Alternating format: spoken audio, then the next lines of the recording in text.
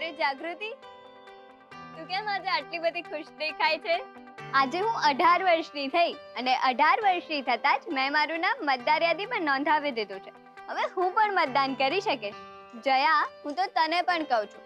તું પણ મતદાર યાદીમાં તારું નામ નોંધાવી જ દે.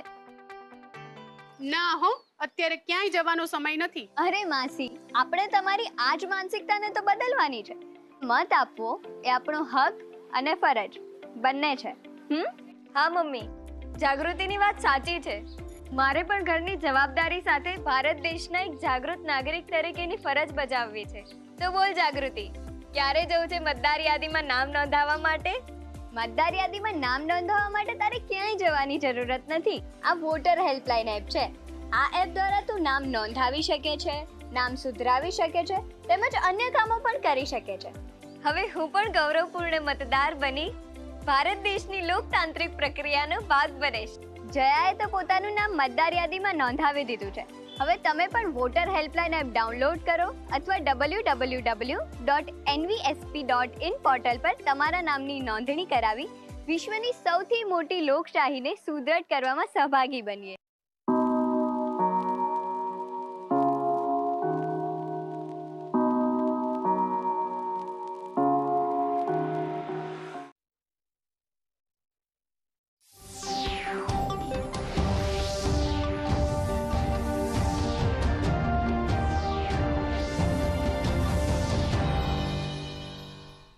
નમસ્કાર, દૂરદર્શન સમાચાર સાથે હું રિયા ઉપાધ્યાય. સમાચારની શરૂઆત કરીશું હેડલાઇન્સથી.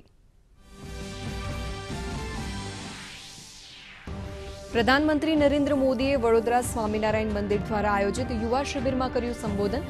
આઝાદીના અમૃત મહોત્સવની પંચોતેરમી ઉજવણીના ભાગરૂપે યુવાનોને ઓછામાં ઓછા પંચોતેર કલાક દેશ સેવામાં ફાળવવા કર્યું આહવાન. સાથે સ્ટાર્ટઅપના ક્ષેત્રમાં ઝંપલાવવા કરી અપીલ.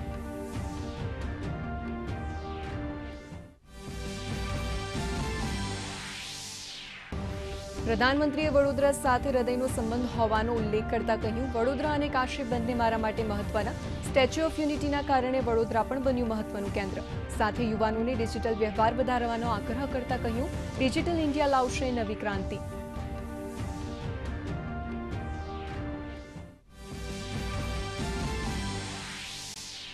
જ્ઞાનવાપી મસ્જિદ મામલે સુનાવણી આવતીકાલ સુધી રખાઈ મુલતવી. સુપ્રીમ કોર્ટે સુનાવણી ટાળવાનો હિન્દુ પક્ષકારનો નિર્ણય રાખ્યો માન્ય.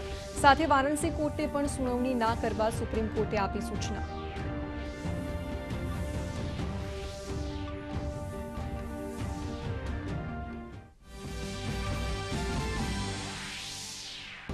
ટેરર ફંડિંગ મામલે અલગતવાદી નેતા યાસીન મલિક દોષી જાહેર.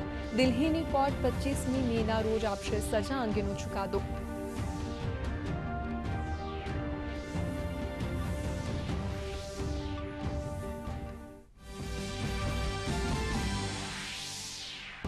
સપ્તાહના ચોથા દિવસે ગ્લોબલ માર્કેટની નબળાઈના પગલે ભારતીય શેર બજાર પણ રેડ ઝોનમાં. આજે બીએસસીનું સેન્સેક્સ એક હજાર ચારસો સોળ અંકના ઘટાડા ભારે સાથે બાવન હજાર સાતસો બાણું પર થયો બંધ તો નિફ્ટી ચારસો ત્રીસ અંકના ઘટાડા સાથે પંદર હજાર આઠસો નવ પર થયો બંધ. આઈટી મેટલ ફાઇનાન્સ સહિત રિયલ એસ્ટેટના સ્ટોક્સ રગડ્યા અરવલ્લી જિલ્લાના વિકાસ કાર્યોની સમીક્ષા કરવા મુખ્યમંત્રીએ જિલ્લા અધિકારીઓ સાથે કરી બેઠક. પાણી, વીજળી, કાયદો વ્યવસ્થાપનના પ્રશ્નોનું નિરાકરણ ઝડપી લાવવા કર્યો આદેશ. સાથે વિકાસ કાર્યોમાં જનભાગીદારી વધારવા, પ્રેરક કાર્યો કરવા આપ્યા સૂચનો.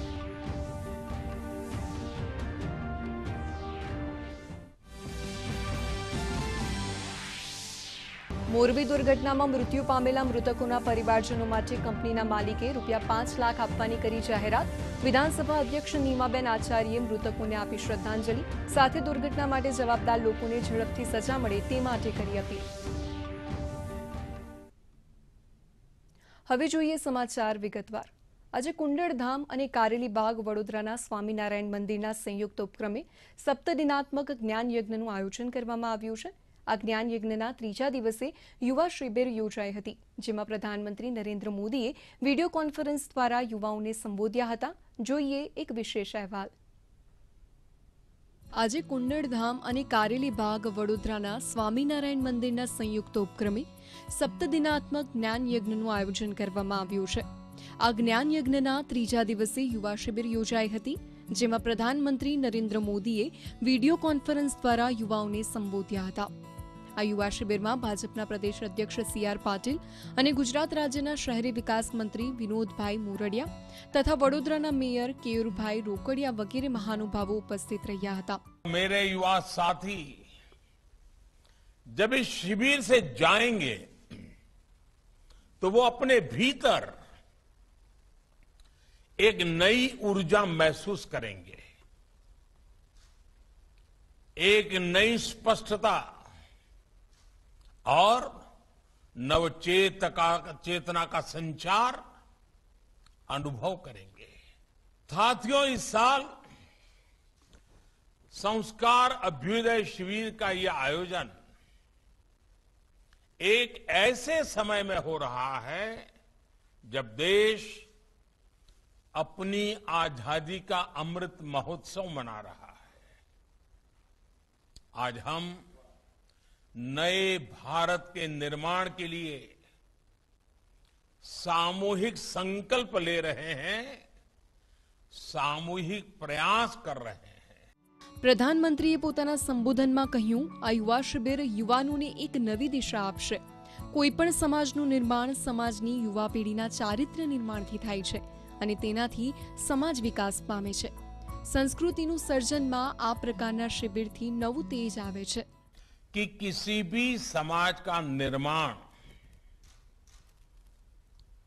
समाज की हर पीढ़ी में निरंतर चरित्र निर्माण से होता है।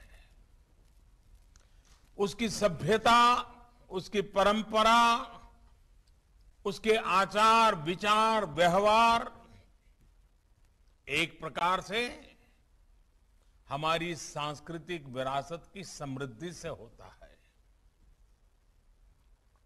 और हमारी संस्कृति का सूजन,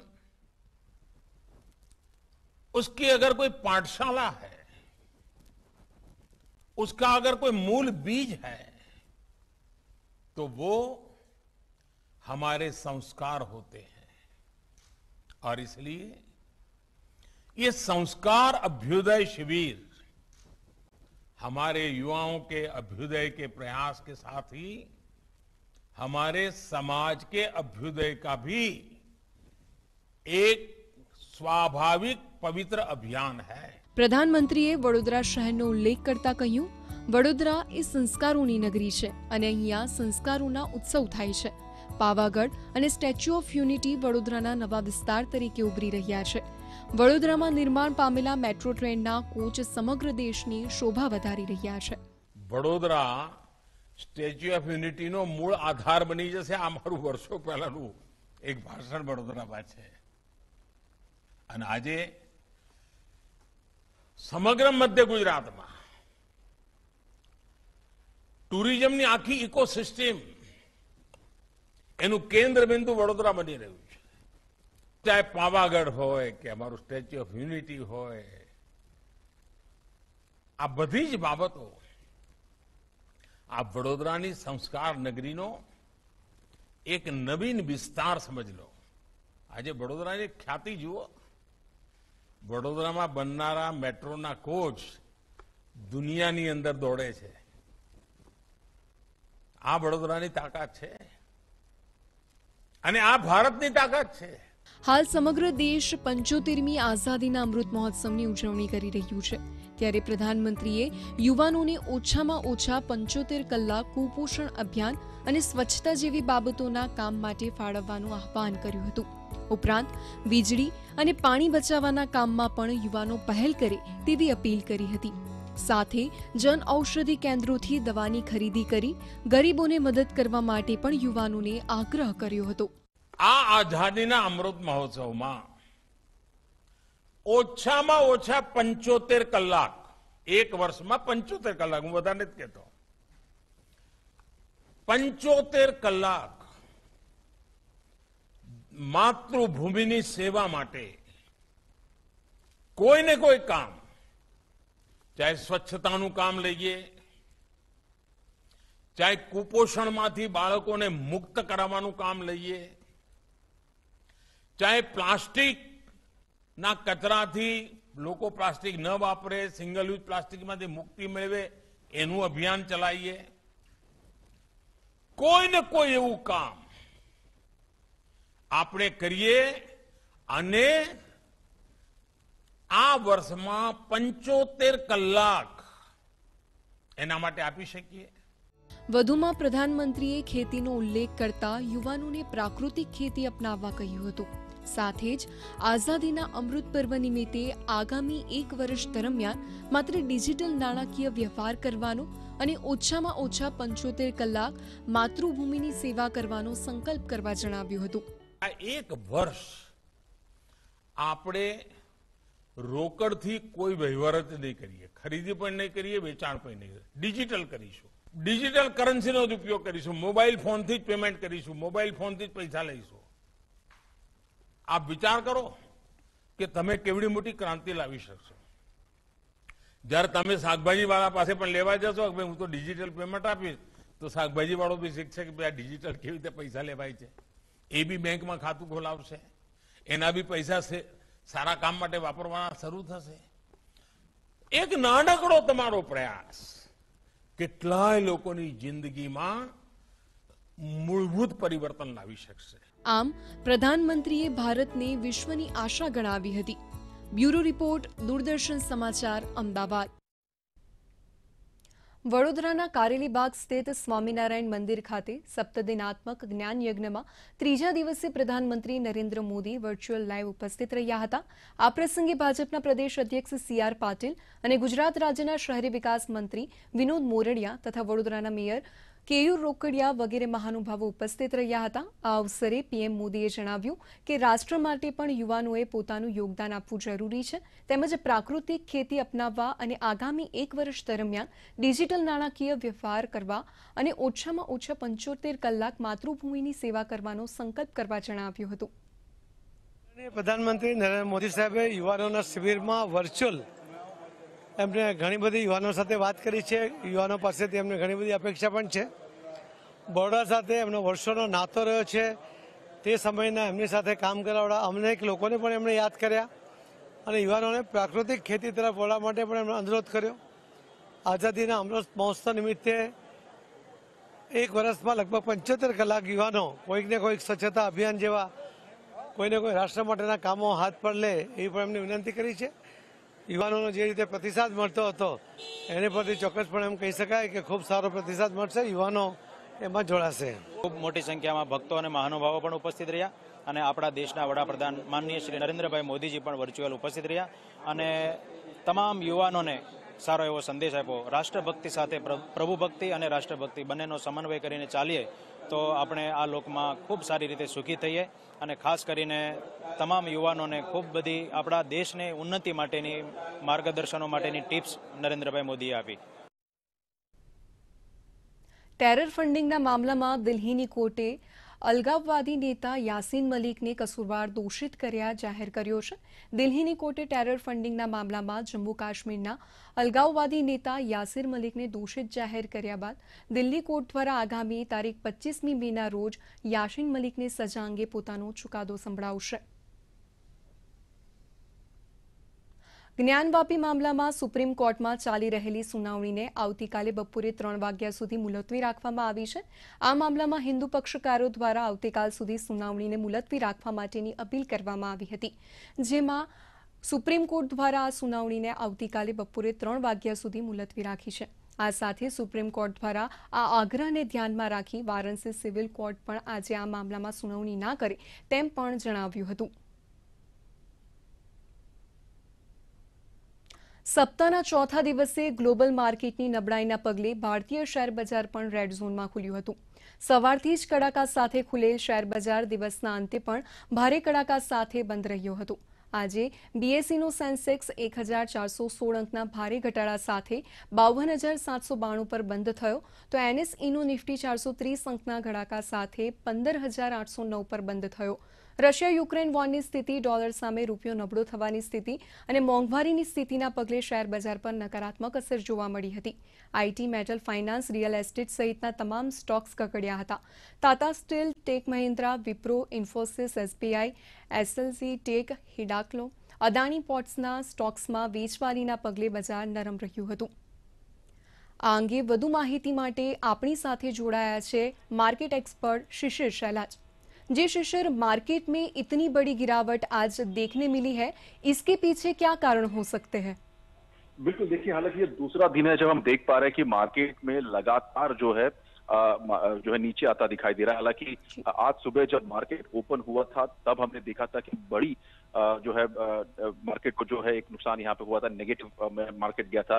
तकरीबन एक मिनट के अंतराल में ही एक एक पॉइंट जो है मार्केट नीचे गिरा था सुबह के ट्रेडिंग सेशन में। तो हम समझ सकते हैं किस प्रकार से ओवरऑल प्रेशर मार्केट के ऊपर रहेगा। खासतौर पर अगर हम एशियन मार्केट की बात करें तो एशियन मार्केट में हांगकांग टोक्यो शंघाई ये जो अगर मार्केट देखे तो इनकी स्थिति भी अमूमन अगर देखा जाए तो उसी प्रकार से दिखाई दे रही थी। हालाँकि काफ़ी प्रेशर रहा। भारतीय मार्केट की अगर हम बात करते हैं स्पेसिफिकली तो भारतीय मार्केट में भी ग्लोबल जो इंडेक्स है साथ ही साथ जो इन्वेस्टर्स आउटफ्लो है खास तौर पर फॉरेन जो फंड्स है उनका लोकेशन है वो कहीं ना कहीं बिकवाली वहाँ पे ज़्यादा दिखाई दी और साथ ही साथ जो क्रूड ऑयल के प्राइसेस है उनमें जिस प्रकार से वृद्धि हुई है तो इसका सीधा असर मार्केट में दिखाई दे रहा है। दूसरी महत्वपूर्ण ये भी है कि जिस प्रकार से यूएस जो है हम देख पा रहे हैं कि जो जिस प्रकार से रेट्स वहाँ पे बढ़ाए गए हैं उसका भी असर भारतीय मार्केट पे जो है पड़ता हुआ दिखाई दे रहा है। और इसीलिए आज अगर देखा जाए काफ़ी बिकवाली मार्केट में हुई है। और इसीलिए two point five percent overall market down जब मार्केट क्लोज हुआ था तो हम देख पा रहे हैं कि मार्केट डाउन हुआ है। जी। जी। कौन से ऐसे सेक्टर है जिसको ज़्यादा नुकसान हुआ है? बिल्कुल देखिए मार्केट में अगर आज की तारीख में अगर देखा जाए तो ओवरऑल सेक्टरी सेक्टर इंडस्ट्रीज़ में अगर हम बात करें तो एच की बात करें या फिर हम रिलायंस इंडस्ट्रीज़ की बात करें इन्फोसिस की बात करें टीसीएस की बात करें ये जो है मार्केट में इस वक्त हमने ज़्यादा इनमें गिरावट देखी थी इनके शेयर प्राइस में गिरावट देखी थी। ऐसे में कुछ कुछ जगह पर हमने ज़रूर ग्रीन पॉइंट देखा। हालाँकि जो फार्मा सेक्टर्स थे फार्मा इंडस्ट्रीज़ थी वहाँ पर हमने हालाँकि थोड़ा रिटेन कर पाए। लेकिन बाकी जो इंडस्ट्रीज़ थी ओवरऑल अगर देखा जाए तो फॉरेन इंडस्ट्रीज़ के पुल आउट होने की वजह से उन्हें मार्केट में बिकवाली की वजह से हम देख पा रहे हैं कि ये मार्केट ऑलमोस्ट रेड जोन में गया है। जी। जी शिशिर क्या लगता है मार्केट में करेक्शन होने की क्या गुंजाइश है? बिल्कुल देखिए हालाँकि जैसे मैंने पहले कहा कि ये जो एक्सटर्नल फैक्टर्स मार्केट को इस वक्त अफेक्ट कर रहे हैं खासतौर पर जिस प्रकार से ऑयल प्राइसेस बढ़ रहे हैं हालाँकि इस पर अब तक कोई भी खास तौर पर चित्र सामने नहीं आया कि या प्राइजेस रहेंगे तो ये परसिस्टेंट प्रेशर रहेगा मार्केट के ऊपर। साथ ही साथ जैसे मैंने कहा कि यूएस में जिस प्रकार से रेट हाइक हुई है वहाँ पर जो इन्फ्लेशन बढ़ा है उसका असर भारतीय मार्केट में भी दिखाई दे रहा है। भारतीय इन्फ्लेशन आंकड़ा भी काफ़ी ज़्यादा है। तो ऐसे में ये वोलिटिलिटी जो है मार्केट में इस वक्त जो एक्सपर्ट्स है या फिर जो नंबर इस वक्त दिख पा रहे हैं वो इसे अगर अनुमान लगाया जाए तो कंटिन्यू रहेगी। जी। जी। जी शिशिर माहिती के बदल धन्यवाद। સમાચારમાં આગળ વધીશું. કેરળના મધ્ય અને ઉત્તરી જિલ્લાઓમાં ભારે વરસાદના કારણે જનજીવન ઉપર અસર પડી છે. ભારે વરસાદના કારણે કોચી શહેરના નીચાણવાળા વિસ્તારોમાં પાણી ભરાઈ ગયા હતા. જ્યારે એર્નાકુલમ જિલ્લામાં પેરિયાર નદીના કિનારા વિસ્તારમાં રહેતા લોકોને સતર્ક કરી દેવામાં આવ્યા છે. આપાતકાલીન સ્થિતિને પહોંચી વળવા માટે નિયંત્રણ કક્ષ શરૂ કરવામાં આવ્યા છે.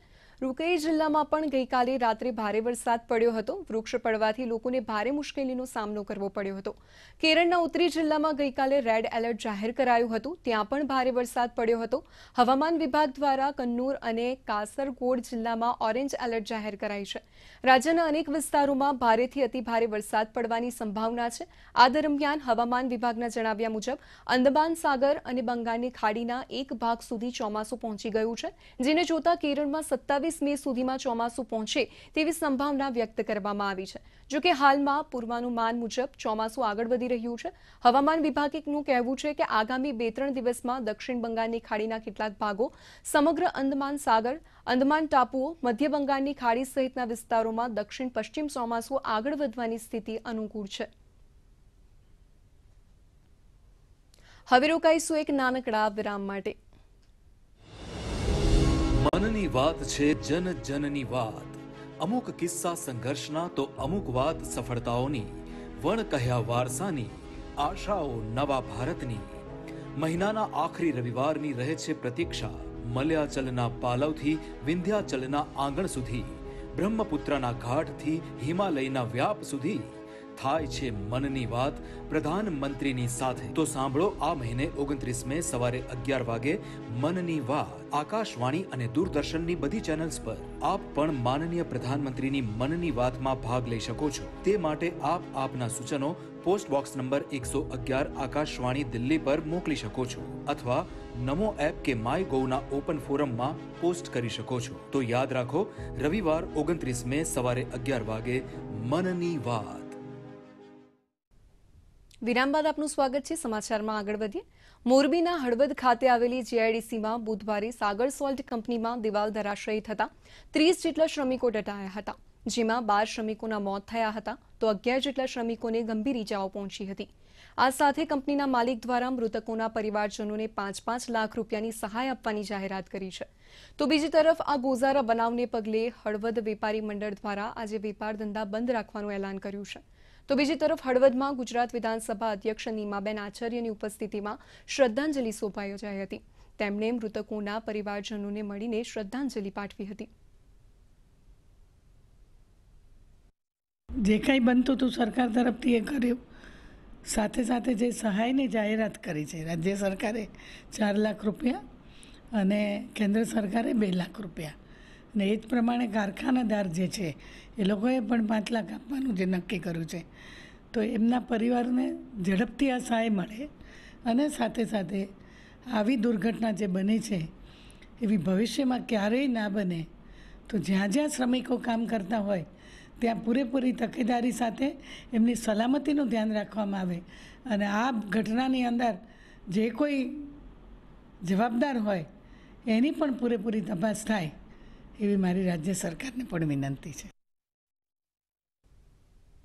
મુખ્યમંત્રીના ભૂપેન્દ્ર પટેલ અરવલ્લીના બાયડ સ્થિત જય અંબે મનબુદ્ધિ મહિલા સમાજ સેવા ટ્રસ્ટની આજે મુલાકાત લીધી હતી. સંસ્થાની લાગણીઓને માન આપીને મુખ્યમંત્રીએ તેમના પૂર્વ નિર્ધારિત કાર્યક્રમમાંથી સમય કાઢીને આજે બાયડ પહોંચ્યા હતા.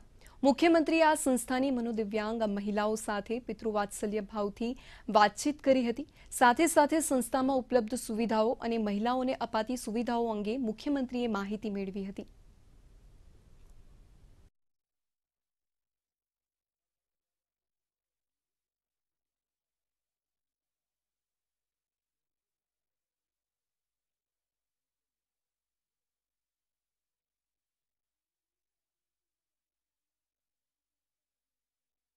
મંદબુદ્ધિની આપણી જે મહિલાઓ છે એની જે આપણા જે ટ્રસ્ટના જે આગેવાનો જે સેવા કરી રહ્યા છે, એની અમારી વહીવટી તંત્ર, અમારા પદાધિકારી, અધિકારીઓ સાથે સન્માનીય ભૂપેન્દ્રભાઈ પટેલ સાહેબ અમે બધાએ મુલાકાત લીધી અને એમને પણ શુભેચ્છા પાઠવી છે.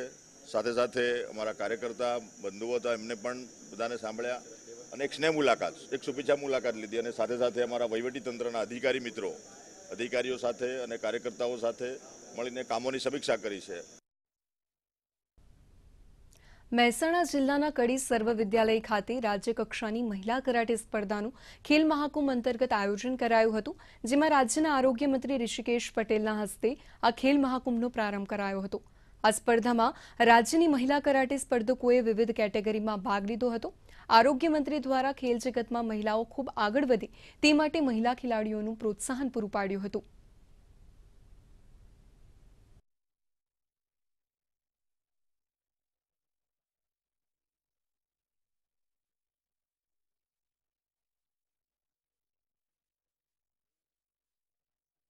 મજબૂત પેઢી આગળ વધે, ક્યાંય ભૂલાઈ ના જાય જૂની રમતો. ખો ખો કબડ્ડી અને બીજી અનેક રમતો બહારથી પણ આવિષ્કાર થઈ છે. આપણે ત્યાં પરંપરાગત રમાતી હોય, આ બધી જ રમતોના મિશ્રણ સાથે દીકરા, દીકરીઓને સ્વસ્થ બનાવવાની કામના સાથે અને એમાં પણ આ ખેલ મહાકુંભ પછી આઠ દીકરીઓએ રાષ્ટ્રીય અને આંતરરાષ્ટ્રીય કક્ષાએ ખૂબ સારી નામના પણ મેળવી છે અને ગુજરાતને ગૌરવ પણ અપાવ્યું છે. રાજ્યના આરોગ્ય મંત્રી ઋષિકેશ પટેલે આજે કડી વિસ્તારની મુલાકાત લીધી હતી, જેમાં તેમણે કડીના કડી પ્રાથમિક આરોગ્ય કેન્દ્ર અને કુંડાળા સરકારી હોસ્પિટલની ઓચિંતી મુલાકાત લીધી હતી. આ સાથે તેમણે હોસ્પિટલની સ્થિતિ અને કામગીરીનું ચિતાર મેળવી ઉપસ્થિત સ્ટાફને જરૂરી સૂચનો અને માર્ગદર્શન આપ્યું હતું. આ સાથે હોસ્પિટલમાં આવેલા દર્દીઓ સાથે વાતચીત કરી સંવેદના દાખવી હતી. તેમજ સરકારી હોસ્પિટલમાં દર્દીઓને કેવી સારવાર મળે છે? કોઈ સેવાઓ સુવિધાઓની જરૂરિયાત રહેલી છે કે કેમ? તેનો પણ તાક મેળવ્યો હતો. અત્યારના મોબાઈલ યુગમાં માણસોનો માણસ સાથેનો સંપર્ક તૂટતો જાય છે. ત્યારે આ સંપર્ક જાળવી રાખવા ગુજરાતમાં પ્રથમવાર જૂનાગઢની કલેક્ટર ઓફિસ ખાતે હ્યુમન લાઇબ્રેરી શરૂ કરવામાં આવી છે. વ્યક્તિ સ્ટ્રેસ ફ્રી થાય અને એક વ્યક્તિ બીજા વ્યક્તિ સાથે પોતાના સુખ દુઃખ શેર કરી શકે તે માટે આ હ્યુમન લાઇબ્રેરી શરૂ કરવામાં આવી છે. આ હ્યુમન લાઇબ્રેરી બપોરે એકથી ત્રણ વાગ્યા સુધી ખુલ્લી રહેશે લાઇબ્રેરીના ઉદ્ઘાટન પ્રસંગે જિલ્લા કલેક્ટર રચિત રાજે જણાવ્યું કે આ કોન્સેપ્ટથી લોકોનું જીવન સ્ટ્રેસ મુક્ત બને અને લોકો એકબીજાને સમજતા થાય તેના ભાગરૂપે આ લાઇબ્રેરી શરૂ કરવામાં આવી છે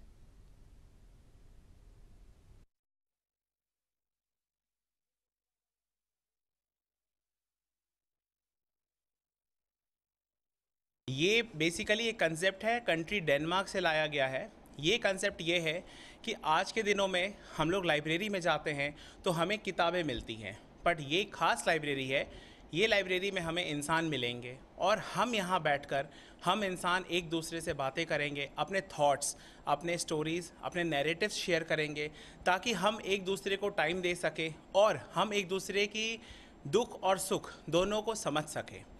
क्या है कि किताबों में रहने से क्या होता है किताबें और आज की जो हेक्टिक शेड्यूल लाइफ है वर्क लाइफ बैलेंस ख़राब है उन चीज़ों को काउंटर करने के लिए ये लाया गया है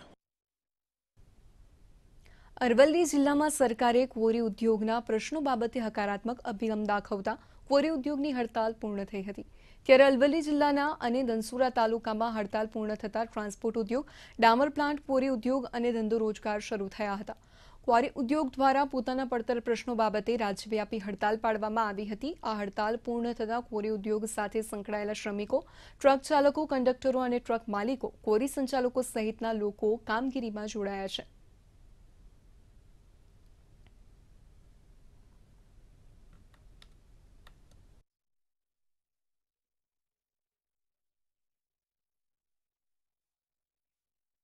ગુજરાત રાજ્યની અંદર તમામ કોરીઓએ પોતાના પડતર માંગને લઈ હડતાલ અપનાવી હતી ત્યારે સરકારે એક હકારાત્મક વલણ અપનાવ્યું છે. અરવલ્લી જિલ્લાના ધનસુરા તાલુકાની અંદર મોટાભાગની કોરીઓ આવેલી છે. ત્યારે હડતાલ પૂરી થતાં ગાડીના ડ્રાઈવરો, કંડક્ટરો તથા કોરી સાથે જોડાયેલા તમામ લોકો ફરી વખત કામે જોડાયા છે. વિશ્વવિખ્યાત વીરપુર જલારામ ધામના પૂજ્ય જલારામ બાપાના પરિવારના જ રસિક બાપાના ધર્મપત્નીનું આજે નિધન થયું છે, જેને લઈને સમગ્ર વીરપુર ગામના વેપારીઓ દ્વારા પોતાના ધંધા રોજગાર બંધ રાખી શોક વ્યક્ત કર્યો હતો. સવારે નવ વાગ્યે તેમની અંતિમ યાત્રા સર્વે ગ્રામજનો જોડાયા હતા. આ અંતિમ યાત્રામાં પૂજ્ય જલારામ બાપાની જગ્યાના ગાદીપતિ રઘુરામ બાપા સહિતના પરિવારજનો જોડાયા હતા. માટે અત્યારે તૈયાર છે અને એવોની અંતિમ યાત્રા અત્યારે વીરપુરના મુખ્ય રાજમાર્ગ પર થઈ અને વીરપુર ગામના તમામ સમાજના લોકો આ સ્મશાન યાત્રામાં, આ અંતિમ યાત્રામાં જોડાશે. અમદાવાદના અંબાવાડી ખાતે આવેલા ડોક્ટર આંબેડકર કોલોનીમાં બૌદ્ધ પૂર્ણિમા મહોત્સવનું આયોજન કરવામાં આવ્યું છે. આ પ્રસંગે તાઇવાનના બૌદ્ધ ભિક્ષુક વનરેબલ વંદનીય ભિક્ષુણી ચ્યુમેન પધાર્યા હતા. તેઓ ડોક્ટર બાબા સાહેબ આંબેડકરની પ્રતિમાને ફુલહાર કરીને પદયાત્રામાં જોડાયા હતા. પદયાત્રામાં બૌદ્ધ જ્ઞાન સંકીર્તન સાથે સોસાયટીના રહીશો મોટી સંખ્યામાં જોડાયા. આ પ્રસંગે યોજાયેલા સમારોહમાં બૌદ્ધ ભિક્ષુક ચ્યુમેને જણાવ્યું હતું કે ભગવાન બુદ્ધનો ઉપદેશ વ્યક્તિને સકારાત્મક દિશામાં વાળે અને તેના દ્વારા દરેક તેમના જીવન લક્ષ્ય સહેલાઈથી પ્રાપ્ત કરી શકે છે. આ શુભ પ્રસંગે બૌદ્ધ ધર્મમાં અને સંઘમાં સરાહનીય યોગદાન આપનાર અનુયાયીઓનું સન્માન પણ કરવામાં આવ્યું હતું.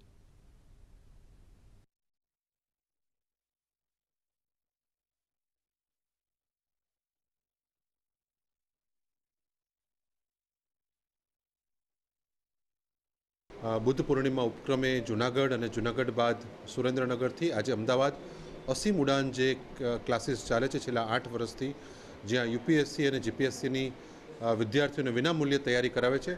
એ કેન્દ્રની મુલાકાતે આજે ભિક્ષુણી ચ્યુમેન આજે આવ્યા, અમદાવાદ આવ્યા છે અને ખૂબ સારો સંદેશ આજે ગુજરાતનો એ તાઇવાન જશે અને તાઇવાનમાં વિશ્વના અનેક બુદ્ધ દેશોની અંદર પણ આજે અમદાવાદના કાર્યક્રમની નોંધ લેવાશે. બુદ્ધ પૂર્ણિમા નિમિત્તે જુનાગઢની અંદર એ જે મહાયાન ટ્રેડિશનની અંદર ભગવાન બુદ્ધના નાનું સ્વરૂપ અને એને સ્નાન કરાવવાનું એક પ્રથા છે, એ પ્રથા પ્રમાણે બાથિંગ બુદ્ધા સેરેમની એ જૂનાગઢની અંદર એરેન્જ કરવામાં આવી હતી. ત્યાં ખૂબ સરસ રીતે આ કાર્યક્રમ યોજાયો. ત્યારબાદ સુરેન્દ્રનગર અને આજે અત્યારે અમદાવાદની અંદર આ કાર્યક્રમ યોજાયો છે. સમાચારમાં હાલ બસ આટલું જ. નમસ્કાર.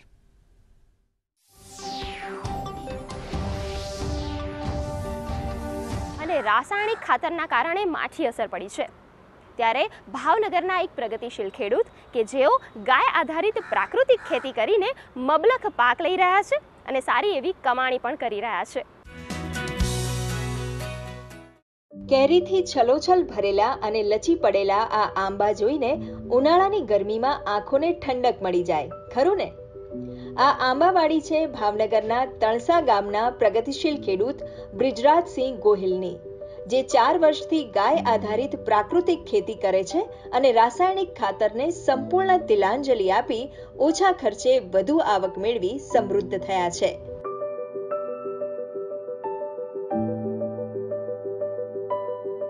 અમારી વાડીમાં જે પણ ઉત્પાદન છે, એ થેન્ક્સ ટુ પ્રાકૃતિક ખેતી. અમે છેલ્લા ચારથી પાંચ વર્ષથી પ્રાકૃતિક ખેતીનો અભિગમ અપનાવ્યો છે. અમે અહીં ગૌશાળા બનાવી છે. જે દેશી ગાયના છાણ અને ગૌમૂત્રમાંથી અમે જીવામૃત બનાવીએ છીએ દસ પરણી અર્ક બનાવીએ છીએ. અમે દર ચોમાસાથી શરૂ કરી આ જેટલા પણ ઝાડ છે, એને અમે મેક્સિમમ જીવામૃતનું ડ્રેન્જિંગ કરીએ છીએ. પછી જ્યારે આંબા ફૂટે છે ત્યારે ગાયની ખાટી છાશ અને જીવામૃતનો સ્પ્રે કરીએ છીએ. જેથી જેટલું પણ મોર આવે એ બધું જવી અને કેરી બને. છે અત્યારે આ વર્ષની સરખામણી જોવા જઈએ તો અમને એક એક આંબા ઉપર સોથી સો, સવાસોથી દોઢસો કિલો કેરીનું ઉત્પાદન અમને મળશે. આ વર્ષે ચારસો, સાડી ચારસો આંબામાંથી નાખી દેતા અમને દસ, બાર લાખ રૂપિયાનું ઉત્પાદન ઓછામાં ઓછું મળશે. પ્રાકૃતિક ખેતી શરૂઆતમાં થોડી ધીરજ માંગી લે છે, પણ લાંબે ગાળે પુષ્કળ નફો કરાવે છે અને જમીનની ફળદ્રુપતા પણ વધી જાય છે. બ્રિજરાજસિંહે સો વીઘામાં વિભાગ પાડી અલગ અલગ ફેઝમાં કેસર કેરીના આંબાનું વાવેતર કર્યું છે. અત્યારે ત્રણસો પંચાણું આંબા પર કેરીનો મબલક પાક લહેરાય છે. તેઓ એક વીઘા વાવેતર દીઠ એક લાખ સુધીની કમાણી કરી લે છે. આ બધું જ છે પ્રાકૃતિક ખેતીને આભારી. સોશિયલ મીડિયા થકી તેમણે સારું માર્કેટ પણ ઊભું કર્યું છે. જ્યારે અમે ડિજિટલ ઇન્ડિયાનો ઉપયોગ કરી સોશિયલ મીડિયાના માધ્યમથી અમે માર્કેટ ઊભું કર્યું છે. અમારે કેરી માર્કેટમાં વેચવા નથી જવી પડતી. વાડીએથી, વાડીએ બેઠા જ અમારી બધી કેરી વેચાઈ જાય છે. એડવાન્સ અમને બુકિંગ કરાવવું પડે છે. તો ઓછી પડતર, વધુ ઉત્પાદન અને ડબલ ભાવ. આ ત્રણ અભિગમ જ્યારે તમે જોવા બેસાડો, તો તમને જે રેગ્યુલર ખેતી કરતાં આમાં ડબલ આવક મળે છે. ગાય આધારિત ખેતી કરવા બ્રિજરાજસિંહે ગૌશાળા પણ બનાવી છે અને ગીર તેમજ દેશી ગાયના સંવર્ધનનું કાર્ય પણ શરૂ કર્યું છે. ગૌમૂત્ર, ગોબર, જંગલની વનસ્પતિનો ઉપયોગ કરી પ્રાકૃતિક ખેતીનો અભિગમ દરેક રીતે ફળદાયી નીવડ્યો છે. અન્ય ખેડૂતોને હું એક જ સંદેશ આપવા માંગુ છું કે જે આપણી જૂની પદ્ધતિ હતી પ્રાકૃતિક ખેતી, એ પ્રાકૃતિક ખેતીનો અભિગમ અપનાવો, એનાથી તમારી બે ધારી નીતિ તમને તમારા આંગણે દેશી ગાય બાંધશો તો તમારા ફેમિલીને ગાયનું ચોખ્ખું દૂધ દૂધ, છાશ મળશે અને એ ગાયનું ગૌમૂત્ર અને છાશ તમે ખેતીમાં ઉપયોગ કરશો તો તમારે ક્યારે રાસાયણિક કે એગ્રોની ક્યારેય જરૂર નહીં પડે. તો તમારે એક બીજો ખીચા ખર્ચો બચી જશે અને તમારી જમીન છે એની રોગ પ્રતિકારક શક્તિ વધશે. એટલે તમને દિવસે ને દિવસે જે તમારી ઉત્પાદન ઘટતું ગયું હતું, એ ઉત્પાદન હવે વધતું જોવા મળશે. વડાપ્રધાન શ્રી નરેન્દ્ર મોદી અને ગુજરાતના રાજ્યપાલ આચાર્ય દેવવ્રતજીના ખેડૂતોને પ્રાકૃતિક ખેતી માટેના આહવાનને આ પ્રગતિશીલ ખેડૂતે સુપેરે અનુસરીને અન્યો માટે પ્રેરણારૂપ બન્યા છે. પ્રાકૃતિક ખેતી કે જે કહી શકે છે વ્યક્તિના સ્વાસ્થ્ય માટે ખૂબ જ ફાયદાકારક છે. જેને લઈને આ ખેડૂત છે એ ભારત સતર્ક બની રહ્યા છે અને આર્થિક સમૃદ્ધ પણ બની રહ્યા છે. કેતન રાજપુરા દૂરદર્શન ન્યૂઝ, ભાવનગર. તો દર્શક મિત્રો, આ હતો આજનો અમારો સકારાત્મક ખબરોનો કાર્યક્રમ ગુડ ન્યૂઝ ગુજરાત. આપ આપના અભિપ્રાય અને આવી જ ગુડ ન્યૂઝ અમને મોકલી શકો છો. અમારો ઈમેલ આઈડી છે good news Gujarat at the rate Gmail dot com આ એપિસોડ આપ અમારી YouTube channel DD news Gujarati પર પણ નિહાળી શકો છો. તો આ સપ્તાહે માત્ર આટલું જ. આવતા સપ્તાહે ફરીથી મળીશું.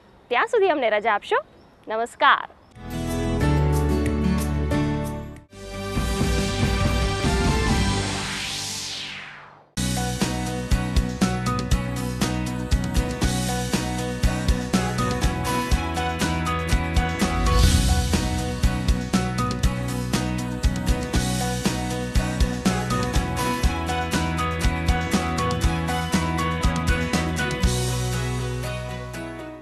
નમસ્કાર દર્શક મિત્રો. મિત્રો, જીવન અરીસા જેવું છે. આપણા અભિગમનું જ પ્રતિબિંબ છે. તેની તરફ મલકાઈશું તો તે આપણને મોહક લાગશે. અને તેની તરફ ગુસ્સો અને તિરસ્કાર કરીશું તો તેવો જ પ્રતિસાદ આપણને મળશે.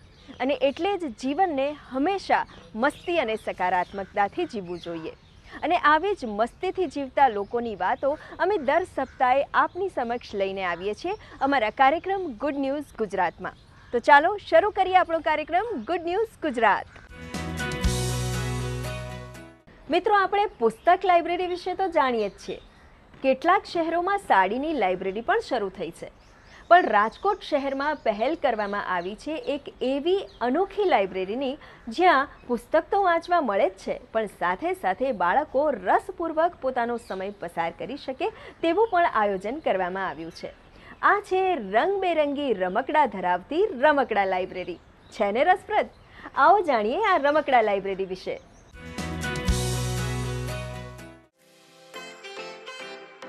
આ રંગબેરંગી મજાના રમકડા. જ્ઞાન સાથે ગમ્મત પીરસતા શૈક્ષણિક સાધનો. પગેથી ધક્કો મારી ચલાવવામાં આવતી આ ગાડીઓ અને કોઈ પણ વ્યક્તિ જો અહીં આવે તો રમતિયાળ બની જાય તેવી આ જગ્યા. અને સુંદર મજાના રમકડા વચ્ચે જો બાળકોને લઈ આવવામાં આવે, તો તેને તો જાણે પોતાની મનગમતી દુનિયા જ મળી જાય. હા મિત્રો, અહીં આવતા બાળકો માટે તો આ શક્ય બનશે. કારણ કે રાજકોટ શહેરમાં ખાસ એકથી બાર વર્ષના બાળકો માટે શરૂ કરવામાં આવી છે રમકડા લાઇબ્રેરી. અહીંયા બાર વર્ષના સુધીના બધા બાળકોના માટે રમકડા અવેલેબલ છે અહીંયા. જે બાળકો થેરાપી ચાલતી હોય તો એના માટેના રમકડા બી અહીંયા આપણે રાખીએ છીએ કે જે અહીંયા આવી અને વાલી ઘરે લઈ જઈ શકે, જે બાળકો નથી આવી શકતા એને રમાડી શકે છે.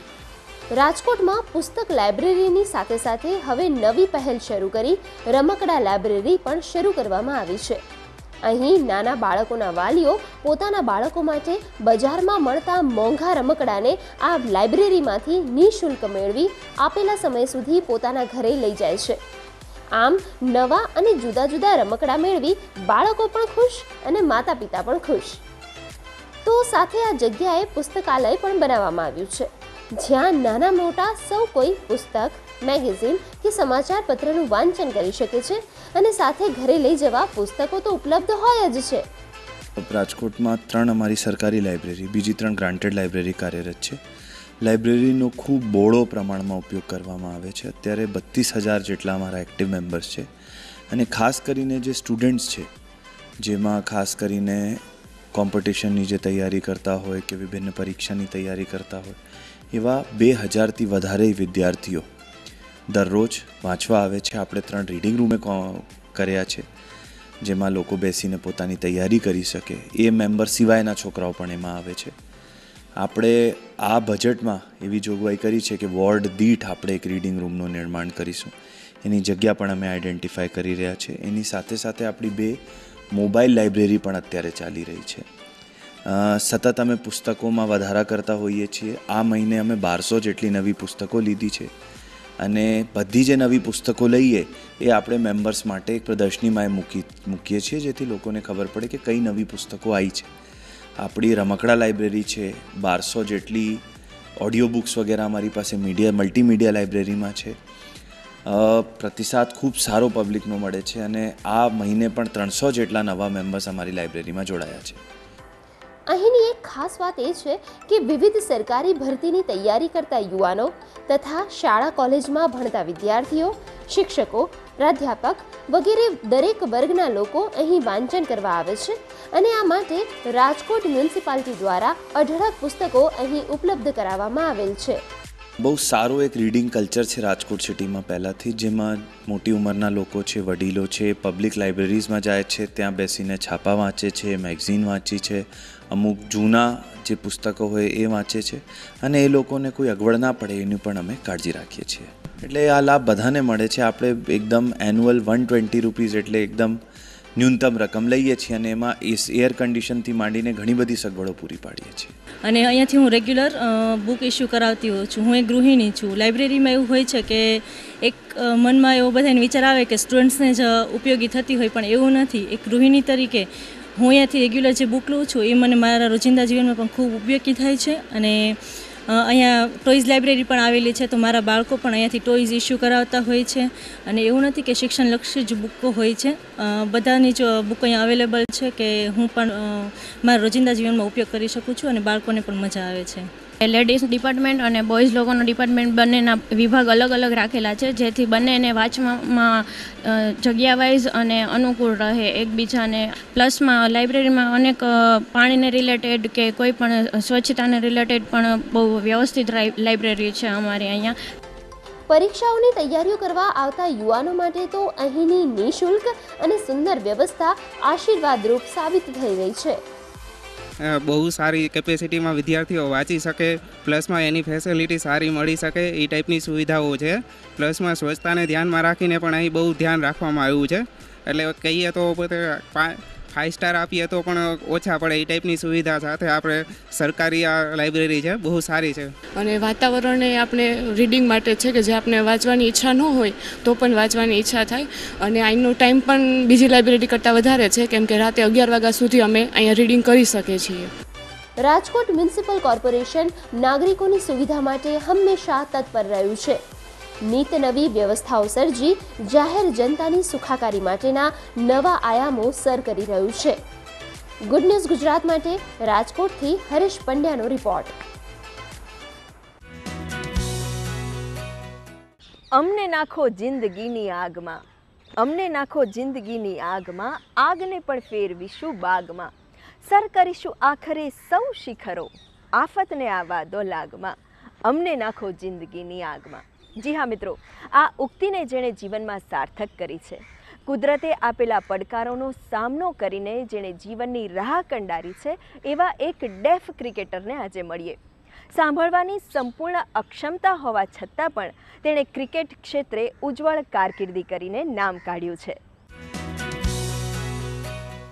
ઈશારા અને થોડું બોલીને પોતાની વાત કહી રહેલો આ છે ક્રિશ, જે છે ક્રિકેટમાં ઓલરાઉન્ડર. ધુઆધાર ફાસ્ટ બોલિંગ અને મસ્ત ફિલ્ડિંગ કરતો ક્રિશ જન્મથી જ લગભગ સંપૂર્ણપણે સાંભળવાની ડિસેબિલિટી ધરાવે છે. એક દિવસ એના ભાઈબંધો એને બોલાવવા આવ્યા કે ક્રિસ ચાલ આપણે ક્રિકેટ રમવા જઈએ. તો મેં એમને પૂછ્યું, મેં કીધું ક્રિસને તો ક્યાં ક્રિકેટ આવશે? કેવી રીતે કોમ્યુનિકેશન કરે તમારી જોડે? કે કીધું, કાકા, અમારા બધા કરતાં ક્રિસ સારામાં સારું ક્રિકેટ રમે છે. હું થોડો અવાક થઈ ગયો. છોકરાઓને કીધું, ચલો, હું જોવા આવું ક્રિસ કેવું રમે છે? પછી એને મેચ જોવા ગયો. મેચ જોવા મેચમાં મને એમ લાગ્યું કે ના ક્રિસ તો ખરેખર બાય બોર્ન ક્રિકેટર ક્રિકેટરનું ટેલેન્ટ એનામાં છે. બરોડા ક્રિકેટ એસોસિએશનના કેમ્પમાં ક્રિસનું સિલેક્શન થયું. સિલેક્શન થયા પછી એને ત્યાં ડિસ્ટ્રિક્ટ લેવલની મેચો રમાડી. ડિસ્ટ્રિક્ટ લેવલમાં પણ ક્રિસનું સારું પરફોર્મન્સ આવ્યું. એ પરફોર્મન્સ ઉપરથી પછી એને આગળ આપણે આગળ ક્રિકેટ રમવા જવાનું વિચાર્યું. સાંભળવાની અક્ષમતા છતાં ક્રિષ્ના કોચિસને તેની સાથે કોમ્યુનિકેટ કરવામાં તકલીફ નથી પડી. જે રીતે એનું ડેડિકેશન છે ક્રિકેટ માટે અને કોચિસને એક કે બે ઇન્સ્ટ્રક્શનમાં એ ફોલો કરવા માંડે છે, એ સમજી લે છે. એના આઉટસ્ટેન્ડિંગના પરફોર્મન્સના લીધે જ્યારે ઓપન સિલેક્શન હતું અને વીસીએ વડોદરા ક્રિકેટ એસોસિએશનમાંથી એકેડમી તરફથી એ રિપ્રેઝેન્ટ થયેલો. અને ત્યાં આગળ પણ તુષાર સર જે, તુષાર આરોઠે સર જે ત્યાં આગળ હેડ કોચ હતા. એમને પણ એમનું સિલેક્શનમાં બહુ હેલ્પ કરી છે मेरे पास जब ये आया तो मैंने इसको ओवर दिया बॉल नेट पे बॉल डालने के लिए तो इसने ओवर डाला बॉल तो मेरे को काफ़ी अच्छा लगा इसने बॉल डाला लाइन लेंथ से बॉल डाला तो मेरे को लगा ये लड़का आगे कुछ कर सकता है तो इसको मैंने बॉलिंग परमानेंट इसको यूज़ किया इसकी जो थोड़ी बहुत कमी थी उसको मैंने इशारे से समझा के इसको समझाया अच्छा बॉल डाला और आगे चल के इसको सफलता मिली अच्छी और बैटिंग पे भी इसको थोड़ा सा मैं अभी ध्यान दे रहा हूँ और काफ़ी इसको करना पड़ेगा अभी और चीज़ें बाकी आगे मेहनत करता रहेगा तो ये आगे जाएगा जो लेवल पे खेलेगा ક્રિશે ઘણી નોર્મલ ક્રિકેટ અને ડેફ ક્રિકેટમાં ભાગ લીધો છે પોતાની ઉંમર કરતા મોટા ક્રિકેટર્સ સાથે પણ રમ્યો છે અને લિટલ માસ્ટર તરીકે ઓળખાય છે વડોદરા ક્રિકેટ એકેડમીમાં ટોપ ફાઇવ ક્રિકેટર્સની યાદીમાં તે છે બરોડા ક્રિકેટ એસોસિએશનમાં ખાસ ટ્રેનિંગ લઈ દસથી બાર કલાક પ્રેક્ટિસ કરે છે. આગામી સમયમાં ઇન્ડિયન નેશનલ ડેફ ટીમમાં ક્રિશનું સિલેક્શન છે.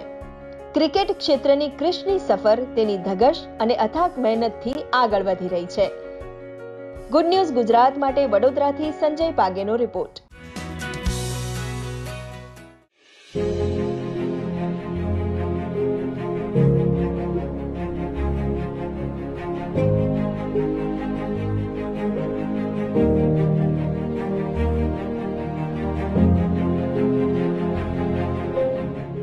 ભારતનું એક એવું શહેર જે પાછલા પચીસો વર્ષોથી પોતાનો ઇતિહાસ પોતાની વિરાસતને સંજોઈને જીવિત છે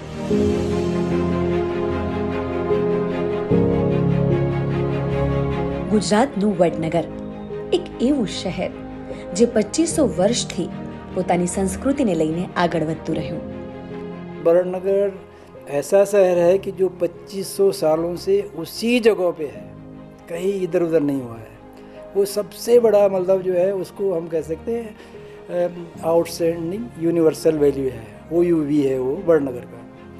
तो वो बाकी शहरों में नहीं है, बाकी शहर पुराने बहुत जगह है इंडिया में भी है। और मैंने जो जो भी देखा है, अभी मतलब मुझे किसी ने कहा भी था। तो आप काशी को भी मानते हैं कि काशी बहुत पुराना है नो डाउट काशी जो है बड़नगर से और 500 साल पुराना है 500-600 साल पुराना है। पर काशी में क्या हुआ? कि काशी गंगा नदी के तट पे शिफ्ट होता रहा बड़नगर भी मिलता है कि उसी फोर्टिफिकेशन उसी किले के अंदर जो है बस्ती आज तक है उसी में विकसित हो रही है વડનગર ભારતીય સંસ્કૃતિનું એક પ્રાચીન નગર છે જે પોતાની વૈભવશાળી સંસ્કૃતિ સ્થાપત્ય કલા અને નગર આયોજનનો સર્વોત્તમ નમૂનો છે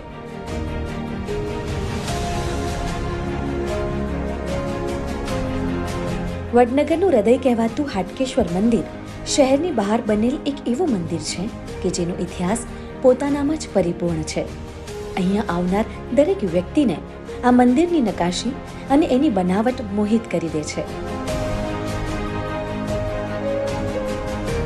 हाटकेश क्षेत्र जो है उसका कोई शिलालेख तो अभी है नहीं मगर स्कंद पुराण नागरखंड उसमें उसका उल्लेख है कि भाई हाटकेश क्षेत्र इस विस्तार को क्यों कहा जाता था? कि जब महादेव जी शंकर भगवान की पत्नी उमा को उसके पिता दक्ष राजा ने यज्ञ का आमंत्रण नहीं दिया तो वो जाकर भी उसी यज्ञ कुंड में कूद पड़ी और अपना बलिदान दिया। तो शंकर भगवान ने उसको लेके निकले थे तो वड़नगर आकर वो चमत्कार हुआ। और ब्रह्मा जी ने वहाँ शिव जी का सुवर्ण लिंग स्थापित किया आटक means suvarna that for it is known as Suvarna Ratkeshwar this is the only story in return and mentioned in the Skanda Purana Nagarkhand Tana Riri મહોત્સવ વિશે તો તમે જરૂરથી સાંભળ્યું હશે પણ શું તમે જાણો છો આ નાગર બહેનો તાના અને રીરી કોણ હતી વડનગર પહોંચતા જ તમે તાના રીરી બગીચાની સુંદરતાને નિહાળી શકો છો अकबर बादशाह था और वो टर्म उसका जो नवरत्न था उसमें से this Tansen was a musician and singer Haridas जो उसका गुरु थे उसने बोला कि मेरी अग्नि संस्कार दीपक राग से करना तो उसने दीपक राग से किया मगर दीपक राग के बाजू में मल्हार राग गाना होवा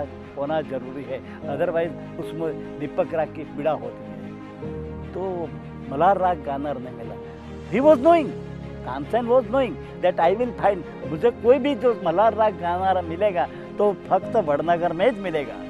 ही वॉज़ नोइंग वो सब जानता था तो वो इधर आया। इधर आया तो उसको ताना और रिरी, दोनों बहनों थी। ट्विन बेबीज तो उसने मलार राग गाया।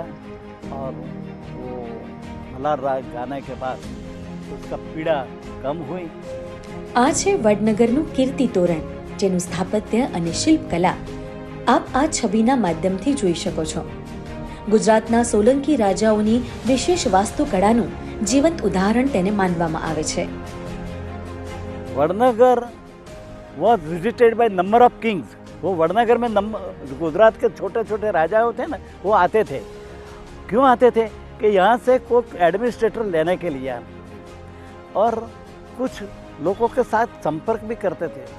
और कुछ यहाँ यहाँ के, यहाँ कोई पॉलिटिकल प्लेस नहीं थी, मगर राजाओं के साथ, प्रजा के साथ कुछ विचार विनिमय करते थे। तो वहाँ कोई विजय प्राप्त करके आया तो विजय प्राप्त करने के लिए प्रजा बोले कि यहाँ हमारे लिए क्या है? तो ये तोरण बना दिया। तोरण है is the एक स्मृति चिन्ह left by the kings for the memory of their victory. વડનગરનું Sharmishtha તળાવમાં એક રમણીય પર્યટન સ્થળ છે એક એવો સમય પણ હતો જ્યારે આ તળાવ વિકાસની રાહ જોઈ રહ્યો હતો પણ આજનું દ્રશ્ય કંઈક જુદું જ છે शर्मिष्ठा तालाब है वो टाउन के नॉर्थ ईस्ट में है मतलब वायव्य कोना में। और जो पानी का जो बहाव है, वो आपका, वो नैऋत्य दिशा में है।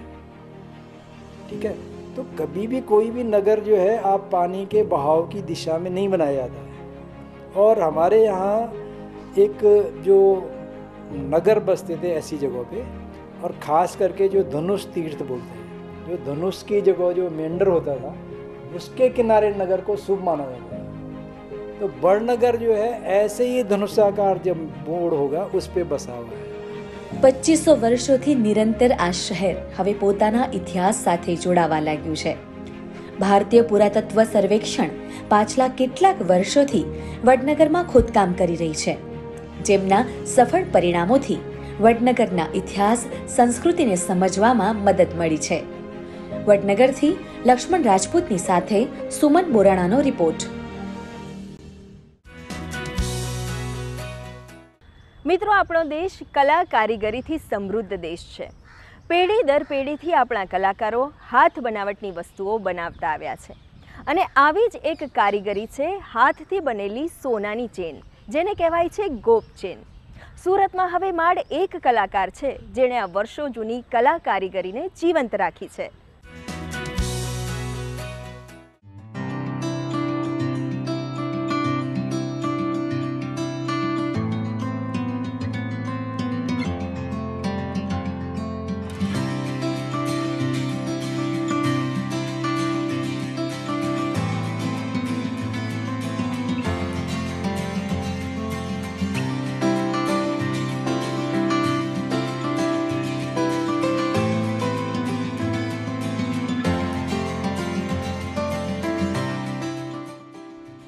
આભૂષણો કે નાજુક ગળાની ચેન.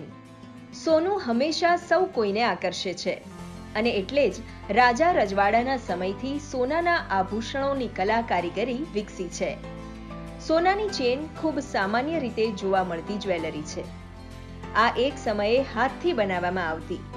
સવા સો વર્ષ જૂની આ કારીગરી સુરતના કારીગર દિનેશભાઈ બાલીએ હજી પણ જાળવી રાખી છે. આ સાઉથ ગુજરાતમાં હું એક જ વ્યક્તિ છું ને એનો ઇતિહાસ એ છે કે આજથી સવાસો વર્ષ પહેલાં દોલારામજી પાવાવાલા જે હતા આ લોકોની પ્રોસેસ ચાલુ કરી હતી, એના પછી આપણે કીકારામજી કરણ વૈષ્ણવ જે હતા, એ લોકો કરી હતી. એના પછી એની શરૂઆતમાં ધીરે ધીરે અમદાવાદમાં એમના મામાના છોકરાના કાકાના છોકરા મળે ને અમદાવાદથી ચાલુ કર્યું ત્યાં મારા ભાઈ ઉત્તમભાઈ ત્યાં અમદાવાદમાં આવ્યા એના પછી મને ત્યાં હું બારમું ભણે હું અમદાવાદ આવી ગયો. એના પછી આ લોકો ઉત્તમભાઈને મને શીખાયું આ કામ.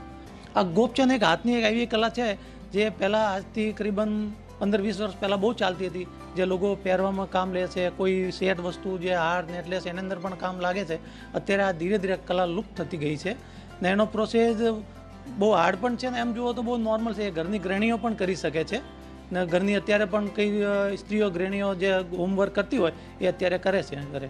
એનો વર્ગ એ છે કે પહેલી શરૂઆતમાં વેપારી લોકો અમને એક ડાલકી આપે છે, જે સોનું ગલાવે અને તમારા બાવીસ કેરેટ, એકવીસ કેરેટ, અઢાર કેરેટ, જે એમને ઇતિહાસ હોય, એમનો કરતા હોય, એ ટાઈપના અમને આપે છે. તો અમે લોકો પછી એનો મશીનમાં તાર કરે અને પછી અમારી જે ચકરી છે, એના અંદર તાર ખેંચે એના માપને પ્રમાણે બધું માપ કરવું પડે.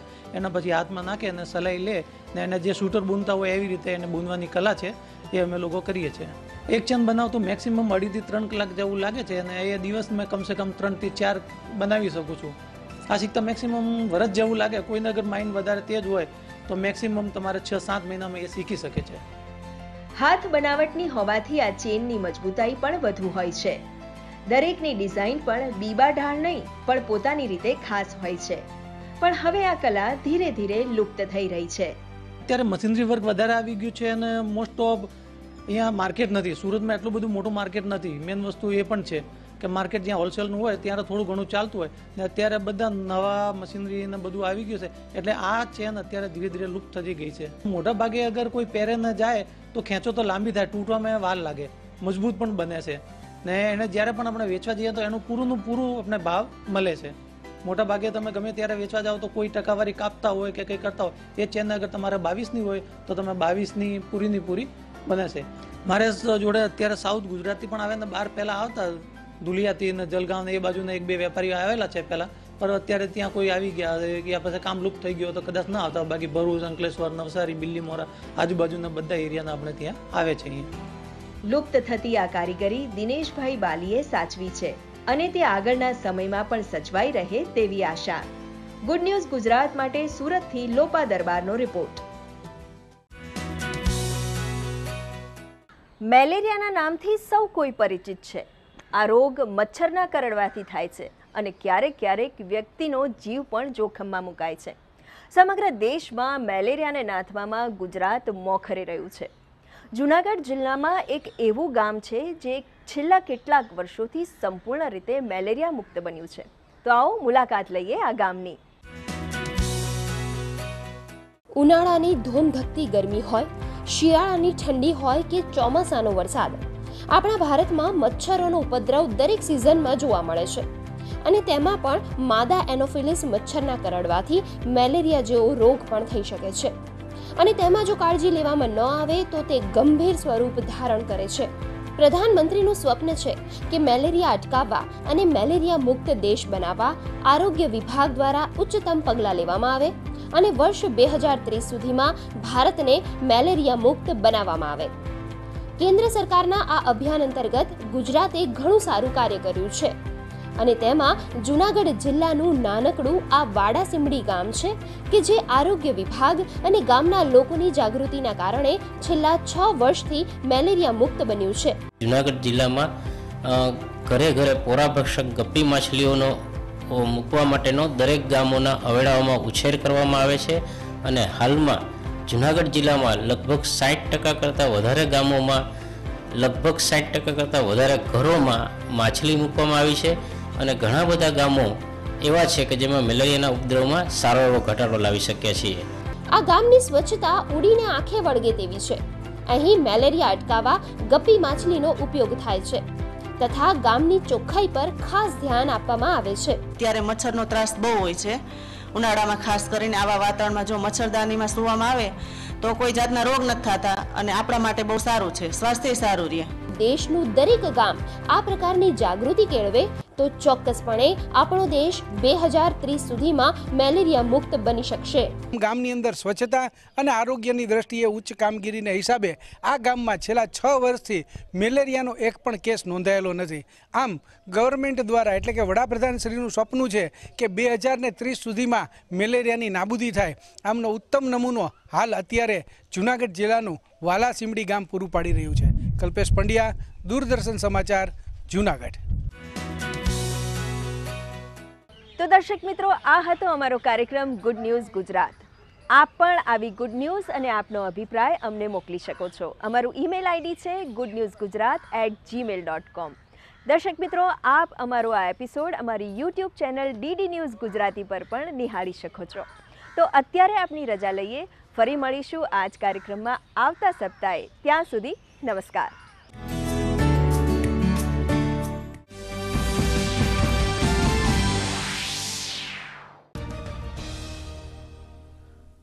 નમસ્તે દર્શક મિત્રો. સાંપ્રત ઘટનાઓ પર આધારિત કાર્યક્રમ આપણા મુદ્દા, આપણી વાતમાં હું નિશિત જોશી આપનું સ્વાગત કરું છું. દર્શક મિત્રો, સમગ્ર વિશ્વ, ભારત સહિત સમગ્ર વિશ્વ એ જળવાયુ પરિવર્તન સામે જજુમી રહ્યું છે. ક્લાઇમેટ ચેન્જ ક્લાઇમેટ ચેન્જ એક એવી ગંભીર સમસ્યા છે. આવનારા વર્ષોમાં આપણે એના ગંભીર પરિણામો ભોગવવા પડશે. અત્યારથી એની શરૂઆત થઈ ચૂકી છે. તાપમાનમાં સતત વધારો થઈ રહ્યો છે. આપણે આપણા દેશની વાત કરીએ, સમગ્ર વિશ્વની વાત કરીએ, તાપમાન સતત વધી રહ્યું છે. સૂર્યનો પ્રકોપ વધી રહ્યો છે. તડકો વધી રહ્યો છે. ગુજરાત રાજ્યની વાત કરીએ તો ગુજરાતમાં પણ હીટ વેવની સમસ્યા ઉત્પન્ન થઈ છે. અત્યારે એપ્રિલમાં તમે વિચારી શકો છો કે એપ્રિલ અત્યારે આટલો આકરો છે, તો મેમાં શું થશે એની કલ્પના આપ કરી શકો છો. ત્યારે હવામાન વિભાગ દ્વારા આવનારા બે દિવસમાં પણ હીટવેવ અમદાવાદમાં હીટવેવની આગાહી કરવામાં આવી છે. ત્યારે આજે આપણે હીટવેવ અંગે ચર્ચા કરીશું. આ ઉપરાંત હીટવેવ કોઈપણ કોઈ પણ વ્યક્તિ એનાથી પ્રભાવિત થયું હોય, તો એને કેવા પ્રકારના લક્ષણો હોય છે એની પણ વાત કરીશું. એનાથી બચવા માટે આપણે શું કરી શકાય, એની સારવાર શું છે અને કેવા કેવા પ્રકારનું આહાર આપણે લેવો જોઈએ, એનું સેવન કરવું જોઈએ, કેવા પીણા પીવા જોઈએ, એની પણ આપણે વિગતે ચર્ચા કરીશું. આ ઉપરાંત આઈઆઈપીએચ એટલે કે Indian institute of public health Gandhinagar અને અમદાવાદ મ્યુનિસિપલ કોર્પોરેશન એ બંને એક આજથી લગભગ દસ અગિયાર વર્ષ પહેલાં એક હિટ એક્શન પ્લાન તૈયાર કર્યો હતો. એ પ્લાન શું છે, એ કેવી રીતે કાર્ય કરે છે, એની પણ આપણે વિગતે ચર્ચા કરીશું. આ ચર્ચા કરવા માટે આપણી સાથે સ્ટુડિયોમાં બે મહેમાન ઉપસ્થિત છે, તેમનો પરિચય મેળવી લઈએ.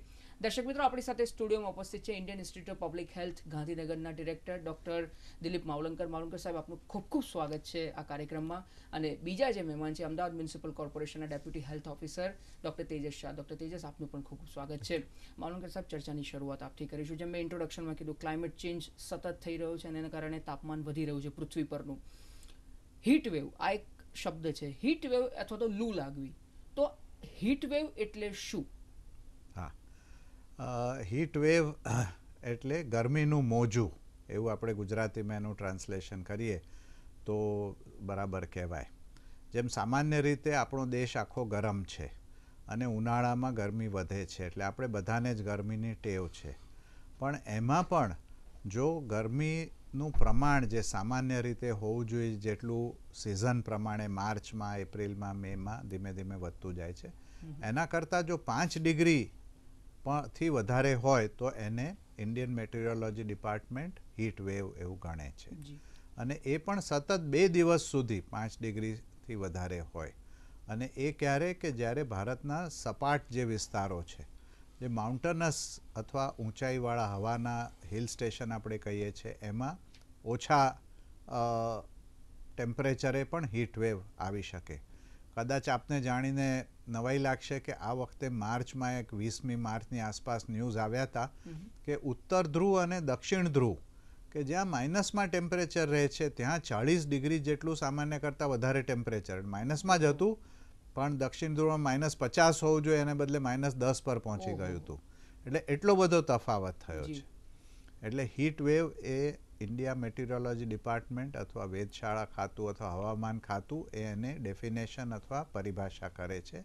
અને એ લોકો માપીને નક્કી કરે છે કે હીટ વેવ ક્યારે કહેવાશે. બરાબર છે. ખૂબ વિગતે આપણે માહિતી આપી. ડૉક્ટર તેજસ જેમ માવલંકર સાહેબે હીટવેવ એના એની પરિભાષા કરી. લક્ષણોની વાત કરીએ તો આ હીટવેવ કોઈ પણ વ્યક્તિ હીટવેવથી પ્રભાવિત થયું હોય તો એના કેવા કેવા લક્ષણો હોય છે? હીટવેવની વાત કરીએ આપણે તો ઘણા બધા લોકોએ સાંભળ્યું હશે કે સનસ્ટ્રોક કે હીટ સ્ટ્રોક એ એનું એક ડિઝીઝની પેટર્ન છે કે જે હીટ સ્ટ્રોક થયો. હવે હીટ સ્ટ્રોક છે કે એ એક્સ્ટ્રીમ લક્ષણ છે. પણ જ્યારે શરૂઆતના તબક્કે જ્યારે ગરમીની તમને અસરો થાય ત્યારે એની જે શરૂઆત થાય છે શરૂઆતમાં હીટ રેશિસ થાય એટલે કે જેને સાદી ભાષામાં ગુજરાતીમાં કહીએ તો ગરમીની અળાઈઓ થાય હીટ ક્રેમ્પ્સ કહીએ કે સ્નાયુમાં દુખાવો સ્નાયુ ખેંચાઈ જવા જેવા લક્ષણો આવે હીટ સિન્કોપી કહીએ, જે જેને કારણે સેન્ટ્રલ નર્વસ સિસ્ટમ પર અસર થવાને કારણે ડિઝીનેસ કે એ પ્રકારના લક્ષણો જોવા મળે. હીટ એક્ઝોશન જોવા મળે કે જે માણસને બેચેની અનુભવાય, માથું દુખે, સતત ઉલટી ઉપકા થાય, એ પ્રકારના લક્ષણો જોવા મળે. અને જે ફાઇનલ લક્ષણો છે કે જે એક્સ્ટ્રીમ સ્ટેજ છે, જે હીટ સ્ટ્રોક જેને આપણે કહીએ છીએ, કે જેમાં શરીરનું તાપમાન એકસો ચાર ડિગ્રી જેટલું પહોંચી જાય છે અને જે સેલ્સિયસમાં કહીએ તો ચાલીસ ડિગ્રી સેલ્સિયસથી વધારે હોય છે. અને જેમાં જે આપણા શરીરની થર્મોરેગ્યુલેટરી એટલે કે તાપમાનને નિયંત્રણ કરવાની મિકેનિઝમ છે એ ડિસ્ટર્બ થઈ જાય છે અને જે સેલ્યુલર લેવલે જે શરીરના કોષોનું ફંક્શન ડિસ્ટર્બ થાય છે. અને સેન્ટ્રલ નર્વસ સિસ્ટમને લગતા લક્ષણો કે જે કહેવાય કે ખેંચ આવવી બેભાન થઈ જવું ડ્રાઉઝીનેસ જે પ્રકારના લક્ષણો છે એ અનુભવવા લાગે છે.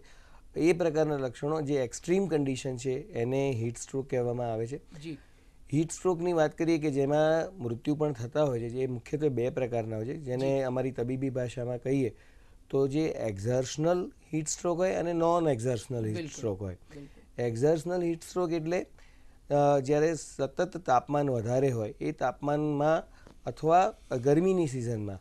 જે વ્યક્તિઓ જે કહેવાય કે વધારે પડતું એક્ઝર્શન એટલે ફિઝિકલ એક્સરસાઇઝ કહીએ અને આપણે વધુ પડતો શ્રમ કરતા હોય. ઘણા વ્યક્તિઓ એવું માનતા હોય છે કે ભાઈ આપણે સતત મારા શરીરને કંઈ ના થાય કે હું ગમે તે સમયમાં ગમે તે કામ કરી શકું. પરંતુ જે શરીરની જે થર્મોરેટરી રેગ્યુલેટરી મિકેનિઝમ છે એ તમારી જવાબ આપી દેતી હોય છે. ઘણી વખત એવું થતું હોય કે સતત આવા ગરમીના સમયમાં લોકો ચાર ચાર કલાક પાંચ પાંચ કલાક સતત એક જ પ્રક્રિયામાં કામ કરતા હોય છે. તો તેને કારણે એમને હીટ સ્ટ્રોક થવાનો છે. મોટે ભાગે એથ્લેટ્સમાં હીટ સ્ટ્રોકમાં જે એથ્લેટ્સમાં કોઈ જગ્યાએ આપણે સ્પોર્ટ્સમાં જે ડેથનું પ્રમાણ જોઈએ ને તેમાં હીટ સ્ટ્રોક એક મહત્વનું કારણ છે. બિલકુલ. અને બીજું એક કારણ છે નોન એક્ઝર્શનલ હીટ સ્ટ્રોક એટલે કે જે વ્યક્તિઓ સતત જે ગરમી સિવાયના વાતાવરણમાં બેસવા માટે ટેવાયેલી હોય જેનું શરીરનું એડપ્ટેશન ના હોય. અને એ એક્સપોઝ થાય ગરમીથી તો એમને જલ્દી હીટ સ્ટ્રોક લાગવાની હોય છે. કેમ કે આપણે વાત કરી કે ઘણા બધા કહેતા હોય છે કે ભાઈ અમુક શ્રમિકો ખેતી ખેતરમાં કામ કરતા હોય છે જે મજૂરી કામ કરતા હોય છે એ લાંબો સમય કામ કરી શકે છે. જ્યારે અમુક માણસોને તરત જ. ગરમીની અસર પકડાય છે. તો દરેકની બોડી અલગ અલગ રીતે એડપ્ટ થયેલી હોય છે. તો આને નોન એક્ઝર્શનલ હીટ સ્ટ્રોક કહેવાય છે. બરાબર છે. બહુ સરસ તફાવત આપણે સમજાયો. ડૉક્ટર તેજસ, દર્શક મિત્રો, તમને હીટ વેવને લઈને કોઈ પણ પ્રકારના પ્રશ્નો હોય અથવા સમસ્યા હોય તો આપના ટેલિવિઝન સ્ક્રીન પર એક નંબર ફ્લેશ થઈ રહ્યો છે. બે છસો પંચ્યાસી, આડત્રીસ, ચૌદ અને બે છસો પંચ્યાસી, આડત્રીસ, સોળ આપ કોલ કરીને અહીં આપને આ પ્રશ્ન પૂછી શકો છો. માલુમ સાહેબ, બીજો જે પ્રશ્ન, ડૉક્ટર તેજસે તો બહુ વિગતે આખી વાત કરી હીટ સ્ટ્રોક વિશે. હવે કોઈ વ્યક્તિને આ હીટ વેવના લક્ષણો જણાય અથવા તો અમુક વખતે એવું થાય છે કે એને પોતાને ખબર નથી પડતી કે મને લૂ લાગી છે ને આ એના લક્ષણો છે. હવે એ સમયે એ પરિસ્થિતિમાં શું કરવું જોઈએ? હા. એટલે આપે સારો પ્રશ્ન પૂછ્યો છે કે ઘણીવાર લૂ લાગવામાં એવું થાય છે કે માણસને બહુ ગરમી થતી હોય છે પણ ખ્યાલ નથી આવતો કે આ વધુ પડતી છે. અને એ તેજસભાઈ જેમ કહ્યું એ પ્રમાણે બહુ જ પરસેવો આવે, થાકી જવાય, બેભાન થઈ જાય એવી શક્યતા ઊભી થાય છે. જ્યારે એવું થાય અને ગરમી બહુ હોય તે વખતે સૌથી પહેલાં એ માણસ જો તડકામાં કામ કરતો હોય તો તડકામાંથી છાંયડામાં તરત લઈ જવો જોઈએ. એના શરીર પર પાણી છાંટવું જોઈએ અને ઉપરથી પંખો અથવા પવન નાખવો જોઈએ જેથી શરીર ઠંડુ થવા માંડે. આજુબાજુ બરફ કે કંઈ હોય તો બરફ પણ ઘસી શકાય અને તરત એમ્બ્યુલન્સને બોલાવીને આરોગ્ય કેન્દ્ર અથવા હોસ્પિટલમાં ખસેડવો જોઈએ. એ સાથે જો એ બહનમાં હોય તો એને આપણે ઠંડુ પાણી પીવડાવી શકીએ જેથી ડિહાઇડ્રેશન અથવા પાણી ઓછું થઈ ગયું હોય તો એનો પણ ફાયદો થાય અને શરીર અંદરથી પણ ઠંડુ થઈ શકે. અને જો બેભાન હોય તો એને આપણે પાણી નથી પીવડાવવાનું પણ હવે એમ્બ્યુલન્સમાં એ લોકો આઈસ પેક બરફના પેક્સ પણ રાખે છે એટલે એનાથી પણ શરીર હોસ્પિટલ પહોંચે ત્યાં સુધી ઠંડુ કરવાનું છે. જેથી જે શરીરમાં લોહી ફરતું હોય છે ઠંડુ થવા માંડે તો મગજ પર જે સાહેબે કહ્યું કે ચેતાતંત્ર પર ન્યુરોલોજીકલ જે અસરો થાય છે ઓછી થાય અને એમાંથી આપણે માણસને ઉગારી શકીએ. બરાબર છે. બીજો જ માવલંકર સાહેબ આપને એક પ્રશ્ન પૂછ પછી ડૉક્ટર તેજસ એના જ સંદર્ભમાં હું આપની પાસે આવીશ. આજથી લગભગ અગિયારેક વર્ષ પહેલાં એક હીટ એક્શન પ્લાન આઈઆઈપીએચ અને એએમસી બંને સાથે મળીને તૈયાર કર્યો હતો. પહેલાં તો આ કન્સેપ્ટ શું છે અને એમાં કેવા કેવા પ્રકારની બાબતોનો સમાવેશ કરવામાં આવ્યો હતો? એટલે આપ જુઓ તો આ હીટ એક્શન પ્લાન બનાવવાની શરૂઆત લગભગ ઓગણીસો પંચાણુંમાં શિકાગોમાં બહુ મોટી હીટ વેવ આવી. અને એમાં એક જ અઠવાડિયામાં લગભગ સાતસો આઠસો લોકો મરી ગયા. ત્યારથી અમેરિકામાં આવા મોટા શહેરોમાં ગરમીમાં પણ મૃત્યુ થાય ખૂબ જ ઠંડી હોવા છતાંય ઠંડ પ્રદેશ છે છતાંય એને લીધે લોકોએ હીટ એક્શન પ્લાન બનાવવાની શરૂ કરી. એ પછી યુરોપમાં બે હજાર ત્રણમાં બહુ મોટી હીટ વેવ આવી. ફ્રાન્સમાં જર્મની સ્પેન અને પછી રશિયામાં બે હજાર દસમાં. અને એ લોકોએ પણ સમજી ગયા કે આપણે હીટ સામે તૈયાર રહેવું પડશે અને નહીં કરીએ તો ઘણા મોટા પાયે મૃત્યુ થશે. એવી જ પરિસ્થિતિ બે હજાર દસમાં અમદાવાદે પણ જોઈ. અને એ જોઈને આ હીટ એક્શન પ્લાનની શરૂઆત થઈ. આપણે અહીંયા અમદાવાદ મ્યુનિસિપલ કોર્પોરેશને બહુ સારી પહેલ કરી. અને બીજા બધા જે પ્લાન્સ છે યુરોપના અમેરિકાના એનો નિચોડ આપણે કાઢીને આમાં શું કરી શકાય એની આપણે અહીંયા શરૂઆત કરીએ એમાં ચાર મેઇન મુદ્દા છે. એક તો જે ગરમી પડવાની છે એ કેટલી પડવાની છે ને કયા સ્તરે આપણને અસર કરશે. એટલે પ્રેડિક્શન એ પહેલો મુદ્દો છે. એ ઇન્ડિયા મેટિરોલોજી ડિપાર્ટમેન્ટ અથવા હવામાન ખાતું આપણને પ્રેડિક્શન પાંચ દિવસનું એડવાન્સ આપે છે.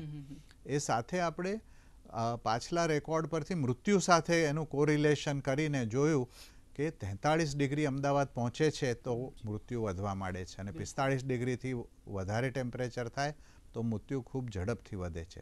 એટલે પિસ્તાળીસ ડિગ્રી જો ટેમ્પરેચર જવાનું હોય અને વધે તો એને આપણે રેડ એલર્ટ નામ આપ્યું.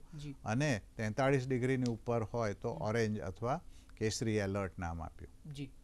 એ સાથે દરેક ડિપાર્ટમેન્ટે શું એક્શન કરવી? અને લોકોએ શું એક્શન કરવી એ હિટ એક્શન પ્લાનમાં લખેલું છે. અને આપણે પબ્લિક અવેરનેસ એટલે કોર્પોરેશનના જુદા જુદા માધ્યમો મીડિયા દ્વારા આજે વખતે એલર્ટ આપવામાં આવે છે. ડૉક્ટર તેજસ એના નોડલ ઓફિસર ત્યારથી બે હજાર અગિયારથી છે. તો એ એલર્ટ આપે છે અને બધા જ મીડિયમ દ્વારા છાપા દૂરદર્શન બીજા ટીવી ચેનલો દ્વારા લોકોને જણાવવામાં આવે છે. એટલે બીજો મુદ્દો છે. ત્રીજો મુદ્દો ઉનાળાની શરૂઆત થાય ત્યારથી જ આપણે કરીએ છીએ કે જે હોસ્પિટલો છે હેલ્થ સેન્ટર છે એને આપણે હીટ રિલેટેડ ઇલનેસ એટલે લૂ લાગેલા પેશન્ટની સારવાર માટે તૈયાર કરીએ છીએ. હમણાં જ છાપામાં વાંચ્યું હશે સિવિલ હોસ્પિટલને બીજા હોસ્પિટલમાં વોર્ડ સ્પેશિયલ તૈયાર કરવામાં આવ્યા છે.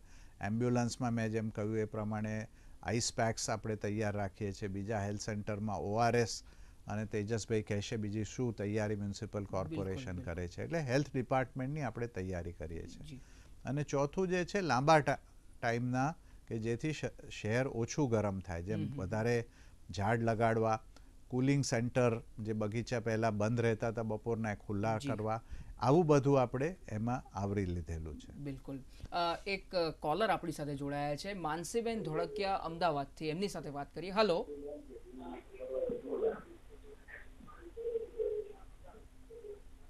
હા માનસીબેન આપનો પ્રશ્ન પૂછો. હા હું માનસીબેન બોલું છું અમદાવાદથી. મારો હા મારો ક્વેશ્ચન એ છે કે જ્યારે અમદાવાદમાં તેતાલીસ ડિગ્રીથી ઉપર તાપમાન જાય છે ત્યારે પગના તળિયા અને માથામાં ઝમઝમ થાય છે. તેના માટે ઠંડુ પાણી પીવું કે ઠંડુ પાણી માથામાં નાખવું કે શું કરવું જી માવળંકર સાહેબ શું કહેશો આ બહુ સારો સવાલ પૂછ્યો છે.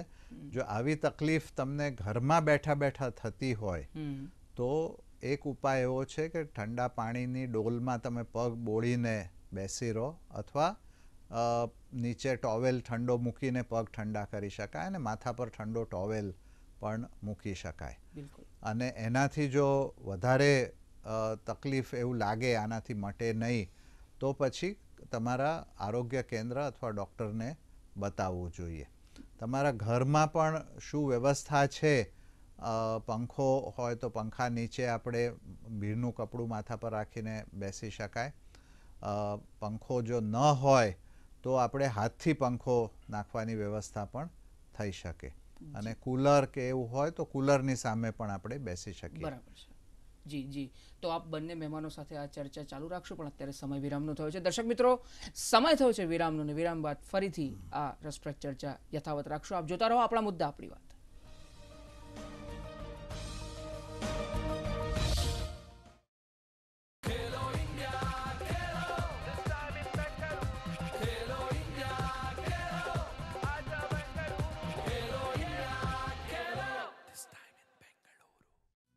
ગિરનાર દ્વારા પ્રસ્તુત.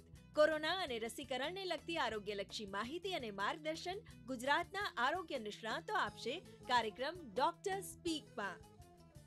લાઈવ ફોન ઇન કાર્યક્રમ દ્વારા આપ અમારા નિષ્ણાતોને પ્રશ્ન પૂછી શકો છો. કાર્યક્રમ ડોક્ટર સ્પીકમાં. પ્રસારણ દર સોમવાર, મંગળવાર અને શુક્રવાર સાંજે છ થી સાડા છ વાગે અને પુનઃ પ્રસારણ મંગળવાર, બુધવાર, શનિવાર સવારે નવ વાગે. નિહાળવાનું ભૂલતા નહીં. કાર્યક્રમ ડોક્ટર સ્પીક માત્ર વિરામ બાદ આપનું સ્વાગત છે.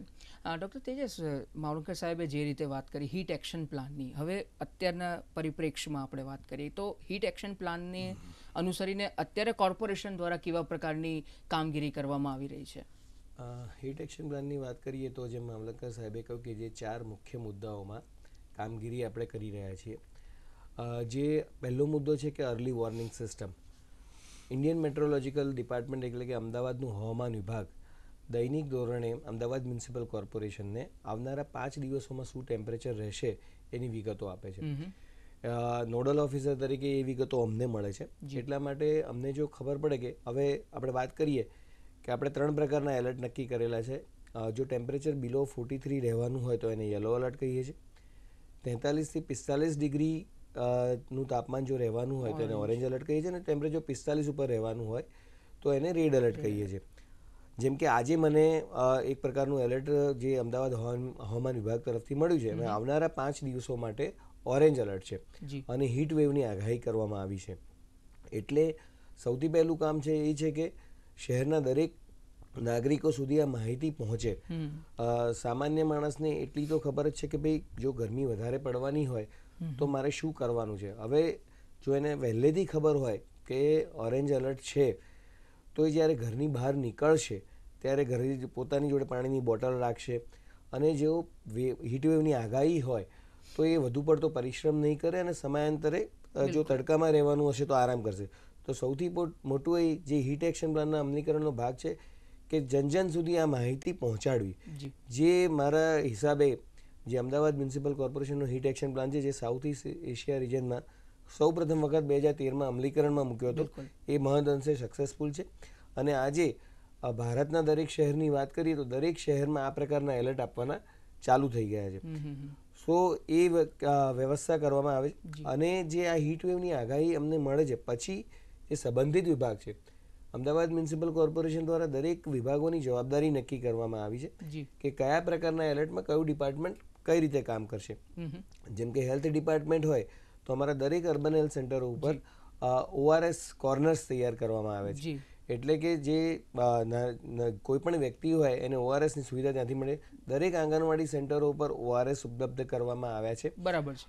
ત્યારબાદ અમે લોકો એક માઇકિંગ દ્વારા જે સ્લમ વિસ્તાર છે કે કડિયા નાકા છે એ તમામ વિસ્તારોમાં એલર્ટ અંગેની માહિતી લોકોને સુધી પહોંચાડતા હોય છીએ અમારા વોટર સપ્લાય ડિપાર્ટમેન્ટને પણ જાણ કરીએ છીએ કે ભાઈ આ સમયમાં જે પૂરતું પાણી પ્રજાજનોને મળી રહે પછી ટોરેન્ટ પાવર સાથે અમે કમ્યુનિકેશનમાં હોઈએ છીએ કે જો કોઈ પ્લાન્ટ પાવર કટ હોય તો ઓરેન્જ એલર્ટ કે રેડ એલર્ટ હોય તે તો બપોરના સમયે ખાસ પાવર કટ ન થાય. બરાબર ટ્રાફિક પોલીસ સાથે અમદાવાદ મ્યુનિસિપલ કોર્પોરેશન સંપર્કમાં હોય છે. તો તેમના જવાનો જે ગરમીમાં વચ્ચોવચ ઊભા રહેતા હોય છે તો તેમને પણ ઓઆરએસના પેકેટ્સ પેકેટ્સ પૂરા પાડવામાં આવે છે. હા આપ અહીં આપને રોકવા માંગીશ માફ કરશો એક કોલર કિશોરભાઈ ચુડાસમા માંગરોળથી જોડાય છે. પછી આપણે આ ચર્ચા ચાલુ રાખીએ. હલો હલો હા કિશોરભાઈ આપનો પ્રશ્ન પૂછો. હા સર. એ આપણે મજૂરી કામ કરું હમ હમ. અને તડકામાં એક થી દોઢ વાગ્યા સુધીમાં રહેવું પડે. જી.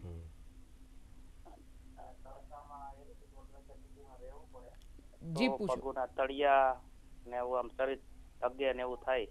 જી. માવળંકર સાહેબ આઈ થિંક જવાબ આપી દીધો છે આપે આગળના ફરી ફરી એમને યાદ કરાવું કે માથા ઉપર હેલ્મેટ અથવા ટોપી કે ઠંડો તમે કાપડનો ટુકડો પણ મૂકી શકો. ભર બપોરના કામ કરતા હો તે વખતે. પાણી પીવાનું વધારે રાખો.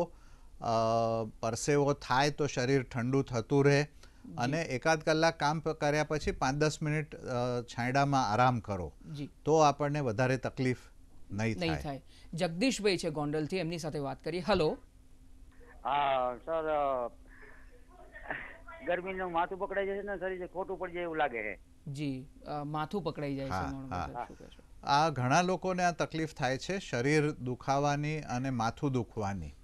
અને એ? હા ગરમીમાં આ એક સામાન્ય પ્રકારની બીમારી છે. અને એમાં જો બહુ જ માથું દુખતું હોય તો કદાચ તાવની માથાની જે ગોળી આવે એ તમે લઈ શકો. બાકી ઠંડુ પાણી આપણે પીવાનું વધારે રાખીએ. એની સાથે છાશ છે લીંબુનું શરબત કે એવું પીએ. અને જો આ પગમાં ખાલી ચડવાનું ને લાંબો સમય ચાલુ રહેતું હોય તો આપણે ડૉક્ટરને બતાવવું પડે. ગરમીને લીધે કદાચ થોડો વખત રહી શકે પણ એ પછી ગરમી ઓછી થઈ જાય એટલે જો નીકળી જતું હોય તો કંઈ ચિંતા કરવાનું કારણ નથી. બિલકુલ.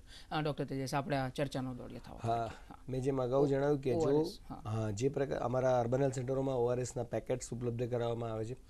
વોટર સપ્લાય ડિપાર્ટમેન્ટ પાણીનો પૂરતો સપ્લાય એન્શ્યોર કરે છે. ટ્રાફિક પોલીસને ઓઆરએસ પેકેટ્સ પૂરા પાડવામાં આવે છે. જી. પછી વધુમાં જણાવું તો જે અલગ અલગ ડિપાર્ટમેન્ટ જેમ કે સફાઈ કામદારો. સફાઈ કામદારોનો બપોરનો સમય ત્રણ વાગ્યા સુધીનો હોય છે. જો. ઓરેન્જ એલર્ટ કે રેડ એલર્ટ હોય તો અમે એમને સમયમાં પણ ફેરફાર કરીએ છીએ. કન્સ્ટ્રક્શન સાઇટમાં જ્યાં મોટે ભાગે લેબરર્સ કામ કરતા હોય છે. તો ઓરેન્જ અને રેડ એલર્ટ દરમિયાન અમે એક એડવાઇઝરી જાહેર કરી છે કે બપોરે બારથી ચારના સમયગાળા દરમિયાન કામગીરી શક્ય હોય તો બંધ રાખવી. અને જો જો કરવી પડે એમ હોય તો એ આ શ્રમિકો માટે પૂરતા પ્રમાણમાં ઓઆરએસ અને પીવાના પાણીની વ્યવસ્થા કરી શકાય. એ તમામ વ્યવસ્થાઓ સુનિશ્ચિત કરવામાં આવે છે. તેમ અને આ પબ્લિકને જાણ કરવામાં આવે છે. બિલકુલ. બિલકુલ. બહુ સરસ રીતે આપે આખી વિગત આપી. જામનગરથી એક કોલર જોડાયા છે હંસરાજભાઈ. એમની સાથે વાત કરીએ. હલો હાજી સર. મારો પ્રશ્ન એ છે કે ઓલો પગના તળિયા બળતરા કરે અને ફાટેલા ખાઈની માટે રહી અને ગરમી બહુ થાય અતિશય. હમ. જી. અ, માવળંગર સાહેબ લગભગ ફરીથી એક ને એક જ સમસ્યા છે લોકોને તો પરસેવો બહુ શું કહેશો? પરસેવો બહુ વળે છે કારણ કે ગરમી છે તો પરસેવો વળે એ સારું શરીર ઠંડુ થાય.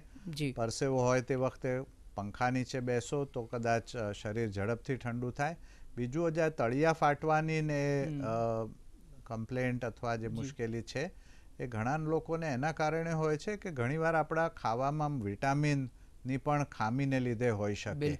અને ઉનાળામાં પાણી ઓછું હોય ગરમી બહુ હોય એટલે એ વધારે લાગે. એટલે તે વખતે વિટામિન વિટામિનની ગોળીઓ પણ જો તમારી ઉંમર હોય એ પ્રમાણે અને ડૉક્ટરના કહેવા પ્રમાણે આપણે લઈએ તો કદાચ આ મુશ્કેલી ઓછી થઈ શકે. પણ ગરમી માટે તો પાણી છાશ લીંબુનું શરબત એ વધારે પ્રમાણમાં લેવું. બિનજરૂરી ગરમીમાં બહાર ન જવું. બિલકુલ. એ ખાસ ઉપાય છે માવળંગર સાહેબ તમે પરસેવો આ તો કોલર એવા હતા કે જેમને પુષ્કળ પરસેવો થાય છે. અમુક વખત એવું થાય કે અમુકને પરસેવો નથી થતો હતો. તો હવે એ કેસમાં એમને કઈ રીતની તકેદારી રાખવી? એક અગત્યનો સવાલ છે અમુક લોકોને બહુ ઓછો. ગઈ વખતે મને યાદ છે કે આવો પ્રશ્ન પૂછાયો હતો. કે એમને પરસેવો બહુ જ ઓછો થાય છે. જી જી. તો એમણે ખાસ ધ્યાન રાખવું કે તડકામાં ન જવું. અને જાવ તો સાથે ઠંડા પાણીના ભીના કરેલા કપડાં લઈ જવા કે જે શરીર પર આખા શરીર પર ફેરવી શકો. અને એનાથી તમે શરીર ઠંડુ કરી શકો. અમુક લોકોને એવી દવાઓ પણ આપવામાં આવે છે કે જેનાથી સાઈડ ઇફેક્ટ એવી હોય છે કે પરસેવો ઓછો થઈ જાય છે. એ લોકોએ પણ આ ખાસ ધ્યાન રાખવું. ત્રીજું અમુક દવાઓ એવી હોય છે કે એમાં જો ડિહાઇડ્રેશન થાય અથવા. પાણી શરીરમાંથી ઓછું થાય તો એની ટોક્સિસિટી અથવા આડઅસર વધે. તો એવા લોકોએ પણ પાણી વધારે પીવાનું એ ખાસ આપણે ધ્યાન રાખવાની જરૂર છે. બિલકુલ. પુષ્પાબેન બનાસકાંઠાથી છે. એમની સાથે વાત કરી. હલો હા બોલો. હા પુષ્પાબેન આપનો પ્રશ્ન પૂછો. અરે એવું છે કે નાના બાળકો હોય આઠ દસ વર્ષના. હા નાના બાળકો હોય. વર્ષના અને એમને સ્કૂલ જતા હોય લૂ લાગતી હોય. અમને નાના બાળકોને સદગરમી થઈ જાય લૂ લાગે તાવ આવતો હોય એમને શું શું તકેદારી રાખવી નાના બાળકોને? હા, હા. જી. મુખ્ય તકેદારી આપણે વાત કરી કે માથું અને શરીર ઢાંકીને જવું જોઈએ. ખુલતા કપડાં પહેરવા જોઈએ. સફેદ રંગના જેટલા કપડાં પહેરો એ વધારે સારું કારણ કે તડકો એની ઉપરથી રિફ્લેક્ટ અથવા પરિવર્તન થાય છે એનું અને ગરમી ઓછી લાગે છે. જો લૂ લાગ્યા જેવું લાગતું હોય. અથવા બીજી કોઈ અસર થાય તો તરત એને આપણે દવાખાને લઈ જવું જોઈએ અને એની સારવાર કરવી જોઈએ. બરાબર છે. એક બીજા કોલર આપણી સાથે જોડાયા છે. હલો હા દીપકભાઈ આપનો પ્રશ્ન પૂછો. લાગે છે કટ થઈ ગયો છે. ડૉક્ટર તેજસ બીજી જે મુખ્ય વાત કરીએ કે એક વૃદ્ધોએ ખાસ કેવા પ્રકારની તકેદારી રાખવી જોઈએ અત્યારે? જેમ આપણા અગાઉના કોલરનો એક પ્રશ્ન હતો કે ભાઈ નાના બાળકો નાના બાળકોમાં જે આ આપણા શરીરનું જે થર્મોરેગ્યુલેટરી મિકેનિઝમ છે એ બ્રેઇનમાં હાઇપોથેલેમસમાં હોય છે. નાના બાળકોમાં બ્રેઇનનું ડેવલપમેન્ટ ધીમે ધીમે થતું હોય છે. ત્યારે એનું ફંક્શનાલિટી હંડ્રેડ પર્સન્ટ નથી હોતી અને વૃદ્ધોમાં એ વ્યવસ્થા હોય છે કે આ જે હાઇપોથેલેમસ છે ને એ બ્રેઇનના ઓર્ગનનું ડિટેરિયરેશન થતું હોય છે એટલે જે ટેમ્પરેચર રેગ્યુલેટરી મિકેનિઝમ જે ઓપ્ટિમલી વર્ક કરવી જોઈએ એ વર્ક કરતી નથી. એટલે ગરમીની વધારે આડઅસરો એમનામાં જોવા મળે છે અને સેમ કે જે થર્મોરેગ્યુલેટરી મિકેનિઝમ જ્યારે યોગ્ય પ્રમાણમાં કામ ન કરતી હોય. ત્યારે ગરમીથી થતી વધારે આડઅસરો વધુ ગંભીર પ્રમાણમાં થાય. એટલા માટે આપણે આપણા દરેક તબક્કે અને આ ગરમી સિઝનમાં ખાસ વૃદ્ધોનું ખાસ ધ્યાન રાખવું જોઈએ. અત્યારે હું તમને એક ઇન્ટરેસ્ટિંગ ડેટા તમારી જોડે શેર કરું જી છું બિલકુલ. કે આપણા શહેરમાં જે દર વર્ષે એવરેજ મૃત્યુ થાય છે. એમાં બે મહિના એવા છે કે જેમાં મહત્તમ પ્રમાણમાં મૃત્યુ થાય છે. એમાં આપણે ઓલ કોઝ ડેથની વાત કરીએ કે બધા જ કારણોથી. સ્પેસિફિકલી કોઈ કારણની વાત નથી કરતા. પણ ઓલ કોઝ મોર્ટાલિટીની વાત કરીએ કે જે બધા કારણો ભેગા થઈ અને શહેરમાં ડેથ કેટલા થાય છે.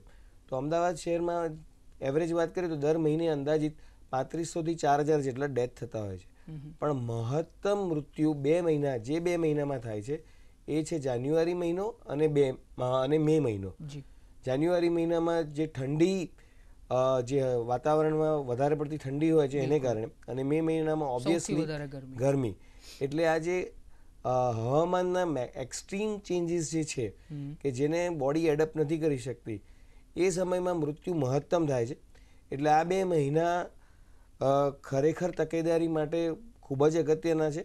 અને બાળકો અને વૃદ્ધો એ સૌથી વલનરેબલ એજ ગ્રુપ છે જેનું આપણે ખાસ ધ્યાન રાખવું જી જોઈએ. બિલકુલ. એક છેલ્લો કોલ આપણે લઈ લઈએ. બનાસકાંઠાથી છે દીપકભાઈનો. હલો હાલો હા. દીપકભાઈ આપનો પ્રશ્ન પૂછો. મારો પ્રશ્ન એ છે સાહેબ જી. મારો પ્રશ્ન એ છે કે આપણે જયારે હાઈવે પર જતા હોઈએ. હાઈવે પર જ્યાં રોડ વધારે ગરમ હોય છે વધુ ગરમી થતી હોય છે ખાસ કરીને ટુ વ્હીલ લઈને જી.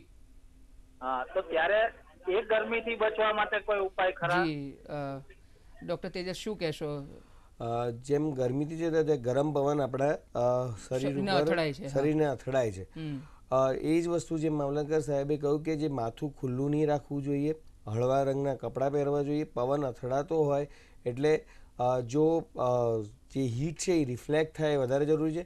અને કન્ટિન્યુઅસ જો સવારી કરતા હોય ઘણીવાર એક મેં તમને અગાઉ કહ્યું ને કે એથ્લેટ લગભગ એક મેરેથોન ચાલતી હતી અને. એથ્લેટ આઠ કલાક સળંગ દોડ્યો. બરાબર. બેતાલીસ કિલોમીટરની રેસ હતી. જી. એ સળંગ દોડ્યો એને ખબર નહીં પડી કે એ શું કરી રહ્યો છે. પણ જ્યારે એના અંત તરફ પહોંચ્યો તો ત્યારે લગભગ બસો મીટરનું અંતર બાકી હતું. ત્યારે એ પડી ગયો. જી. પડી ગયો અને એના બોડીનું ટેમ્પરેચર જ્યારે માપ્યું તો એકસો ને આઠ ડિગ્રી ફેરનહીટ જેટલું એનું બોડીનું ટેમ્પરેચર હતું. એને ખબર નહીં પડી કે મારું શરીરનું તાપમાન વધી રહ્યું છે. કન્ટિન્યુઅસ હીટથી એક્સપોઝ થયો અને હીટ સ્ટ્રોક થયો. સદભાગ્યે એ બચી ગયો. જી. પણ તો વસ્તુ આ જ થાય છે કે જ્યારે તમે લાંબી મુસાફરી કરતા હો તો સમયાંતરે આપણે એક જગ્યાએથી બીજી જગ્યાએ પહોંચવાની ઉતાવળ હોય એટલે ભલે હીટનું એક્સપોઝર થતું હોય આપણને ગરમ લૂ આવતી હોય પણ આપણે કન્ટિન્યુઅસ સવારી કે. સમયાંતરે બ્રેક લેવો જોઈએ છાંયડામાં જવું જોઈએ અને એ પ્રકારે વચ્ચે વચ્ચે હાઇડ્રેટ કરવી જોઈએ બોડીને. એ તમામ કરવું જોઈએ અને ઘણી ઘણીવાર શું થાય છે કે પવન વાતો હોય એટલે તમારી બોડી સ્વેટ નહીં કરે પણ હીટ તો એબ્ઝોર્બ થઈ જ રહી છે. જી જી. સો એ બિલકુલ. દરેકે ધ્યાન રાખવું સાહેબ સમય ઓછો છે પણ આ પ્રશ્ન પૂછવો જરૂરી છે. શું ખાવું જોઈએ? ખોરાક કેવા પ્રકારનો લેવો જોઈએ? અ, ગરમીમાં આપણે સામાન્ય જે ખોરાક લેતા હોઈએ એ લેવો જોઈએ બહુ ભારે ન ખાવું જોઈએ. આયુર્વેદની દ્રષ્ટિએ અમુક ખોરાક છે જેમ ડુંગળી છે કે જેને આપણે આપણા ટ્રેડિશન અને આયુર્વેદમાં ઠંડી ગણેલી છે એટલે એવું વસ્તુ લઈ શકાય. જે ન લેવું જોઈએ એ ખાસ કરીને જેમાં કેફીન આવે છે એવા પીણા ચા કોફી અને ઇવન બીજા જે ઠંડા પીણા આપણે કહીએ છીએ એ ન લેવા જોઈએ. એની જગ્યાએ લીંબુનું શરબત લો છાશ લો એવી આપણી જે દેશી પ્રવાહી છે એ આપણે વધારે લઈએ તો સારું. શેરડીનો રસ છે એ વધારે લેવો જોઈએ. અંતમાં દસ સેકન્ડ પછી ડોક્ટર તેજસ આપનો સંદેશ દૂરદર્શનના માધ્યમથી દર્શકોને શું આપશો? મુખ્ય સંદેશ એ છે કે હમણાં એપ્રિલનો અંત આવ્યો છે ત્યારથી આટલી બધી ગરમી છે. મેમાં આના કરતાં પણ વધારે ગરમીની આપણે તૈયારી રાખવી પડશે ને. એને લીધે જે હવામાન ખાતું છે એનું પ્રેડિક્શન જે આવે છે અને એલર્ટ ઇસ્યુ થાય છે એ આપણે જાણીએ સમજીએ અને એ પ્રમાણે આપણે ગરમીથી બચવાના પગલાં લઈએ તો ચોક્કસથી આમાંથી આપણે બચી શકીશું. જી ડૉક્ટર તેજસ દસ સેકન્ડમાં શું કહેશો વર્ષ બે હજાર દસનું વેવ હીટવેવ વાળું હતું બે હજાર સોળનું હીટવેવ વાળું હતું. એના છ વર્ષ પછીનું એક્ઝેક્ટનું વર્ષ છે બે હજાર બાવીસનું. પ્રિડિક્શન્સ છે જ કે સૌથી મહત્તમ ગરમ વર્ષ બની રહેશે. આપણે આપણા બાળકો અને વૃદ્ધોનું ખાસ ધ્યાન રાખીએ.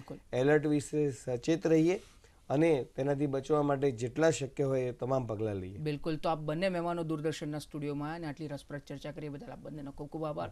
તો દર્શક મિત્રો આપે જોયું તેમ આજે ખૂબ જ હિટ વે ઉપર અલગ અલગ પાસાઓને લઈને ચર્ચા થઈ અને જો મૂળ મૂળ નિષ્કર્ષ આપણે નીકાળવો જોઈએ તો સાવચેત રહીએ આપણા વૃદ્ધો બાળકો અને આપણે આપણી જાતને પણ આ ગરમીથી બચાવી રાખીએ. શક્ય હોય તો બહાર જવાનું ટાળીએ કામ પૂરતું જ બહાર જઈએ અને ફોર પી એટલે કે પાણી, પેરાસિટામલ, પેનિક નથી, પેનિક એટલે કે ભય નથી કરવાનો અને પ્રિવેન્શન આપણે તકેદારે લઈએ. આ ચાર પીને ફોલો કરીશું તો અવશ્ય આપણે આ હીટવેવથી બચી શકીશું. આ વિચાર સાથે અત્યારે બસ આટલું જ. આવતા મંગળવારે ફરીથી એક નવા વિષય સાથે, એક નવા મહેમાન સાથે ઉપસ્થિત થઈશું. ત્યાં સુધી અમને રજા આપશો. નમસ્કાર.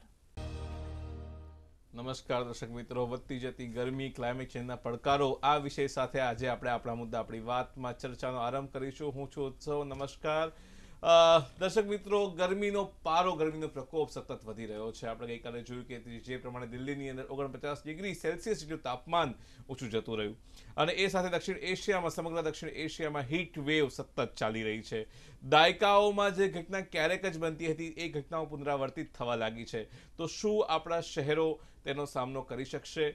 શું ભવિષ્યની વસ્તી અને આજની વસ્તી પણ તેનો સામનો કરવા માટે સક્ષમ છે કે નહીં? તો તે પ્રશ્નોની આજે આપણે ચર્ચા કરીશું. આજે આપણે ક્લાઇમેટની દ્રષ્ટિકોણથી પણ આ પ્રશ્નોનો મૂલવણી કરીશું. સાથે અર્બન પ્લાનિંગના કન્સેપ્ટથી પણ આ પ્રશ્નોની ચર્ચા કરીશું. અને એની માટે આપણી સાથે સ્ટુડિયોમાં ઉપસ્થિત છે બે ખાસ મહેમાનો. આપણી સાથે છે પીએલ શર્માજી જે ભૂતપૂર્વ ચીફ ટાઉન પ્લાનર હતા ગુજરાત રાજ્યના. આપનું ખૂબ ખૂબ સ્વાગત છે. અને આપણી સાથે પ્રતિભા સિંહજી છે કે જે એકેડેમિશિયન છે. એમનું પણ ખૂબ ખૂબ સ્વાગત છે. જી.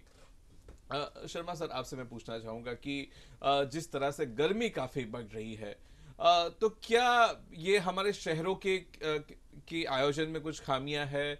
या मौसम ही ऐसा हो रहा है कि एकदम बदमिजाज हो जा हो, हो जा रहा है हम हम सब वहाँ पे पीछे पड़ रहे हैं। क्या कारण है कि हम अभी इस इस मुकाम पे आके पहुँचे हैं? आपने जो मुद्दा आज का जो पेश किया है वो बहुत ही इम्पोर्टेंट है। देखिए हम लोगों का अगर जो शहरी विकास के आयोजन और शहरी विकास के में जो जो प्रोजेक्ट्स सब इंफ्रास्ट्रक्चर लेते हैं, वो बरसों से हम लोग करीब साठ, सत्तर साल से आयोजित विकास की दृष्टि में हम लोग जा रहे हैं। हमारा पहले मुद्दा ये था कि आर्थिक प्रगति शहरों की कैसे हो तो उसके तहत हम लोग सारे शहरों का आयोजन करते थे। और साथों साथ हम लोगों ने पहले पुराने जो डेवलपमेंट प्लान्स जो थे हमारे शहरों के, उसमें ग्रीन बेल्ट वगैरह की भी व्यवस्था थी। लेकिन धीमे धीमे कुछ कारण से इकोनॉमिक रिक्वायरमेंट के हिसाब से हम लोगों ने थोड़ा हम बीच में कुछ ध्यान देना कम किया। लेकिन जो आपने जो बताया उस तरह से जब शहरों की बस्ती आज हमारी करीब चालीस से पैंतालीस प्रतिशत वार्षिक बढ़ती है शहरी बस्ती है, वो करीब दूसरे तीस ट्वेंटी थर्टी या ट्वेंटी फिफ्टी तक करीब पचास परसेंट से बढ़ जाएगी। तो ये क्लाइमेट चेंज और क्लाइमेट की दृष्टिकोण से भी देखें तो ये जो टेम्परेचर्स जो बढ़ते जा रहे हैं और क्लाइमेट चेंज का इफ़ेक्ट शहरों पे होगा ही। और this is going to be a most important subject in the futuristic planning तो हम लोगों को एक नए दृष्टिकोण से भी शहरों का देखना पड़ेगा। ऐसा नहीं है कि शहरों ने के आयोजन में कुछ किया नहीं है लेकिन कुछ कमियाँ ज़रूर रह गई हैं जिसको हमको कुछ दुरुस्त करने की आवश्यकता भी है। जी। प्रतिमा जी, अभी मैं आईपीसीसी का रिपोर्ट एक पढ़ रहा था, उसमें बताया गया कि भी मुंबई और अहमदाबाद हीट आइलैंड टाइप बन जाएँगे। और कल एक नासा का एक जैसे कल एक इमेज भी बहुत घूम रही थी, उसमें देखा था इको स्ट्रेस अब रोहतक को देखिए दिल्ली को देखिए आसपास के शहरों को देखिए एकदम एक एक गर्मी का पूरा एक आपको एक हॉट स्पॉट मिलता है। तो ये पहले बताइए ये हीट आइलैंड होता क्या है बनता क्यों है? अ, क्या ये शहरों की विशेषता है किस तरह से बना लेता है या कोई क्लाइमेटिक कंडीशन है एटमोस्फेरिक कोई फिनोमेना है जिसके कारण ये चीज़ होती है? अर्बन हीट आइलैंड या हीट आइलैंड ये बेसिकली लोकलाइज्ड फिनोमिनन है जो शहरों में या फिर जहाँ पे अर्बन इंडस्ट्रियल क्लस्टर होता है, वहाँ पे देखने में आता है। यानी वो एरिया में ज़्यादा टेम्परेचर हाई टेम्परेचर देखने को मिलता है compare to the surrounding area rural है या जो भी एरिया है सराउंडिंग में, वहाँ पे टेम्परेचर तापमान कम होता है और जो शहरी विस्तार है या इंडस्ट्रियल और अर्बन एरिया है वहाँ पे सडनली यू फाइंड दैट यहाँ पे टेम्परेचर ज़्यादा है और ये हीट आइलैंड का असर जनरली देखने को मिलता है ड्यूरिंग द नाइट टाइम या फिर जब विंड की वेलोसिटी कम होती है तो ज़्यादा महसूस होता है. और ये हीट आइलैंड ऐसा नहीं है कि खाली यू नो विंटर में आई मीन समर में ही होता है दोनों winter middle of summer and middle of winter में देखने को मिलता है दैट मीन्स तापमान का डिफरेंस होता है बिटवीन शहर या urban industrial and surrounding area ji Sharma ji अ, शहर तो पहले भी बसे हुए हैं हजारों सालों से हम शहरों की संस्कृति के साथ जीते आए हैं लेकिन The summit uh, in Tokyo is the fourth, act- actually, the fourth interaction of Quad leaders since their ver- first virtual meeting in March 2021, then, of course, the in person summit in Washington last September, and the virtual meeting uh, in March this year. Uh, the forthcoming Quad summit provides an opportunity for the leaders to exchange views about developments in the Indo Pacific region and uh, contemporary global issues of uh, mutual interest. The leaders will review progress of Quad initiatives and working groups, mm, identify new areas of cooperation, and provide strategic guidance and vision for future collaborations. Uh, on the bilateral meetings that usually take place, Prime Minister will have a bilateral meeting with His Excellency uh, Mr. Fumio Kishida, Prime Minister of Japan, on 24th of May. The meeting with Prime Minister Kishida will provide an opportunity for the two leaders to carry forward their conversations from the 14th India Japan Annual Summit, which was held in March 2022 in uh, New Delhi. During his visit, Prime Minister will participate in business event with uh, Japanese business leaders. He will also address and interact with the Indian community in Japan. Uh, with the US, Prime Minister will have a bilateral meeting with the US President on 24th May. Uh, the meeting will mark a continuation of the regular dialogue, um, having interacted most recently in virtual mode on 11th of April this year. The two leaders are expected to review the India US strategic partnership and follow up on discussions held during Prime Minister's bilateral meeting with President Biden last September. They will also exchange views on regional and global developments of uh, shared interest. Prime Minister is also likely to have a bilateral meeting with the Prime Minister of Australia. As you know, elections are scheduled to be held in Australia on 21st of May. Um, the two leaders, we would hope, would look at uh, reviewing the India Australia Comprehensive Strategic Partnership and exchange views on issues, uh, both global and regional developments.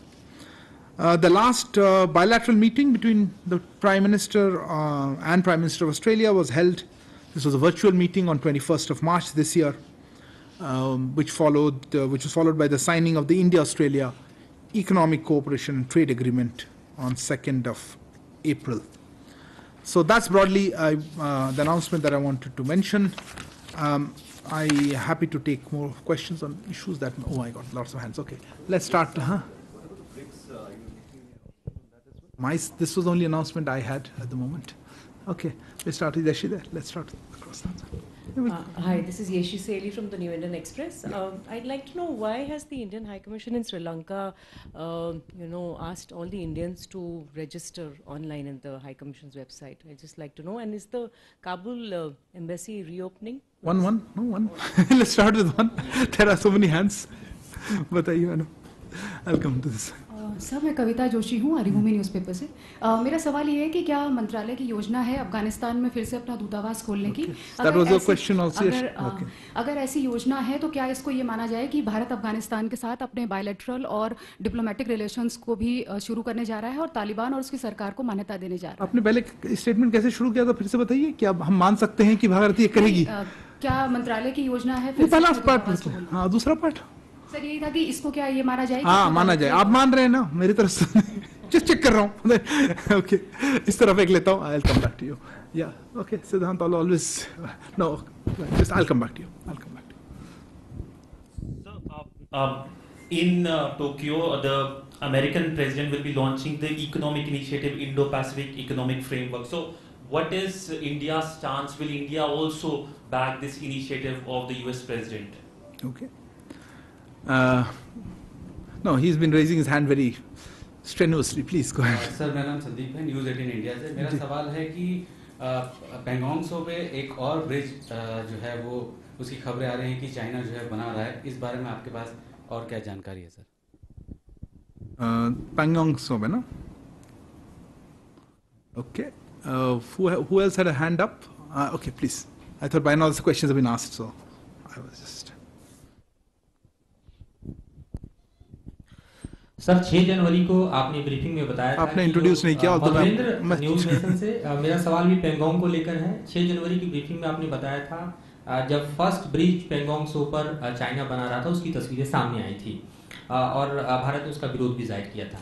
बावजूद इसके दूसरा bridge अब पेंगोंग पर चीन बना रहा है जो कि स्ट्रेटेजिकली काफ़ी इंपॉर्टेंट बताया जा रहा है जो पिक्चर्स में बता रहे हैं कि किस तरह से इस पर से आर्मर्ड मूवमेंट भी आसानी से जो है वो चीन कर सकता है मोबिलाइज कर सकता है अपनी सेना को तो क्या इस बीच बातचीत चलती रही और कोई असर चीन के ऊपर नहीं हुआ कि वो दूसरे ब्रिज को ही बनाने में सफल है Okay. Let me take this round of it and then I'll come back. Um, Yeshi, let me start with your query. Look, I don't think, uh, I think this is a very routine exercise. We ask all our, uh, you know, all our embassies ask Indian nationals abroad to register. Uh, from time to time, I think they send reminders, and I think this is, uh, I would say, this is just uh, one of those exercises that happens to be at a time. I suppose there's a lot of attention, so all of you picked it up. Uh, I wish um, all our embassies uh, do this, and I hope the same focus is given by our uh, citizens living abroad that they register. As you know, in different parts of the country, world, we have asked our embassies to do that. As of right now, uh, I think that's that's what uh, I've been told. That this is just. A, in fact, I, I did check with our embassy uh, high commission just before I walked in, and they said no, this was just a reminder to register. From time to time, they do that. Um, Afghanistan अ, कविता जी आपका प्रश्न अफगानिस्तान पे था देखिए अफगानिस्तान के बारे में and I am sure this will come back in English so जैसा कि आप जानते हैं अ, अगस्त अ, 2021 पिछले साल में काबुल के सुरक्षा स्थिति को अ, के तेज खराबी के कारण हमने हमारे सारे भारतीय बेस्ड इंडिया बेस्ड कहते हैं, भारतीय कर्मियों को अफ़गानिस्तान से बाहर निकालना पड़ा हमें। इसके बावजूद मतलब अफ़गानिस्तान के लोगों के साथ हमारी जो रिलेशनशिप है, ऐतिहासिक संबंध है, देखते हुए हमने मानवीय सहायता प्रदान करने करना जारी रखा है। विशेष रूप से गेहूँ भेजा है गेहूँ का चल रहा है अभी भी। दवाइयाँ भेजी हैं वैक्सीन भी भेजी थी। और जो आपने आपका स्पेसिफिक जो सवाल था उसके बारे में उसके संदर्भ में मैं ये सिर्फ़ कहूँगा कि मेरे पास अभी कोई अपडेट नहीं है तो अगर हमारे पास कुछ रही इस बारे में कुछ तो ज़रूर आपसे इसको साझा करेंगे since this question would be asked in English let me also try to answer that in English Um, as you are aware, following the sharp, deterioration in security situation in Kabul in August last year, we had to relocate all India-based personnel out of Afghanistan. Uh, given our historical ties with the Afghan people, we have continued to provide humanitarian assistance, particularly supplies of wheat, medicines, and vaccines. As regards a specific query about reopening of embassy, uh, if there is any update, we will certainly share it with you. Um, I think, uh, Siddhant, uh, your question was on the, what is called, being called the Indo-Pacific Economic uh, Framework, right? I think that's the terminology uh, being used. I, I'm actually not sure because this is a very, um, let me just say that, look, this is an economic plan, I think. It's called the economic plan, so I, I, I- IPEF, okay, um, or a framework. So, look, this is an initiative of the United States. Um, we have received, uh, you know, details of this, and we are examining it. At this point, that's that's all I have to say. Um, I would not be in a position to, uh, you know, prejudge what might happen in uh, Tokyo or in future. But as I said, we are we are looking into the initiative or the proposal. Um, बाकी दो सवाल थे हाँ संदीप और मधुरेंद्र के आप लोग पांग्यांग सो और ब्रिज और आमट कुछ देखिए दो दो मुद्दे अलग हैं बातचीत चल रही है मैं पहले भी कह चुका हूँ एल के बारे में हमारी जो रेगुलर बा, बातचीत हो रही थी अ, होती रहती है। चाइनीज़ फॉरेन मिनिस्टर भी आए थे उनसे ही बात हुई। हमारी जो अपेक्षाएँ हैं उनके पास रखी गई। और आपको याद होगा कि हमारे विदेश मंत्री ने डायरेक्टली भी बताया कि कैसी वार्तालाप हुई और क्या चीज़ों पे क्या मुद्दे हैं और हमारी क्या अपेक्षाएँ हैं उसमें। और इसको हम इसको आगे बढ़ाते रहेंगे कोशिश यही रहेगी। कि जो, हमारी जो, जिस तरह से हमने कह रखा है कि ये सोल्यूशन निकालना पड़ेगा आपको बातचीत से और जब तक वो सॉल्व नहीं हो बाकी चीज़ों पे हम आगे नहीं बढ़ सकते। ब्रिज के बारे में रिपोर्ट देखी है? अब ये मिलिट्री इशू है, इसमें मैं कह नहीं पाऊँगा। ये कहाँ पे एग्जैक्टली है और हमने जैसे कहा है, ये पूरा एरिया हम हमें ऑक्युपाइड एरिया पे रखा माना, मानते हैं। और इसके डिटेल्स और उसके क्या इम्प्लीकेशंस है ये I think I think ministry of defence का ही बेटर वो बता पाएँगे उसमें। पर uh, अगर हमारे पास इसमें और कुछ शेयर करने के लिए रहा तो हम बताएँगे। अभी हम उसको uh, हमने भी मीडिया रिपोर्ट्स और अदर रिपोर्ट्स देखी हैं। Okay let me open it for further questions anybody has okay go Okay. Um, okay, before no, uh, basically, uh, look, I think that issues are there. There is the issues of uh, talks as well as this bridge. On the talks part of it, I think we have been um, pretty uh, pretty clear, and I think we've been saying the same thing repeatedly. Um, um, we have had uh, various rounds of conversations. The Chinese um, side at different levels, diplomatic and uh, military side. Um, we also, as you're aware, Foreign Minister Wang Yi was here in March this year, and EM conveyed our expectations to him. Um, as EM had said then, and I remember him uh, talking to the media subsequently, uh, the frictions and tensions that arise from China's deployments uh, since April 2020 cannot be re- reconciled uh, with a normal relationship between two neighbors. So we will continue to remain engaged with the Chinese side, both at the diplomatic and military levels, to ensure that the directions uh, given by the two ministers are implemented fully. And of course, if there is any further update, we will share with you. So that's on the talks part of it. Uh, we have seen uh, media reports and other reports on uh, the so-called bridge, or I don't know if it's another, somebody said a second bridge, or if it's an expansion or widening of the current bridge. Look, um, probably, and uh, the area that is referred to is, of course, we uh, we've always felt this was occupied, and uh, we have had our, you know, for for decades, and we have, of course. From a military perspective, I would not be in a position to comment that. I think Ministry of Defense or the implications of that. Uh, but uh, as I said, we monitor such developments, and if there's any update on this, we will share with you. Uh, okay, uh, Huma, please. Yeah, uh, Huma Siddiqui from the Financial Express. Just wanted to check, is there any idea when is the 2 plus 2 Indo-Japan talks expected? Uh, I don't think we have any date for that. Huma. I'm um, not certainly not during this visit, uh, but if there is, we will let you know. Sorry. Good. So I'm Akhilesh Suman from Samsung TV. Uh, BRICS foreign ministers meeting is going on. Yes. I don't know whether it is over or it's still going on. So can you please tell us uh, some details about what is the agenda and what uh, what outcomes? Okay, I'll come to that. Okay. Who else had a hand up? Okay. Nothing, and then I'll just. My question is about uh, the visit of the U.S. coordinator on uh, um, uh, on uh, democracy, human rights, as well as the special coordinator on Tibet, Uzra to Delhi. Um, in, in two parts. One, uh, Ms. Zaya is uh, believed to have met with civil society representatives. Did she raise any human rights concerns in her meetings with Foreign Secretary Vinay Quatra?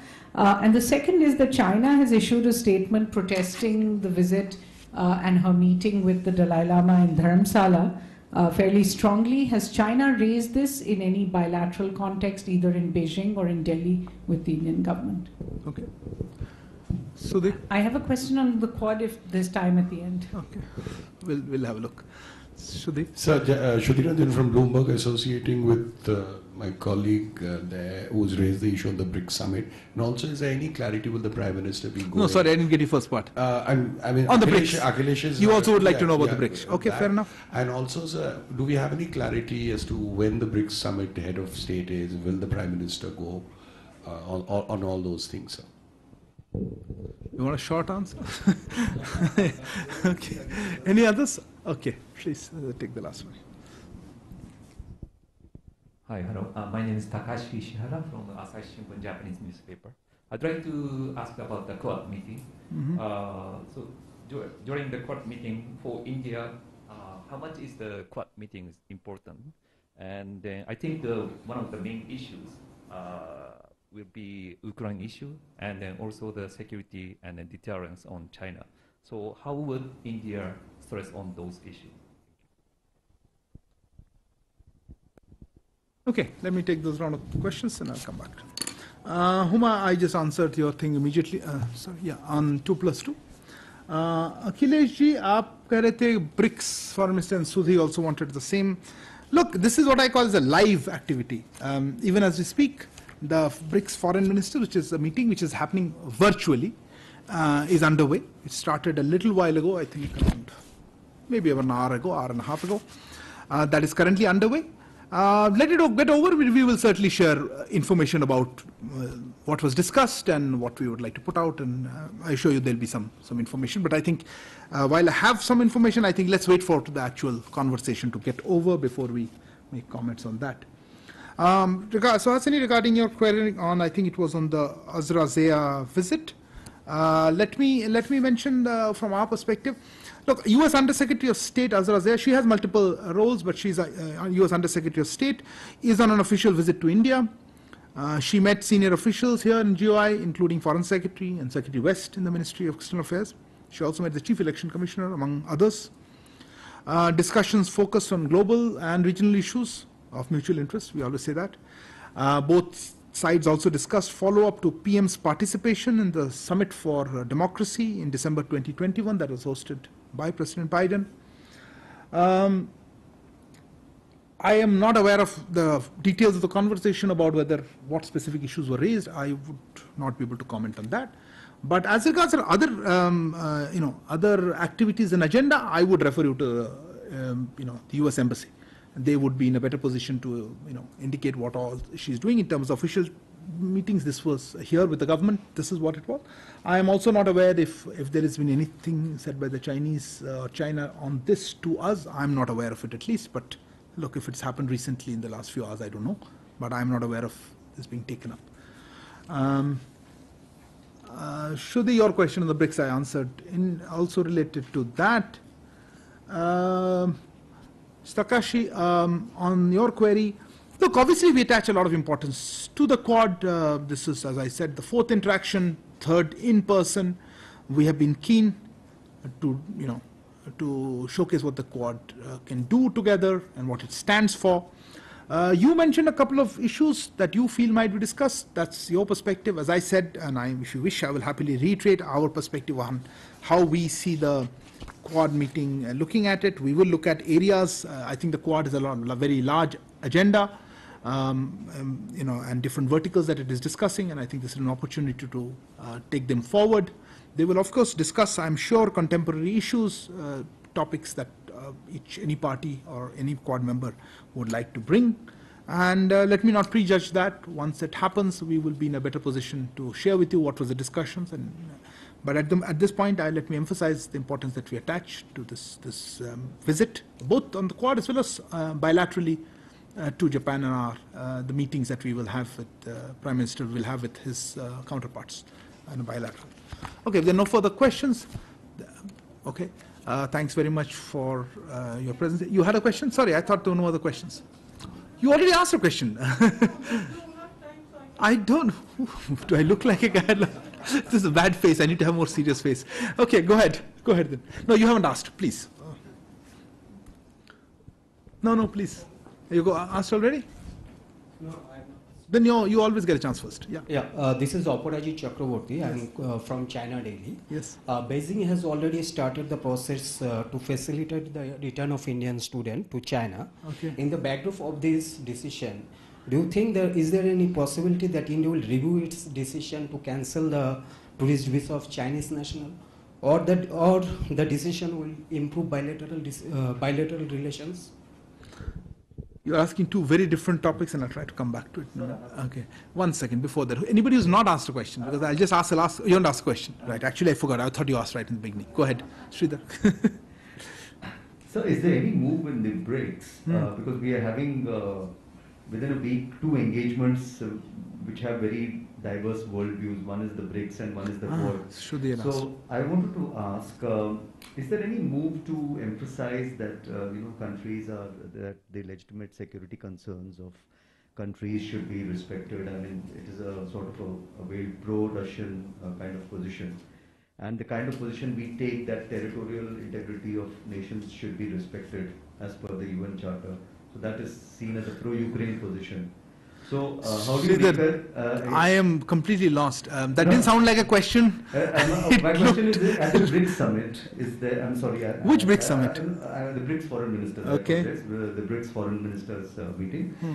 Is there any move to sort of emphasize that uh, the legitimate security concerns of countries should be respected? Again, short or long answer. I forgot actually Shudhi's question. I'll come back to that in a second. Okay, who else had a quick last, uh, who was up second round of questions? You wanted, Uma. Yeah, go ahead. And you and Swasini. Okay, we'll close with that. I just wanted to check if uh, the issue of food security will come up when the Prime Minister Modi meets with Mr. Biden because since yesterday they have been focusing on food uh, security. You mean in the wheat? Or something else in wheat? Okay, and Swasini, anything, you had a query on something else?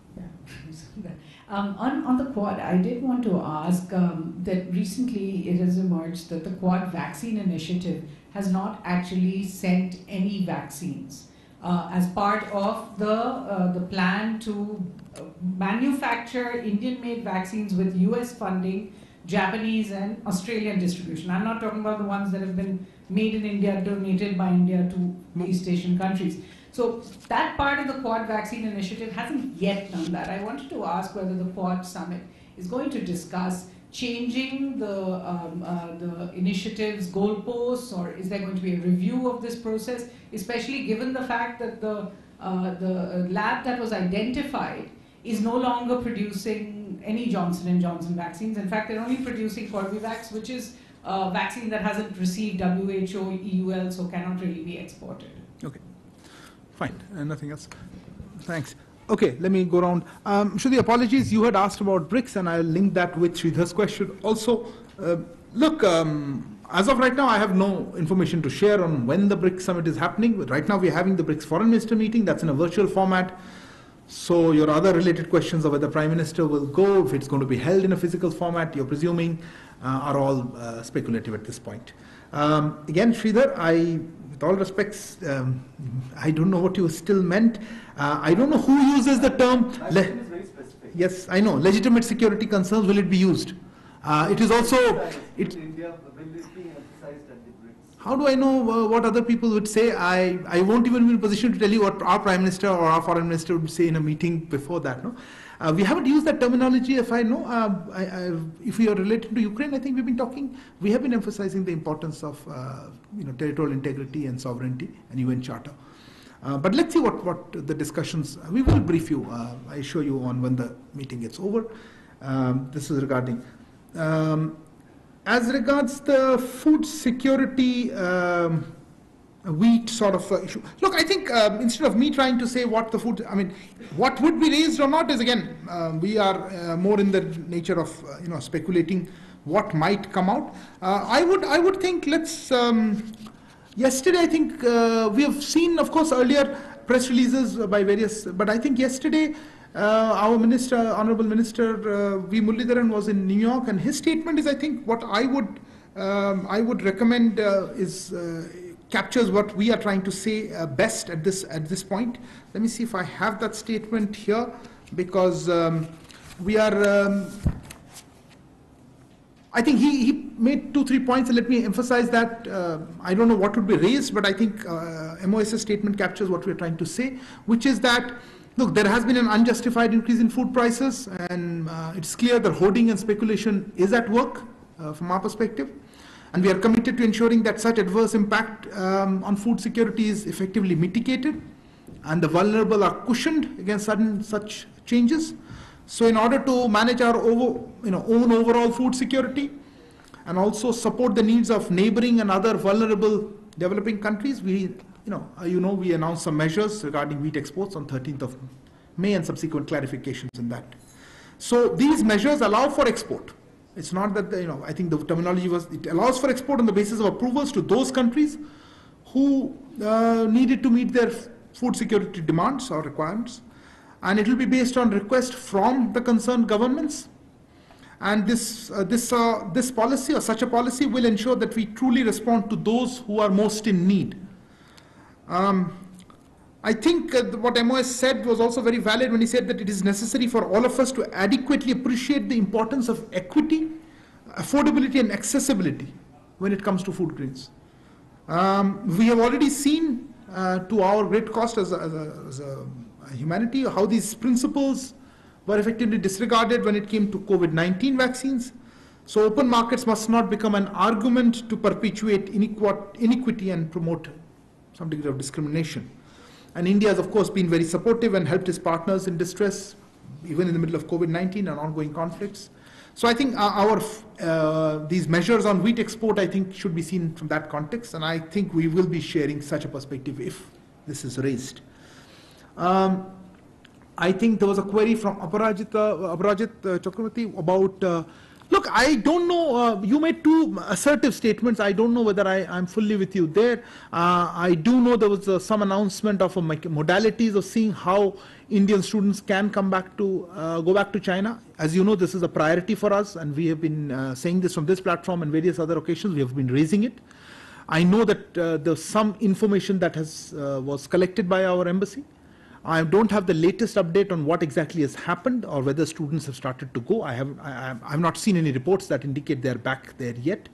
We would certainly continue to press the Chinese side to take measures so that uh, Indian students uh, whose opportunities they require to go back and you know particularly medical uh, are able to go and they do not uh, suffer anymore uh, because of these restrictions. Um, the other element that you referred to in terms of visas, I don't think there was a cancellation, and I remember this query came up, uh, I think the last time I spoke or before that. Um, we basically said that given the COVID situation in China or in certain cities, um, it wasn't an opportune time to look at uh, resuming grant of uh, tourist visas because there are certain visas that are continuing. I don't think the situation would have changed too much. Uh, this is not a new decision. This decision exists in terms of you know uh, COVID-related restrictions. Um, I don't even would like to speculate whether this would improve relations between the two countries. Uh, so let's see. I think I think both sides should understand the plight of uh, students who are stuck, and I think let's work towards that. And uh, as situation on COVID improves, of course, we, as we have done with other countries, uh, we'll see what can be done on other kinds of visas. Uh, coming back finally to the query on quad vaccine, look, again, um, uh, we have sent under the quad umbrella vaccines, as you correctly mentioned. I think it was Cambodia and Thailand, which were recently. Um, though you are also correct that this was uh, vaccines made in India, Covishield. Uh, I don't know that. I disagree with you when you you seem to indicate it detracts from the overall. Co- I think this is part of exactly whatever each country can do is doing in terms of uh, contributing to that. Uh, yes, an original plan was to have a very different modalities, but again, the, what is the final objective is to ensure that vaccines are shared under the Quad umbrella to those countries that need it. Uh, about the details of what would happen, and you know, as you said, the labs, etc. Yes, there have been developments. I, uh, there are uh, groups, working groups that under this, which would hopefully look at these elements. Uh, I would think this would Quad uh, summit would be an opportunity to again look at this. But I don't know whether I can make a commitment they'll be reviewed or not. I think that would be a bit more uh, than I can confirm at this point. Okay. Thank you very much for your presence here today. Good evening. तो आप देख रहे थे विदेश मंत्रालय की साप्ताहिक press वार्ता जिसको विदेश मंत्रालय के प्रवक्ता अरिंदम बागची संबोधित कर रहे थे। उन्होंने कहा कि आगामी 24 मई को प्रधान क्या हुआ? 50 साठ 70 सालों में ये घटना हम देखने को मिल। रही कि इतना जल्दी से हम लोग हमारे शहर में इतनी आबादी आ गई है। हमारे जो चौड़ी सड़कें, एक बार जो कहानी में पढ़ते थे पीछे पीछे कि इतनी चौड़ी सड़कें हैं, ये है चांदी चौक का हम ज़िक्र पढ़ते थे। बहुत सारे शहरों की बात पढ़ते थे, वो शायद सौ, दो साल पुरानी ही होगी। लेकिन आज उन्हीं शहरों को क्या हो गया कि ये हमें छोटे लगने लगे देखिए अगर हम देखेंगे शहरों का जो ग्रोथ है पहले कुछ 20-25 प्रतिशत ही शहरीकरण था। आज हम हम लोग करीब 48-45 पे पहुँच गए और भविष्य में ये 60 परसेंट हो जाएगा। तो जो शहर के जो इकोनॉमिक कंट्रीब्यूशन जीडीपी का है वो दिन प्रतिदिन बढ़ता जा रहा है। और उसकी वजह से क्या है कि जो गाँव से बाकी आजू बाजू से हमारे जो गाँव के एरियाज़ हैं वहाँ से शहर में बस्ती ट्रांसफ़र होती है। और हम लोग, पहले आप देखिए कि अहमदाबाद में one one F S I was sufficient enough आज के दिन में हम पाँच एफ़ एस आई तक तो पहुँच गए। तो डेंसिफिकेशन करना पड़ता है। तो डेंसिफिकेशन की वजह से आ, क्या होता है कि सड़कें चौड़ी करनी पड़ती है और सड़कों पे नंबर ऑफ़ ये व्हीकल्स बढ़ जाते हैं। तो हमारा एक तो परसेप्शन है कि ये व्हीकल्स बढ़ गए सड़कें छोटी हो गई है। लेकिन डेंसिफिकेशन जितना होगा तो कंजम्पशन एनर्जी का कंजम्पशन जितना ज़्यादा होगा ज़्यादा एनर्जी कंजम्पशन होगा तो हीट जनरेट ज़्यादा होगी। तो this is this is cycle एक दफ़े हीट जनरेट होगी तो आपकी सॉइल का मॉइस्चर कम होगा तो प्लांटेशन पे असर होगा। तो एक नेचुरल प्रोसेस में प्लांटेशंस की या फॉरेस्ट ग्रोथ जो ये जो प्लांटेशन शहरों में थे, वो भी घटते गए। हमारी ग्राउंड वाटर के जो था, वो भी कम होता गया। Because because of consumption more and more you consume the natural resources within the cities this and उसको हम लोग रिप्लेनिश करने का प्लान नहीं है। रिप्लेनिश अगर हम साथ में करते जाएँ अब जैसे हमारे सब शहरों में। रेजिलियंस के बारे में हम लोग ज़्यादा चर्चा करते हैं कि अगर हम बढ़ा भी रहे बस्ती वो वो तो अनिवार्य है क्योंकि शहर के अंदर ही रोजगारी मिलेगी इकोनॉमिक कंट्रीब्यूशन होगा तो हमको साथ ये इनके साथ में मिटिगेशन का प्लान देखना ज़रूरी हो जाएगा। तो इसलिए ये एक रिक्वायरमेंट भी है और ब्लू ग्रीन इंफ्रास्ट्रक्चर है जैसे ओपन स्पेसेस है। आज के दिन में अगर देखें तो हम हम अगर नॉर्म्स के हिसाब से नाइन स्क्वायर मीटर का ग्रीन एरिया होना चाहिए शहर में। आज के दिन में अगर अभी मैं रिपोर्ट पढ़ रहा था कि काफ़ी शहरों का हमारे except Hyderabad 90 percent of our towns where the uh, percentage of uh, per, uh, this thing urban open space and green areas have reduced. वो रिडक्शन इसलिए भी है कि हम हम इंफ्रास्ट्रक्चर क्रिएट करते तो हम उसको कंज्यूम वो उसको रिप्लानिशिंग ज़रूरी है। जी रिप्लेनिशिंग तो जब एक तक नहीं replenishing होगा જરૂરી है અ, અ, અંકિત પટેલ વેધર એનાલિસ્ટ જોડાઈ ગયા છે અંકિતભાઈ હંમેશાની જેમ અ, દૂરદર્શનમાં આપનું સ્વાગત છે અ, જી સભાઈ જી જી અ, અંકિતભાઈ અ, ઘણા સમયથી આપ અ, હવામાનનું વિશ્લેષણ કરી રહ્યા છો આ આ વખતે એવું તો શું થયું કે આટલા અગનગોળા વરસવા લાગ્યા છે. આ વર્ષે કે વેસ્ટર્ન ડિસ્ટર્બન્સ તો વરસાદ પણ નથી પડ્યો. કોઈ ઠંડી હવા, કોઈ ઠંડી એક ખબર નથી મળી. શું કારણ છે કે કુદરતનો આટલો પ્રકોપ જોવા મળી રહ્યો છે? જી ઉત્સવભાઈ નોર્મલી હીટ વેવ્સ દરેક સિઝનમાં આવતા હોય છે અને દરેક વર્ષોમાં આવતા હોય છે. પહેલાં તો આપણે એવું અઝ્યુમ્સન નીકાળી દઈએ કે પહેલાં ગરમી નથી પડતી. અમદાવાદની જ વાત કરું તો ઓગણીસો સોળમાં અમદાવાદમાં forty six point seven degree temperature નોંધાયેલું. એટલે અમુક લોકો જો એવું માનતા હોય કે પહેલાં ગરમી નથી પડતી, તો દેટ્સ કમ્પ્લીટલી રોંગ પરંતુ હીટ વેવની જે સિવિયરિટી એટલે કે તીવ્રતા છે એ વધી છે. જેમ કે છેલ્લા અમદાવાદની વાત કરું તો વીસ વર્ષમાં જ તાપમાનનો પારો ત્રણ વાર પિસ્તાલીસ ડિગ્રી ઉપર નોંધાયેલો છે. એટલે કે બે હજાર દસમાં, બે હજાર સોળમાં અને બે હજાર બાવીસમાં આ વખતે. બે હજાર દસમાં છેતાલીસ ડિગ્રી નોંધાયું હતું છેતાલીસ પોઈન્ટ, પછી બે હજાર સોળમાં ટેમ્પરેચર રેકોર્ડ બેક એટલે સો વર્ષનું રેકોર્ડ બ્રેક કર્યો હતો અમદાવાદમાં ટેમ્પરેચરે એટલે કે અડતાલીસ ડિગ્રી ટેમ્પરેચર નોંધાયું હતું. આ વખતે પણ પિસ્તાલીસ ઉપર ટેમ્પરેચર અમદાવાદમાં નોંધાયેલ છે. તો ઉત્સવભાઈ, એમાં એવું છે કે હીટ વેવ્સ તો આવતા જ હોય છે. પરંતુ તમે ગ્લોબલ વોર્મિંગ કે ક્લાઇમેટ ચેન્જને ત્યાં પિક્ચરમાં લાવી શકો કે હીટ વેવ્સની જે સિવિયરિટી છે તે વધી છે.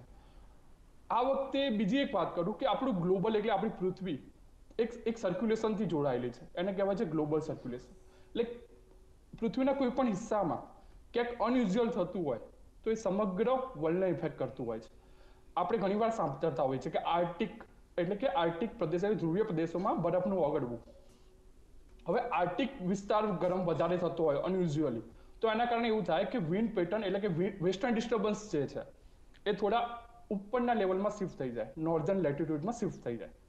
અને એના કારણે બની શકે કે ભારત અને જે ભારતના જે નીચેના વિસ્તારો છે ઉત્તર પશ્ચિમ ભારતના વિસ્તારોને ઓછું ઇફેક્ટ કરે એટલે આ વખતે ઉનાળામાં વેસ્ટર્ન ડિસ્ટર્બન્સ ઓછા જોવા મળ્યા છે એટલે કે આર્ટિક વિસ્તાર વધારે ગરમ થયો છે અને એના કારણે આપણાને વચ્ચે રિલીફ જે કહીએ એ ઓછી મળી છે जी जी आ, तो हमने जिस तरह से सुना कि ग्लोबल फैक्टर्स बहुत इसमें असर कर रहे हैं लेकिन प्रतिमा जी मैं आपसे जानना चाहूँगा क्या कुछ शहर ऐसे भी है जो इसका मुकाबला अच्छी तरीके से कर रहे हैं? क्या कहीं तो हमें तारतम्य कहीं पे तालमेल देखने को मिल रहा है कि समस्या भी है समाधान भी है और ज़रूरतें पूरी भी हो रही है और आगे भी बढ़ रहा है वो, वो शहर या देश? तो ऐसा कोई उदाहरण हमें बताइए। Northern I mean northern Europe Scandinavian countries में वो लोग ने काफ़ी यानी वो लोग they are very near to the arctic arctic से नज़दीकी हैं तो uh, वो लोग काफ़ी ट्राई कर रहे हैं like for example Copenhagen is trying to be the bicycle city of the world यानी सब वहाँ पे साइकिल पे ही बेसिकली द एम इज़ के सी ओ टू रिडक्शन कैसे हो। एक हीट का कारण है कि सी ओ टू बहुत इंक्रीज हो रहा है into the atmosphere release हो रहा है because of road surfaces uh, which are you know black they can be painted white or some other color जिससे वो reflectance कम हो uh, then uh, you can have you know buildings uh, में roof painting या फिर building का roof material needs to be looked at तो uh,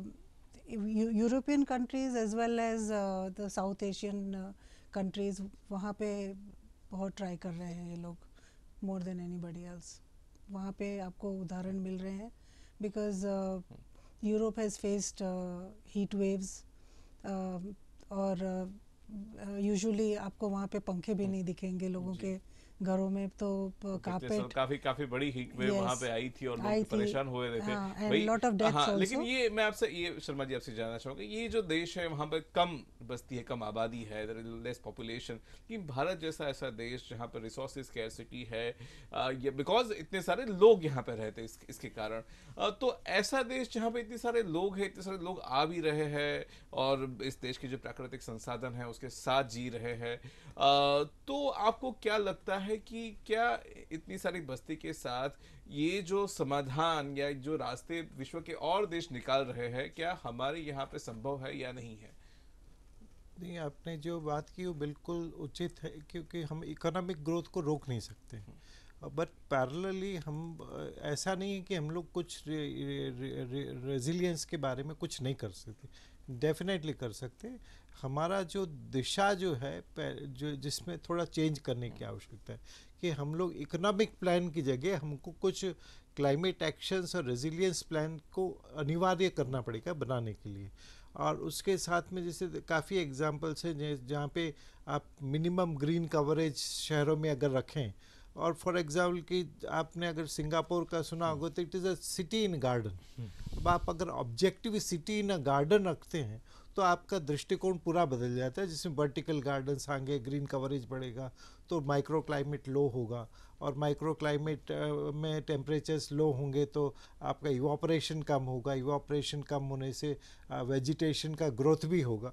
तो हमारा दृष्टिकोण जो है, उसमें थोड़ा चेंज की ज़रूरत है और कुछ मिनिमम स्टैंडर्ड्स की आवश्यकता है। Rather than a consumption economy we have to focus slightly focus on a climate change based economy also क्योंकि क्लाइमेट में अगर हम लोग आज इन्वेस्टमेंट करेंगे तो आज से 10-15 साल बाद हमको उसके रिजल्ट्स दिखेंगे और वो इतने पॉजिटिव रिजल्ट्स होंगे कि जिसमें हम लोग डेफिनेटली जितना एक्सपेंडिचर आज करेंगे और उस, उससे दस गुना हमको फ़ायदा मिलेगा।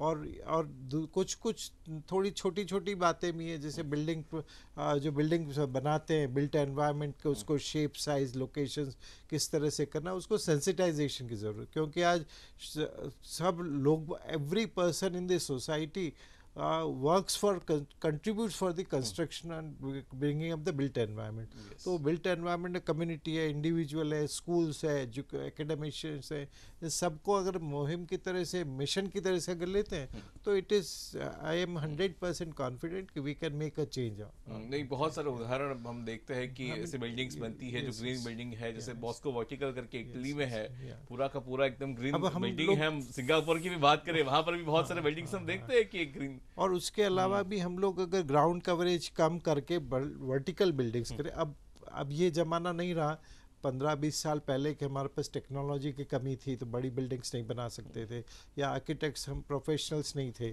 आज अहमदाबाद में we have buildings which are अब इन गिफ्ट सिटी में 125 मीटर के टावर बन रखा है जहाँ पे only 25 percent of the ground coverage is there and remaining 60 65 percent is kept for green तो दृष्टिकोण थोड़ा बदलेंगे तो डेफिनेटली इसके अंदर हम लोग कुछ अचीव कर सकते हैं। और अब टेक्नोलॉजी की कमी नहीं है प्रोफेशनल्स की कमी नहीं है।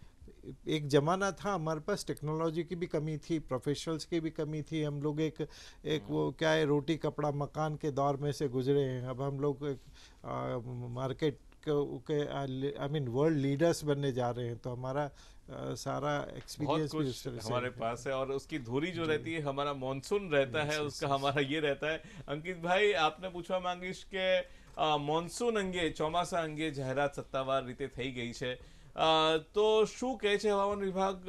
શું છે વરસાદની આગાહી, ચોમાસાની આગાહી? અને કેવું છે તમારું આકલન? જી, મોન્સૂન મોન્સૂન આપણું ભારતીય મોન્સૂનની વાત કરું તો ઘણું કોમ્પ્લિકેટેડ વસ્તુ છે અને ભારતીય મોન્સૂન ઘણા પરિબળો પર ડિપેન્ડ કરતું હોય છે. જેમ કે ક્લાઇમેટ ડ્રાઈવર્સ છે, પછી એનું મોન્સૂનનું પોતાનું નેચરલ વેરિએશન હોય છે, જેને એની ઇન્ટર એન્યુઅલ વેરિએબિલિટી અથવા ઇન્ટર સિઝનલ વેરિએબિલિટી હોય છે એની. તો આ વખતે ક્લાઇમેટ પેરામીટર્સની વાત કરું તો બધું લગભગ નોર્મલ છે. એટલે કે પછી આઈઓડી પણ ઇફેક્ટ કરતું હોય છે. તો આ વખતે જે લોંગ રેન્જ ફોરકાસ્ટ મોડલ્સ છે, એ ઓવરઓલ મોન્સૂન ઘણું સારું રહે એ એક્સપેક્ટ કરી રહ્યા છે. જો કે પછી એની મોન્સૂનની પોતાની જે મેં કહ્યું પ્રમાણે ઇન્ટર સિઝનલ વેરિયેબિલિટી આગળના દિવસોમાં કેવી રહે છે, એના પર પણ ડિપેન્ડ કરતું હોય છે. અત્યારે ચોમાસાની વાત કરું તો કે ચોમાસું કેરળમાં પણ આ વખતે પાંચ દિવસ એટલે કે સત્યાવીસ તારીખ આસપાસ બેસે એવું આઈએમડી એ અ, અ, જાહેરાત કરેલ છે એવું એવી સંભાવના વ્યક્ત કરી છે. અને ગુજરાતમાં વાત કરું તો ચોમાસું લગભગ દસ જૂન બાદ દક્ષિણ ગુજરાતના ભાગોમાં આવી શકે છે એટલે કે નોર્મલ દસથી પચીસ જૂનમાં ગુજરાતમાં ચોમાસું પ્રવેશ કરી શકે છે તેવી અત્યારે સંભાવનાઓ જણાઈ રહી છે. જી જી ચોક્કસ. અને બીજી એક વાત આપણે પૂછવી હતી કે સામાન્ય રીતે સાયક્લોન સિઝન ગણાતી હોય અરબી સમુદ્ર અને બંગાળની ખાડી બંનેમાં. પણ આ વર્ષે આટલું તાપમાન હોવા છતાં કોઈ ખાસ હલચલ એકાદા છેલ્લે વાવાઝોડું આવ્યું એના સિવાય કોઈ ખાસ હલચલ દેખાઈ નથી. એનું શું કારણ છે? સાયક્લોનમાં એવું હોય છે કે natural naturally cyclone post monsoon season અને પ્રી મોન્સૂન સિઝન બંનેમાં રચાતા હોય છે. એટલે હજુ તો આપણે ટાઈમ છે. હજુ તો ચોમાસું બેસે પહેલા બી કદાચ સર્ક્યુલેશન બની શકે છે. એક સર્ક્યુલેશન ઓલરેડી બંગાળની ખાડીમાં આપણે સાયક્લોન અસાની આ વખતે જોયું છે. તો સાયક્લોન સિઝન લગભગ મારા ખ્યાલથી બધું નોર્મલ છે એમાં. પણ હા, અરબ સાગરમાં પણ હવે સાયક્લોનની જે ફ્રિકવન્સી છે એ બંગાળની ખાડી જેટલી જ થઈ ગઈ છે. એટલે ફિફ્ટી ફિફ્ટી પર્સન્ટ સાયક્લોન બને છે. પહેલા એ રેશિયો ત્રણ જેમ એકનો હતો. એટલે કે ત્રણ બંગાળની ખાડીમાં બનતા હતા, એક અરબ સાગરમાં બનતો હતો. પણ હવે હવે અરબ સાગરમાં અરબ સાગરમાં પણ પચાસ ટકા, જ્યારે બંગાળની ખાડીમાં પચાસ ટકા સાયક્લોન બની રહ્યા છે. ક્યાંક ને ક્યાંક પછી વાત કરવા માંગીશ કે ક્લાઇમેટ ચેન્જ અને ગ્લોબલ વોર્મિંગ રિયલમાં થઈ રહી છે. ધીસ ઇઝ રિયલ બટ દરેક ઇવેન્ટના આપણે ક્લાઇમેટ ચેન્જ અથવા ગ્લોબલ વોર્મિંગ સાથે લિંક ના કરી શકીએ. જી. એકદમ સાચી વાત છે. દરેક ઇવેન્ટને ઘણીવાર કાગનું બેસવું ને ડાળનું તૂટવું એવું થતું હોય અને એના કારણે પણ આપણી ચર્ચાઓ દિશામાં આગળ मैडम मैं आपसे पूछना चाहूँगा कि अब जो हम जिस तरह जिस दिशा में हम जा रहे हैं तो पहला कदम क्या होना चाहिए जैसे हम बात कर रहे हैं दस साल की बीस साल की तीस साल की बात कर रहे हैं मुझे कल से ही चालू करना है कल से ही मुझे शुरुआत करनी है तो एक व्यक्ति के तौर पर क्या होना चाहिए समाज के तौर पर क्या होना चाहिए वो बताइए क्या होना चाहिए? वो बहुत एक इनकन्वीनियंट ट्रूथ है जैसे एल्गोर ने बोला है। We have to reduce consumption यानी consumption in the sense first step at least हम कर सकते हैं कि अगर वीक में फाइव ट्रिप्स करनी है from home to somewhere instead of that reduce and you know उसको थोड़ा कम करिए। तो ऑटोमेटिकली अगर फॉसिल फ्यूल बेस्ड आपका व्हीकल होगा तो उसमें रिडक्शन आएगा। Uh, you know, try to share your vehicle with others pooling what you call car pooling या व्हीकल पूलिंग इस तरह से छोटे छोटे हम कदम लेंगे तो उससे यू नो फ़र्क पड़ेगा। At least onlookers we have got into a consumption mode and show off type of mode के you know which car and तीन साल बाद चेंज करना है, दूसरी गाड़ी and things like that you know we have got it clothes हैं या that Gandhian philosophy actually is very true like you know there is enough for everybody's need but not greed तो प- हमको consumption पे पहले तो at least सब कर सकते हैं। They can make some kind of contribution अगर एक एक्स्ट्रा ट्रिप करनी भी है तो इट डजेंट मैटर साइकिल पे जाए या कुछ वॉकिंग करें। I know it is not very conducive हमारे पास साइकिलिंग इंफ्रास्ट्रक्चर जैसा होना चाहिए, वैसा है नहीं एंड बट यू नो यही सब uh, uh, पहले हम इस चीज़ से शुरू कर सकते हैं। शर्मा जी मैं आपसे पूछना चाहूँगा अगर मैं आपको एक एग्ज़ाम फॉर प्रोजेक्ट एक अहमदाबाद शहर की मैं बात तो अगर आप बताओ कि इसमें कुछ आपको सुधार करने हैं या कुछ नया करना है कम करना है ज़्यादा करना है तो अभी आपके अनुभव से अहमदाबाद क्या कर सकता है? अहमदाबाद में बहुत कुछ कर सकते हैं ऐसा नहीं कि लेकिन हम हमारा जो है एक इंडिविजुअल व्यक्ति के जैसे मैडम ने कहा व्यक्तिगत कंजम्पशन कम करना एक स्टेज वो है। दूसरा हम सीधे पहुँचते हैं हम सरकार के पास कि सरकार कुछ करे। कि उसके बीच में कम्युनिटी होती है कम्युनिटी को कुछ करना चाहिए क्योंकि हम हमारे घर का कंजम्पशन कर सकते हैं उसके बाद में सोसाइटी का है then then it builds up a neighbourhood तो everywhere everyone has to play a role क्योंकि आज अगर हम देखें तो सपोज़ ग्रीनिंग की अगर बात करते हैं तो हमारे घर के एनवायरनमेंट से, जो प्लॉट प्लॉट है, उसके बाहर कम से कम twenty twenty five percent space is there right तो who is going to deal with it it's not we can not expect always कि सरकार ही सब कुछ करे। तो एक, हमको एक सारा एक सिस्टम में इंट्रोड्यूस करना पड़ेगा कि एक कम्युनिटी पार्टिसिपेशन जो बरसों पहले था, हम लोग बीच में कुछ भूल गए। जब जो, जैसे अर्बनाइजेशन होता है, उस तरह से हम लोग भूलते जाते हैं। रूरल एरियाज़ में ये अभी भी प्रिविलेंट है, जहाँ पे अगर पहला जो पड़ोसी होगा, पहला कम्युनिटी होगी, उसकी भावना हम लोग ले आए तो बहुत फ़र्क पड़ता है। Second is behavioural change is very much important behavioural change के अंदर और थर्ड पॉइंट इसके डिज़ाइन के लिए। हम लोग जो डिज़ाइंस अगर सब देखते हैं डिज़ाइन में बिल्डिंग की डिज़ाइन है बिल्ड स्पेस ऑलमोस्ट मेरी समझ से करीब 50 से 60 परसेंट कंट्रीब्यूशन करती है ग्लोबल इफ़ेक्ट को बिल्टअप बिल्ट एनवायरनमेंट तो उसको अगर हम डिज़ाइंस में अगर चेंज करें तो भी फ़र्क पड़ेगा। That will start from the colleges the institutional teaching में भी हम लोग कुछ चेंजेस लाएँ। तो अहमदाबाद के रेफरेंस में करते एक दिन का ये मसला नहीं है। यू हैव टू टारगेट और long term almost twenty twenty five years का हम लोग एक प्रोजेक्ट लेके चलें जिसका एक सस्टेन करें और उसका कोई ऑर्गेनाइजेशन सेटअप बिल्कुल हो कि वो उसको सेपरेटली डील करे राइट अभी हम लोगों के म्यूनसिपल कॉरपोरेशन का एक पार्ट है गार्डन्स डिपार्टमेंट या ग्रीनिंग डिपार्टमेंट अगर वो apart from that municipal corporation lot many things to do लेकिन हम लोग जैसे साबरमती नदी है तो उसके आजू बाजू या थोड़े जो दूसरे वाटर बॉडीज़ है उनको चेंज करना है।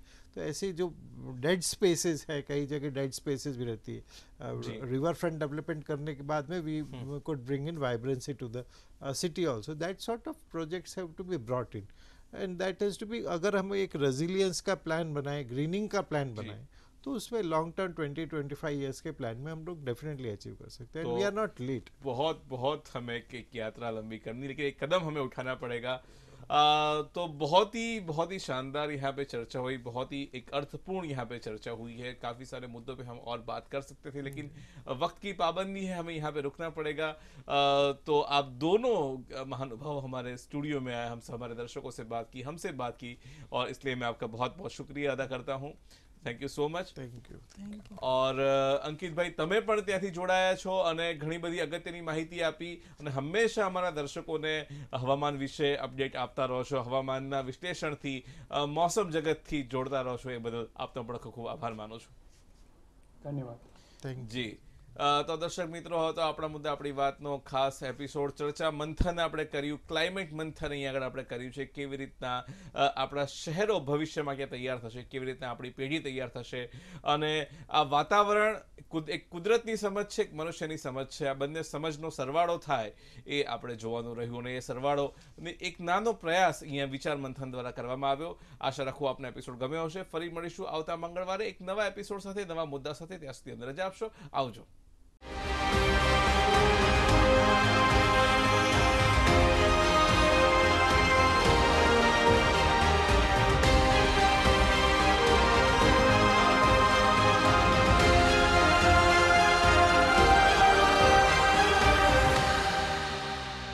આજના એપિસોડમાં અમે દેશભક્ત કવિ મુકુંદ દાસને શ્રદ્ધાંજલિ આપીએ છીએ. અઢાર મે ઓગણીસો ચોત્રીસના રોજ તેમનું અવસાન થયું. તેમના લખાણો દ્વારા દાસે ગ્રામીણ બંગાળમાં સ્વદેશી ચળવળના પ્રસારમાં ફાળો આપ્યો. મુકુંદાસનો જન્મ બાવીસ ફેબ્રુઆરી અઢારસો ઇઠ્યોતેરના રોજ મુન્શીગંજ જિલ્લામાં થયો હતો, જે હવે બાંગ્લાદેશમાં છે. જ્યારે તેઓ સાત વર્ષના હતા, ત્યારે તેમનો પરિવાર બરીસાલ ગયો, જ્યાં તેઓ કાયમી ધોરણે સ્થાયી થયા. દાસ તેમના પિતા પાસેથી વૈષ્ણવ સ્તોત્રો સાંભળીને મોટા થયા અને પોતે સ્તોત્ર લખવા અને ગાવાનું શરૂ કર્યું. બંગાળી શિક્ષણવિદ અને દેશભક્ત અશ્વિની કુમાર દત્તને કારણે તેઓ રાષ્ટ્રવાદી ચળવળમાં જોડાયા. દાસે સાધુ રાસનંદ ઠાકુર પાસેથી વૈષ્ણવ ધર્મની દીક્ષા લીધી હતી. અશ્વિની કુમાર દાસે ઓગણીસો પાંચમાં બંગાળના વિભાજનનો વિરોધ કરવા માટે બરીસલ ટાઉન હોલમાં પ્રેરક ભાષણ આપ્યું હતું. દત્ત ઈચ્છતા હતા કે નેતાઓના સંદેશાઓ નાટકો દ્વારા ગામડાઓમાં પહોંચાડવામાં આવે. મુકુંદાસ અશ્વિની કુમાર દાસના ભાષણથી ખૂબ જ પ્રભાવિત થયા હતા. તેમણે મહાન દેશભક્તિની ઈચ્છા પૂરી કરવાનો ઈરાદો રાખ્યો હતો. ત્રણ મહિનામાં તેમણે માતૃપૂજા નાટકની રચના કરી. આ નાટકની મુખ્ય થીમ દેશભક્તિ અને સ્વતંત્રતા ચળવળ હતી. બંગાળના ગામડાઓમાં નાટકો મંચાવવા માટે દાસે સ્વદેશી થિયેટર ગ્રુપની રચના કરી. ઓગણીસો છમાં મુકુંદ દાસે બરસાલમાં અને પછી નાવખોલી અને ત્રિપુરામાં વિવિધ સ્થળોએ તેમના નાટકોનું મંચન કર્યું. તેના બે વર્ષ સુધી સફળ ઓપરેશન દરમિયાન માતૃપૂજાએ બંગાળના લોકોના હૃદયમાં દેશભક્તિની ભાવના જગાડી, પ્રેસે આ નાટકને વધુ પ્રસિદ્ધિ આપી. વંદે માતરમ, યુગાંતર, સંધ્યા, નવશક્તિ, પ્રવાસી અને આધુનિક રિવ્યુએ નાટકના લોકપ્રિય બનાવવામાં મહત્વની ભૂમિકા ભજવી હતી. પૂર્વ બંગાળ અને આસામની નવી રચાયેલી સરકારે આ નાટક પર હિંસા ભડકાવવાનો આરોપ મૂકીને તેના પર કડક નિયંત્રણો લાદ્યા હતા. ઓગણીસો આઠમાં, જ્યારે દાસ બાગેહાટ ખાતે નાટક મંચાવવાનો પ્રયાસ કરી રહ્યા હતા, ત્યારે પોલીસે તેને અટકાવ્યો હતો. મુકુંદાસની રાજદ્રોહના આરોપમાં ધરપકડ કરવામાં આવી હતી અને ત્રણ વર્ષની જેલ થઈ હતી. મુકુંદાસ અસહકાર આંદોલનમાં જોડાયા. જ્યારે આંદોલન પાછું ખેંચવામાં આવ્યું, ત્યારે મુકુંદાદાસ કોલકાતામાં સ્થાયી થયા. સરકારે માતૃસત્તા પર પ્રતિબંધ મૂક્યો હતો. તેથી દાસે પ્રતિબંધથી બચવા સામાજિક નાટકો લખવાનું શરૂ કર્યું. ઓગણીસો ને બત્રીસમાં સરકારે તેમના તમામ નાટકો પર પ્રતિબંધ મૂક્યો હતો. પ્રતિબંધ પછી દાસ માત્ર ગાવા પૂરતો જ સીમિત થઈ ગયો. તેણે પોતાની નાટક મંડળી સાથે માત્ર મ્યુઝિક શો કરવાનું શરૂ કર્યું. અઢાર મે ઓગણીસો ચોત્રીસના રોજ મુકુંદાસનું અવસાન થયું. તેમના લખાણોનો વિશાળ સંગ્રહ દાયકાઓ સુધી ભારતના લોકોને પ્રેરણા આપતો રહ્યો. મહાન રાષ્ટ્રવાદી નેતાને શ્રદ્ધાંજલિ. આજે આપણે શહીદ ગોરમીન ખાનને પણ યાદ કરી રહ્યા છીએ. તેમણે અઢારસો ને સત્તાવનમાં ભારતના પ્રથમ સ્વતંત્ર સંગ્રામમાં ભાગ લીધો હતો. હુમલા દરમિયાન ખાનને કંપનીની સેના દ્વારા પકડી લેવામાં આવ્યો હતો. ખાનને અઢારસો ને સત્તાવનમાં આજીવન, હકાલપટ્ટી અને સખત કેદની સજા ફટકારવામાં આવી હતી. એપ્રિલ અઢારસો ને અઠ્ઠાવનમાં તેમને બોમ્બેથી અંદમાન ટાપુઓ પર દેશ નિકાલ કરવામાં આવ્યા હતા. જેલમાંથી ભાગી જવાના પ્રયાસોમાં તેમને અંગ્રેજોએ પકડી લીધા અને અઢાર મે અઢારસો ને અઠ્ઠાવનના રોજ ફાંસી આપી હતી. શહીદ ગોરમીન ખાનને શ્રદ્ધાંજલિ.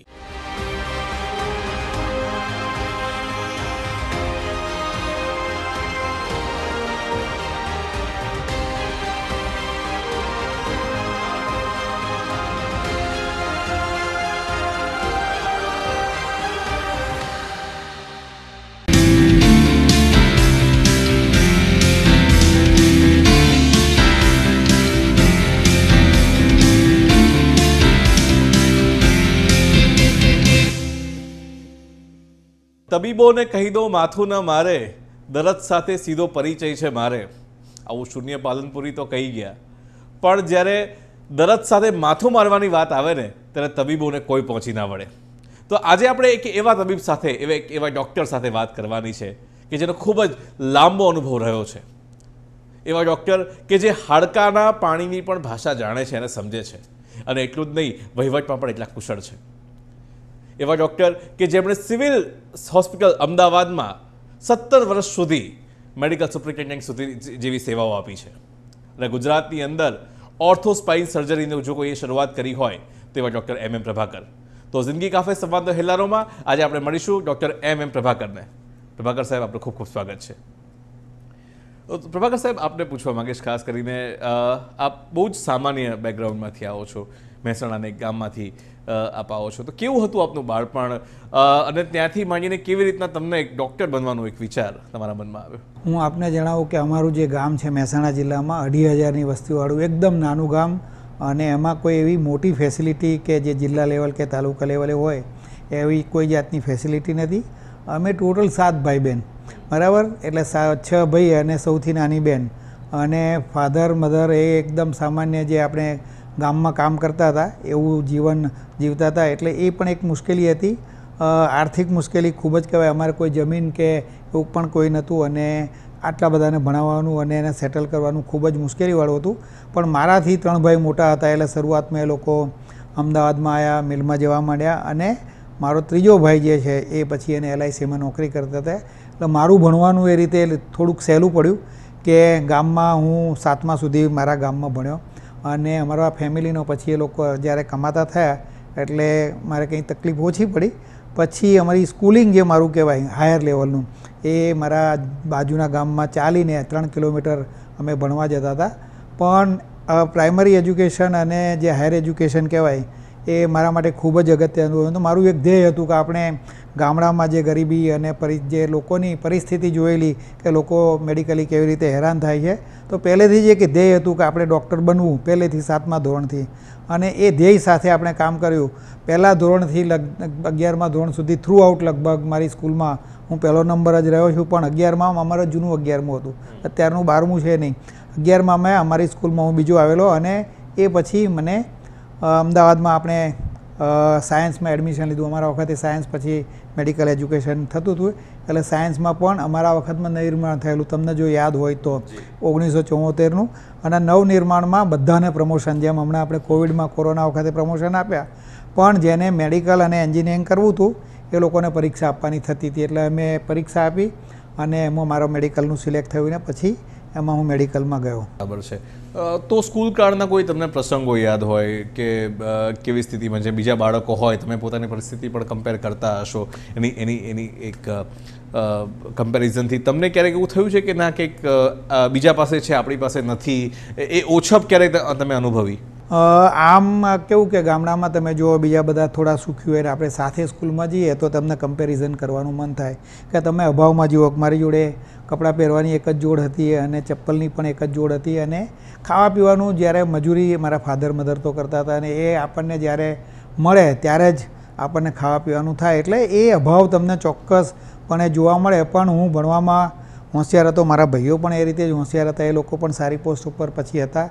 પણ એ બધું આ જે એજ્યુકેશનના લીધે આપણે અહીંયા પહોંચ્યા, એટલે એ બધું યાદ કરવાનું પછી અત્યારે મને એવું જ નહોતું કે મને અભાવમાં જીવ્યો અને હું અહીંયા કશું કરી ના શક્યો. એટલે ખૂબ જ અગત્યનો છે આ પ્રશ્ન. જી. મેડિકલ કોલેજ, કોઈ બી વિદ્યાર્થી માટે સાયન્સમાં ભણતા હોય મેડિકલ કોલેજ, આપ કઈ કોલેજમાં ભણ્યા અને પહેલો દિવસ આપનો મેડિકલ કોલેજનો કેવો હતો? મારું મેડિકલ એજ્યુકેશન, આમ એમબીબીએસ, એ બીજે મેડિકલ કે જે ગુજરાતમાં અને આખા ભારતમાં વર્લ્ડ બેસ્ટ મેડિકલ કોલેજ કહેવાય, એમાંથી મેં અમે એમબીબીએસ કર્યું અને ઓગણીસો પંચોતેરમાં એમબીબીએસમાં એડમિશનમાં લીધેલું. એ પછી અમારે અત્યારની નીટને એવી એક્ઝામ નથી, પણ જે મેરિટ આવે એ યુનિવર્સિટીને એ પ્રમાણે આગળનો અભ્યાસ કરતો તો એમાં મારા મેરિટ પ્રમાણે મને એમબીબીએસના મને એમએસમાં એ પણ બીજે મેડિકલમાંથી જ મેં કર્યું અને ત્યાંથી પૂરું કર્યા પછી જે ગવર્મેન્ટમાં આપણે કહેવું કે ભાઈ આપણે સેવા જ કરવી છે. બાકી ઘણા બધાના ઓપ્શન હતા કે ફોરેન જઈ શકે માર્કેટમાં બેસીને પ્રેક્ટિસ કરી શકે. પણ આપણે જે ગરીબી ગામડામાં જોયેલી, લોકો કેવી રીતે હેરાન થાય છે એને જોવાનું નક્કી કરેલું એક ધ્યેય હતું કે આપણે સેવા જ કરવી છે એટલે હું સરકારી નોકરીમાં જોડાયેલો. શરૂઆતમાં એપીમાં હું જામનગર એમપી શાહમાં જોડાયેલો પાછળથી બીજે મેડિકલમાં મારી ટ્રાન્સફર થઈ. અને થ્રુ આઉટ પછી ધીરે ધીરે મારું ઉત્તરોત્તર જે પ્રમોશન સરકારમાં કહેવાય એપીમાંથી એસોસિએટ પ્રોફેસર થયો એસોસિએટમાંથી પ્રોફેસર થયો. પ્રોફેસરમાંથી પછી હું જુદી જુદી પોસ્ટ ઉપર જે હાયર પોસ્ટો કહેવાય, વહીવટી, એમાં કેમ્પસની અને ગુજરાત સરકારની પણ પોસ્ટો થયેલી. હું એક સક્સેસફુલ સુપ્રિન્ટેન્ડન્ટ તરીકે રિટાયર થયો, એનું મને ગૌરવ છે, કારણ કે હું સત્તર વર્ષ કે કદાચ જિંદગીમાં આખા ભારતમાં અને વર્લ્ડમાં ક્યાંય આટલું મોટું કોઈ ગિનીઝ રેકોર્ડ કહેવાય એવું સત્તર વર્ષ જુદા જુદા પીરિયડમાં હું સુપ્રિન્ટેન્ડન્ટ તરીકે રહેલો અને સુપ્રિન્ટેન્ડન્ટ તરીકે એમાં જે ડેવલપમેન્ટ જો સિવિલમાં તમે કદાચ પહેલાં આવ્યા હશો ને બધા કમ્પેર કરવા અમારા બીજા બધા ઘણા બધા મિત્રો મીડિયાના પણ આવતા હતા ને બીજા પણ આવતા. ઘણું બધું ડેવલપ કર્યું. પહેલાંનું સિવિલ જુઓ તમે અને અત્યારનું સિવિલ જુઓ તો આબ જમીનનો ફરજ છે. અત્યારે મને હું, મારે પોતે ગૌરવ લેવા જેવી વાત છે કે જે કોર્પોરેટ લોકો દાવો કરે છે એ બધા કોર્પોરેટના જે ડેવલપમેન્ટ અને સાધનો અમારી જોડે છે. મકાનથી માંડીને એના રોડ અને રોડ, પાણી લાઇટ બધું જ અને છોકરાઓને પણ જે એમબીબીએસના અને ભણવાવાળાને છે એને લાગે કે અમે એક પ્રાઇવેટ મેડિકલ કોલેજમાં ભણ્યા છે. અમારું જે ક્લાયન્ટેજ છે એ ખાલી ગુજરાતનું ક્લાયન્ટેજ નથી પણ ત્રીસથી ચાલીસ ટકા જે દર્દીઓ છે એ લગભગ આજુબાજુના રાજ્યોમાં ખાસ કરીને મધ્યપ્રદેશ રાજસ્થાન અને એ બધા રાજ્યોના આવે છે. આપણી એટલી બધી નામના છે કે તમને જાણીને નવાઈ લાગશે કે મધ્યપ્રદેશમાં એક મંસોર નામનું શહેર છે અને આ મંસોરના દર્દીઓને સિવિલમાં આવવા માટે એક સ્પેશિયલ બસ આવે. દરરોજ સવારે બસ આવે અને એ બસનું પાટિયું ડેસ્ટિનેશન પ્રમાણે નહીં કે આમ તો હોવું જોઈએ મનસુર ટુ અમદાવાદ. પણ આ બસનું પાટિયામાં મનસુર ટુ સિવિલ હોસ્પિટલ એટલું જ લખેલું. એટલે આપણી એટલી નામના છે ને, આપણે ત્યાં એટલા એક્સપર્ટાઇઝ ડૉક્ટરો હતા, લોકોને સારી સારવાર મળે.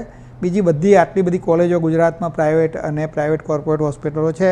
છતાં પણ ફાઇનલ ડેસ્ટિનેશન દર્દીનું કંઈ જ્યારે રોગ ના પકડાય કે એને સારવાર ના થાય, ત્યાંનું ફાઇનલ ડેસ્ટિનેશન એટલે સિવિલ હોસ્પિટલ અમદાવાદ. જી, તો બહુ બહુ સરસ તમે વાત કરી. પણ તમારા કોલેજ કાળની વાત કરીએ, વિદ્યાર્થી તરીકે. તો વિદ્યાર્થી તરીકે બીજે મેડિકલના દિવસો તમે યાદ કરો. તો એ કેવા દિવસો હતા? અને આપ આપ કેવી રીતના આપણે એન્જોય કર્યું? અથવા કેવો સંઘર્ષ કર્યો ત્યાં આગળ? એની થોડી વાત. બીજે મેડિકલમાં શરૂઆતમાં હું એક સામાન્ય સ્ટુડન્ટ તરીકે હતો, પણ ભણવામાં મેડિકલમાં આપણને પહેલેથી એક રુચિ હતી, એટલે એની એક મજા હતી. અને એના લીધે ઘણા બધા લોકોને શું, મેડિકલમાં જે સ્કૂલમાંથી મેડિકલમાં આવે, એટલે ટફ બહુ પડે ને લોકો ડિપ્રેસ થઈ જાય, કારણ કે અગત્યનું ભણવાનું કેવું છે?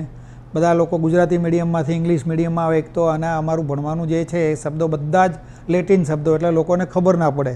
એટલે લેટિન શબ્દો ના ખબર પડે એટલે લોકો ડિપ્રેશનમાં આવે, ઘણી બધી વખત વારંવાર નાપાસ થાય સુસાઇડલ ટેન્ડન્સી થાય ને ઘણા બધા સુસાઇડ પણ થયા હશે, આપને બધાને ખબર છે. આવું મને કોઈ પણ જાતનું ફિલિંગ નહોતું થતું, કારણ કે હું મારી મહેનત રેગ્યુલર કરતો હતો. જે ટોપિક પતી જાય એને રેગ્યુલર વાંચીએ, તો એના કમ્પેરિઝનમાં બીજાના કમ્પેરિઝનમાં મને કોઈ આવી ભણવામાં તકલીફ પડતી નહોતી. અને હું throughout throughout pass થઈ ગયેલો. એમાં એમબીબીએસ પણ થ્રુ આઉટ પાસ થયો ને એમએસ પણ થ્રુ આઉટ પાસ થયેલો. એટલે મારી કારકિર્દી એ રીતે બહુ જ એજ્યુકેશનલ સારી રહી છે. અચ્છા ઓર્થોપેડિક સર્જન તમે થયા એના ત્યારબાદ. તો આ બ્રાન્ચ તમે પસંદ કરેલી કે એ બ્રાન્ચ તમને અકસ્માતે તમને મળેલી?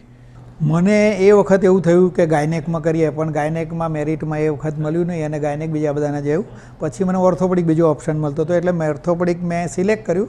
એટલે બાય સિલેક્શન તો ના કહેવાય, પણ તમે જુઓ કે અત્યારે જેમ સુપર સ્પેશિયાલિટી બધી ચાલે છે. હાર્ટ ક્લાસની પાસ્ટ્રો ગેસ્ટ્રો આ બધી જ જે સુપર સ્પેશિયાલિટી ઓર્થોપેડિક આમ એક પીજીની સુપર સુપર સ્પેશિયાલિટી ના ગણાય, પણ એ સુપર સ્પેશિયાલિટી તરીકે લોકો માર્કેટમાં તૈયાર કરે કે એમાં joint replacement spine surgery hand surgery અને આ બધી જે સર્જરી છે, એ સુપર સ્પેશિયાલિટી ઇક્વિવેલન્ટ છે અને તમે બજાર ભાવ તમે કોર્પોરેટમાં જોશો તો આ સર્જરીનો ઓવરઓલ બજાર ભાવ બીજા બધા કરતાં ઘણો ઊંચો છે. એટલે મને ખૂબ જ આત્મસંતોષ છે કે મેં ગાયનેક ના લીધું અને ઓર્થોપેડિકમાં લીધું. એના લીધે હું જે ગરીબ દર્દીઓની અને પબ્લિકની સેવા સારી રીતે કરી શક્યો છું. જી, ચોક્કસ.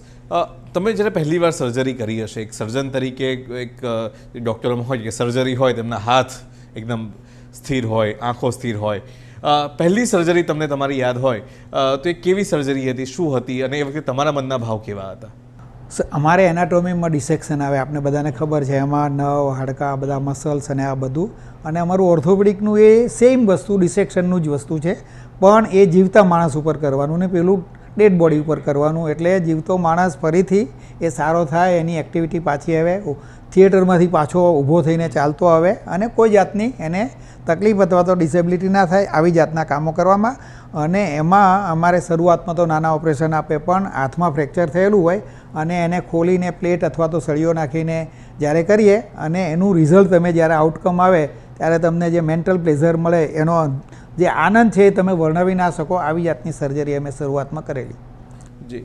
એક સર્જન પાસે કેવી કુશળતા હોવી જોઈએ? એવી એવી કઈ સ્કિલ છે? અથવા એવા કેવા ગુણ છે કે એક સર્જનને એક સારો સર્જન બનાવે? સરકારમાં આ એક ફાયદો છે કે એને પ્રોપર ઇન્ડિકેશન હોય, એ સર્જરીથી એને લાભ થશે, તો જ એને એ લોકો ઓપરેશન કરે અને સરકારમાં મારા જેવા એક્સપર્ટ મને કોઈ જાતનો સર્જરીનો ડર નથી લાગતો.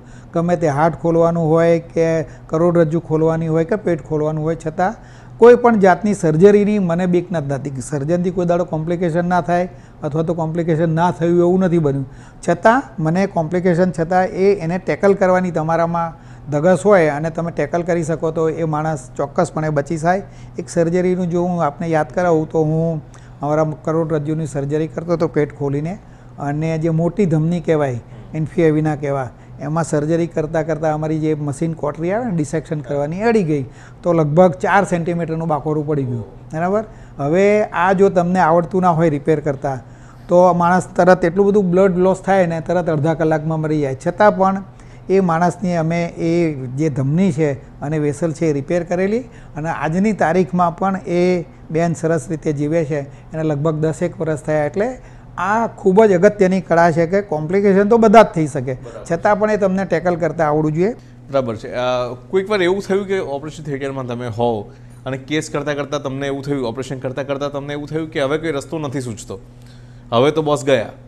એવો એવું ક્યારે તમને આમ ફિલિંગ આવી હોય? મને, મારી લાઈફમાં આવો કોઈ પણ જાતનો અનુભવ થયો નથી. કોમ્પ્લિકેશન તો ઢગલા બંધ થાય. છતાં પણ અમારી ધોરીનસ, મેં ના કહ્યું? ધોરીનસ કે પહેલો માણસનો પોતાનું એ ભૂલી જ જાય બધું શાન બંધ છતાં એ અમે રેપેર કરી શકેલા અને માણસ બચી શકેલો. એવી જ રીતે હાર્ટ ખોલી અને સ્પાઇનમાં પાછળ જવું. બરાબર? એ ખૂબ જ અગત્યનું અને કેરફુલ સર્જરી બધાની જે ઇવન સ્પાઇન સર્જરો હોય, એ પણ આવી રીતે કરી નથી શકતા. છતાં અમે ખૂબ જ સારી રીતે આવા બધા ઓપરેશનો કરીએ છીએ. અને અમને કોઈ જાતની મને મારી લાઈફમાં મેં આવું એમ કે તકલીફ પડી હોય એવું અનુભવ્યું નથી. સર્જરીના દિવસે અથવા તો સર્જરી વખતે તમે કોઈ વિશેષ તૈયારી કરતા હો અથવા તમારું ધ્યાન તૂટે નહીં? કારણ કે આપણે આપણે પણ માણસ છીએ આપણને ભૂખ લાગતી હોય આપણા પણ ઇમોશન્સ હોય. તો પોતાના ઇમોશન્સ પર તમે કંટ્રોલ કેવી રીતના કરો છો સર્જરી વખતે? સર્જરી વખતે પહેલાં તો દર્દીને જે રોગ હોય એનું આપણે એનાલિસિસ કરવું પડે કે ભાઈ એમાં શું શું જરૂરિયાત પડશે, એનું લોહી કેટલું જોઈશે, કે લોહીની પણ જરૂર પડતી હોય, એને કેવી જાતના સાધનો અંદર નાખવાની જરૂર પડશે. ઇન્ટ્રા ઓપરેટિવ તમે જે સર્જરી કરો, એમાં શું શું કોમ્પ્લિકેશન થઈ શકે, એ પહેલેથી તમે પ્રેડિક્શન કરો, તો એની તમે તૈયારી કરી શકો. એટલે મારી લાઈફમાં મને આ બધી જ તૈયારીઓ સાથે જ અમે ઓપરેશનો કરેલા છે.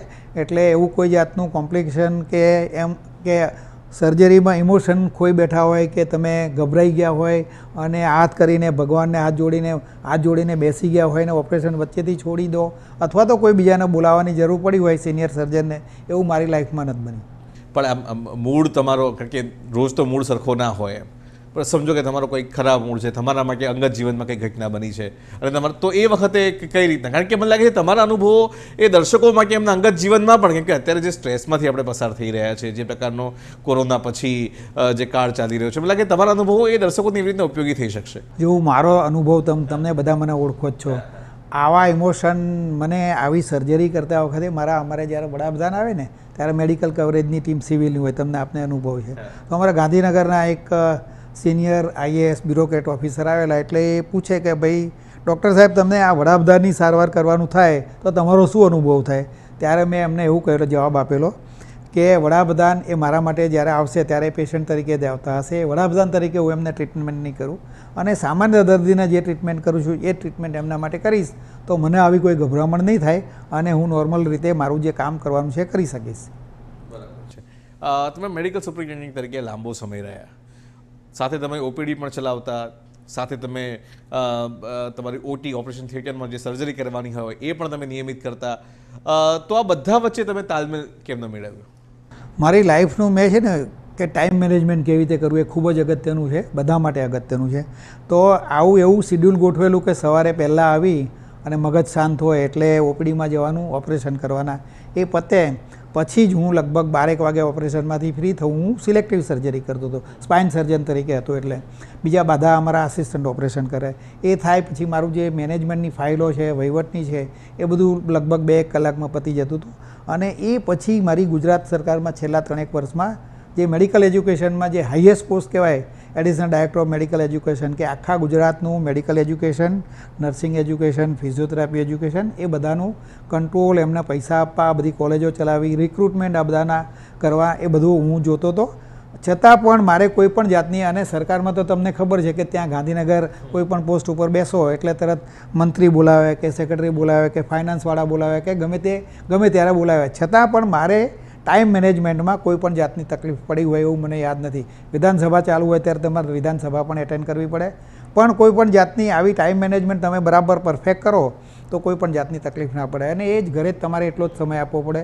કારણ કે મારા બે બાળકો અત્યારે તો અમેરિકા પણ છે એમને ભણાવવાની જવાબદારી મારા વાઈફ પોતે જોબ કરતા હતા, એટલે ઘરે પણ આપણે ઘણું બધું જવાબદારીઓ હોય. છતાં આ પરફેક્ટ ટાઈમ મેનેજમેન્ટ કરીએ તો કોઈ જાતની તકલીફ ના પડે. જ્યારે તમે સુપ્રિન્ટેન્ડન્ટ હો આટલી મોટી એકસો ત્રીસ વર્ષ કરતાં પણ જૂની એક કોલેજના સુપ્રિન્ટેન્ડન્ટ તમે હો, આખી હોસ્પિટલ તમારી પાસે હોય. દર્દીઓના પ્રશ્નો. જે આવે, મને લાગે છે, આ સમાજનો દુઃખીમાં દુઃખી વ્યક્તિ તમારી પાસે આવતો હોય, ને પોતાના દુઃખ વ્યક્ત કરતો હોય. એમાં ઘણીવાર હડતાલો જેવા પ્રશ્નો પણ વિદ્યાર્થીઓને બહુ પડતા મેડિકલ સ્ટુડન્ટમાં હડતાલો તમને સતત જોવા મળતી હોય યુનિયન્સ પણ હોય. તો તમે તમારા સમયમાં આવી હડતાલનો નિવેડો તમે કેવી રીતના લાવતા? મારા વખતમાં ઘણી બધી હડતાલો પડેલી. બરાબર? એમાં ડૉક્ટરોની પડેલી, સિનિયર ડૉક્ટરોની પડેલી જુનિયર ડૉક્ટરોની પડેલી, ઇન્ટર્નોની પડી, સ્ટુડન્ટોની પણ પડેલી. પણ મારી તમે બધા મને જોયો હશે કે હું કેવી રીતે મેનેજમેન્ટ કરતો હતો. સવારે હડતાલ પડી હોય અને સાંજે એનું નિવડે આવી ગયો હોય. એટલે મારે સરકાર જોડે ડાયલોગ કરવાના થાય કે એમની જોડેથી પરમિશન લેવાની થાય તો એ હું રહેતો હતો. ના હોય તો મારા પાવરમાં જે આવતું હતું એ લોકો હું એ રીતે ઉપયોગ કરી અને હડતાલને જેમ બને તેમ ગરીબ દર્દીઓ હેરાન ના થાય. આપણું જે સિવિલમાં કોણ આવે? જેની જોડે પૈસા ના હોય, લોકો જ આવે. એટલે આ બધા હેરાન ના થાય એ રીતે પોતાનું મેનેજમેન્ટ કરી અને હડતાલો સેટલ કરતો હતો. ગમે એવી ગંભીર હડતાલો હું જ્યારે અમેરિકા જતો ત્યારે ખાસ હડતાલ પડી. પછી બધા લોકો મને યાદ કરે કે હવે સાહેબ ક્યારે આવશે ક્યારે આવશે? જેવો હું અમેરિકાથી પાછો આવું, તો એક જ દિવસમાં હડતાલ પતી ગઈ હોય. એટલે હડતાલ પતાવવાનો તમારો રેપો તમારે સારો હોવો જોઈએ. સ્ટુડન્ટો જોડે સારો હોવો જોઈએ જુનિયર ડાક્ટરો જોડે સારો હોવો જોઈએ ને પ્રોફેસરો સારો હોવો જોઈએ. અને એમને તમારામાં વિશ્વાસ હોવો જોઈએ કે આ સાહેબ છે, આપણે કોઈ જાતની તકલીફ નહીં પડે, એમની ડિમાન્ડો પણ સેટિસ્ફાય થશે, સાધનો સવાય મળશે અને જે દવા ને બધું જોઈએ એ મળશે. એટલે જો તમે એમને સમજી શકો, બરાબર? તો એમાં કોઈ જાતની એમની જોડે ડાયલોગ કરવામાં, મને કોઈ જાતની ડાક્ટર જોડે બીક નથી લાગતી, અમારે હમણાં જ હડતાલ પડી અહીંયા જ. તો લોકો બીવે, એ મારી ઓફિસમાં આવીને બેસી જાય. એટલે આ બધું ના થવું જોઈએ કારણ કે આપણા જ બાળકો છે. એટલે આપણે આપણે એમને સમજી શકીએ. તો આમાં કોઈ પણ જાતની હડતાલ સેટલ કરવામાં તકલીફ પડે ને એવું મારું માનવું છે. સિવિલ હોસ્પિટલ જેવી વ્યવસ્થા એવી વ્યવસ્થા છે કે જેની અંદર તમે ગમે એટલું આપો, પણ માણસો એટલા બધા આપણા ત્યાં છે, એના પર બર્ડન એટલું બધું હોય. પ્રાઇવેટ હોસ્પિટલના ઘણા બધા સારા નરસા કેસો પણ તમારી પાસે આવતા હોય રિફર થઈને પણ આવતા હોય. તમે કહ્યું કે બીજા રાજ્યના પણ ત્રીસ ચાલીસ ટકા લોકો આખી બસ ઉપાડીને અહીંયા સુધી આવતી હોય. તો એવા કેસમાં ઘણા બધા આક્ષેપો પણ હંમેશા તંત્ર પર લાગ્યા કરે, વ્યક્તિગત પણ લાગે, તંત્ર પર પણ લાગે. તો આવા કિસ્સામાં તમે કેવી રીતના મેનેજ કરતા? અને કેવી રીતના પોતાના સ્ટાફનો તમે વ્યક્તિગત તો મોટિવેટ હોવ પણ સ્ટાફને મોટિવેટેડ રાખો કે એક વોર્ડ બોયથી માંડીને છે ઉપર સિનિયર ડૉક્ટર સુધી એ મોટિવેટેડ રહે કે ના, ભાઈ, અમારી સંસ્થા છે અને અમે કરીશું. તો આ કેવી રીતના શક્ય બન્યું? સરકારમાં ફરિયાદો કરવાવાળા બહુ, આપને ખબર છે. ઘણા બધા લોકો હોય, એમાં મિત્રો પણ હોય, એ લોકો પ્રોક્સી ફરિયાદો પણ કરાવતા હોય. મારી પણ પુષ્કળ ફરિયાદો થયેલી છે. પણ મને વિશ્વાસ હતો કે હું જે કંઈ કામ કરું છું, એ ગરીબ દર્દીઓના હિતમાં, સમાજના હિતમાં જ કામ કરું છું. અને સરકારી જે પ્રોસિજર તમે બરાબર કરતા હોય અને એ પ્રમાણે કરો, તો આપણને એમાં જે કંઈ ગમે એવી સરકારે ઇન્ક્વાયરી સોંપે વિજિલન્સની ઇન્ક્વાયરી આવે, મારી ઘણી બધી ઇન્ક્વાયરીઓ થયેલી છે. હાઈકોર્ટમાં પણ લોકોએ કેસ કરેલા છે. પણ મને આ બધું ફેસ કરવામાં કારણ કે આપણે પરફેક્ટ હોઈએ આપણે પોતાને વિશ્વાસ હોઈએ તો એમાં કોઈ પણ જાતની તકલીફ નથી પડતી. બીજું આપણે જેમ કહ્યું કે જે આપણો સ્ટાફ છે, એને કેવી રીતે ખુશ રાખવો? મારો સ્ટાફ ક્લાસ ફોરથી મને જે બધા ઓફિસરો હોય, બધાના પર્સનલી હું એને નામથી ઓળખતો હતો. એ મારી જોડે આવે ત્યારે હું એને કહું કેમ છે ભાઈ, શું છે, તારો પ્રોબ્લેમ શું છે? એ રીતે એના બધાના પ્રોબ્લેમ સોલ્વ કરતા હતા. આજ સુધીમાં મેં કોઈના સીઆર નથી બગાડ્યા કે એને પ્રમોશનમાં તકલીફ પડે. અને એની જે જે રિક્વાયરમેન્ટ હોય, એને કે એના એલાવન્સીસ હોય, કે પગારમાં તકલીફ હોય કે એને પ્રમોશનમાં તકલીફ હોય. એટલે મારા લેવલે પ્લસ હું જ્યારે સરકારમાં હતો ત્યારે એટલા બધા પ્રમોશન મેં લોકોને આપેલા અને ઘણી બધી પોસ્ટો ક્રિએટ કરવાની પહેલાં સિવિલમાં અમારી પાંચસો જ સિસ્ટરો હતી, પણ અમારા જુદા જુદા લેવલે પહેલાં જુદું ટ્રોમા સેન્ટર થયું પડી વડાપ્રધાનની સ્કીમ આવી, પછી નવું ટ્રોમા સેન્ટર થયું. અને છેલ્લે આપણે જે કોરોનાની હોસ્પિટલ બનાવી, એ બારસો બેડની હોસ્પિટલ એમાં અત્યારે હાલ અમારે સત્તરસો સિસ્ટરો છે એટલે તમને નવાઈ લાગશે કે આટલી બધી સિસ્ટરો ક્યાંથી લાવાય? એ જ રીતે બીજો સ્ટાફ જોઈએ. પેરામેડિકલનો સ્ટાફ જોઈએ, ક્લેરિકલ સ્ટાફ જોઈએ, ડૉક્ટરો જોઈએ. અને એટલી બધી પોસ્ટો ગુજરાતમાં અહીંની જ ખાલી નહીં, પણ બધી બધી કોલેજોમાં અને હોસ્પિટલમાં ક્રિએટ થઈ કે લોકો કમ્ફર્ટેબલી કામ કરે, લોકોને સારી સારવાર મળે. આવી જાતનું આપણું કામ હતું એટલે મને કંઈ બહુ વાંધો આવતો નહોતો. તમે સિવિલમાં ઘણો પડકારજનક સમય પણ જોયો. તમે બે હજાર એકનો ભૂકંપ પણ જોયો. બોમ્બ બ્લાસ્ટ પણ જોયા. છેલ્લે કોરોના પણ જોયો. વચ્ચે જેના નામ આપણને બહુ ઓળખીએ નહીં, પણ ડેન્ગ્યુ અને એ પણ એવી બીમારીઓ પણ તમે સતત ફેસ કરી હશે. બે હજાર નવ દસની વાત, આસપાસની વાત કરું તો એમ. તો આ સમયગાળો કેવો હતો આપના માટે? ધરતીકંપ એ આખા ગુજરાતમાં, બધા જ શહેરોમાં લગભગ આવેલો અને તેર હજારથી વધારે લોકો ગુજરાતમાં એક્સપાયર થઈ ગયેલા.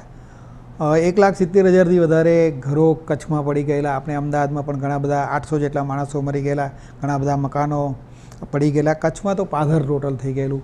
ત્યાંથી બધા જ દર્દીઓ એ લોકો ઇવેક્યુએટ કરીને ઘણા બધા બસોમાં આવેલા. જે સારા ઘરના હતા એ લોકો ટ્રાન્સપોર્ટ એર ટ્રાન્સપોર્ટ થઈને બીજે મોકલવામાં આવેલા.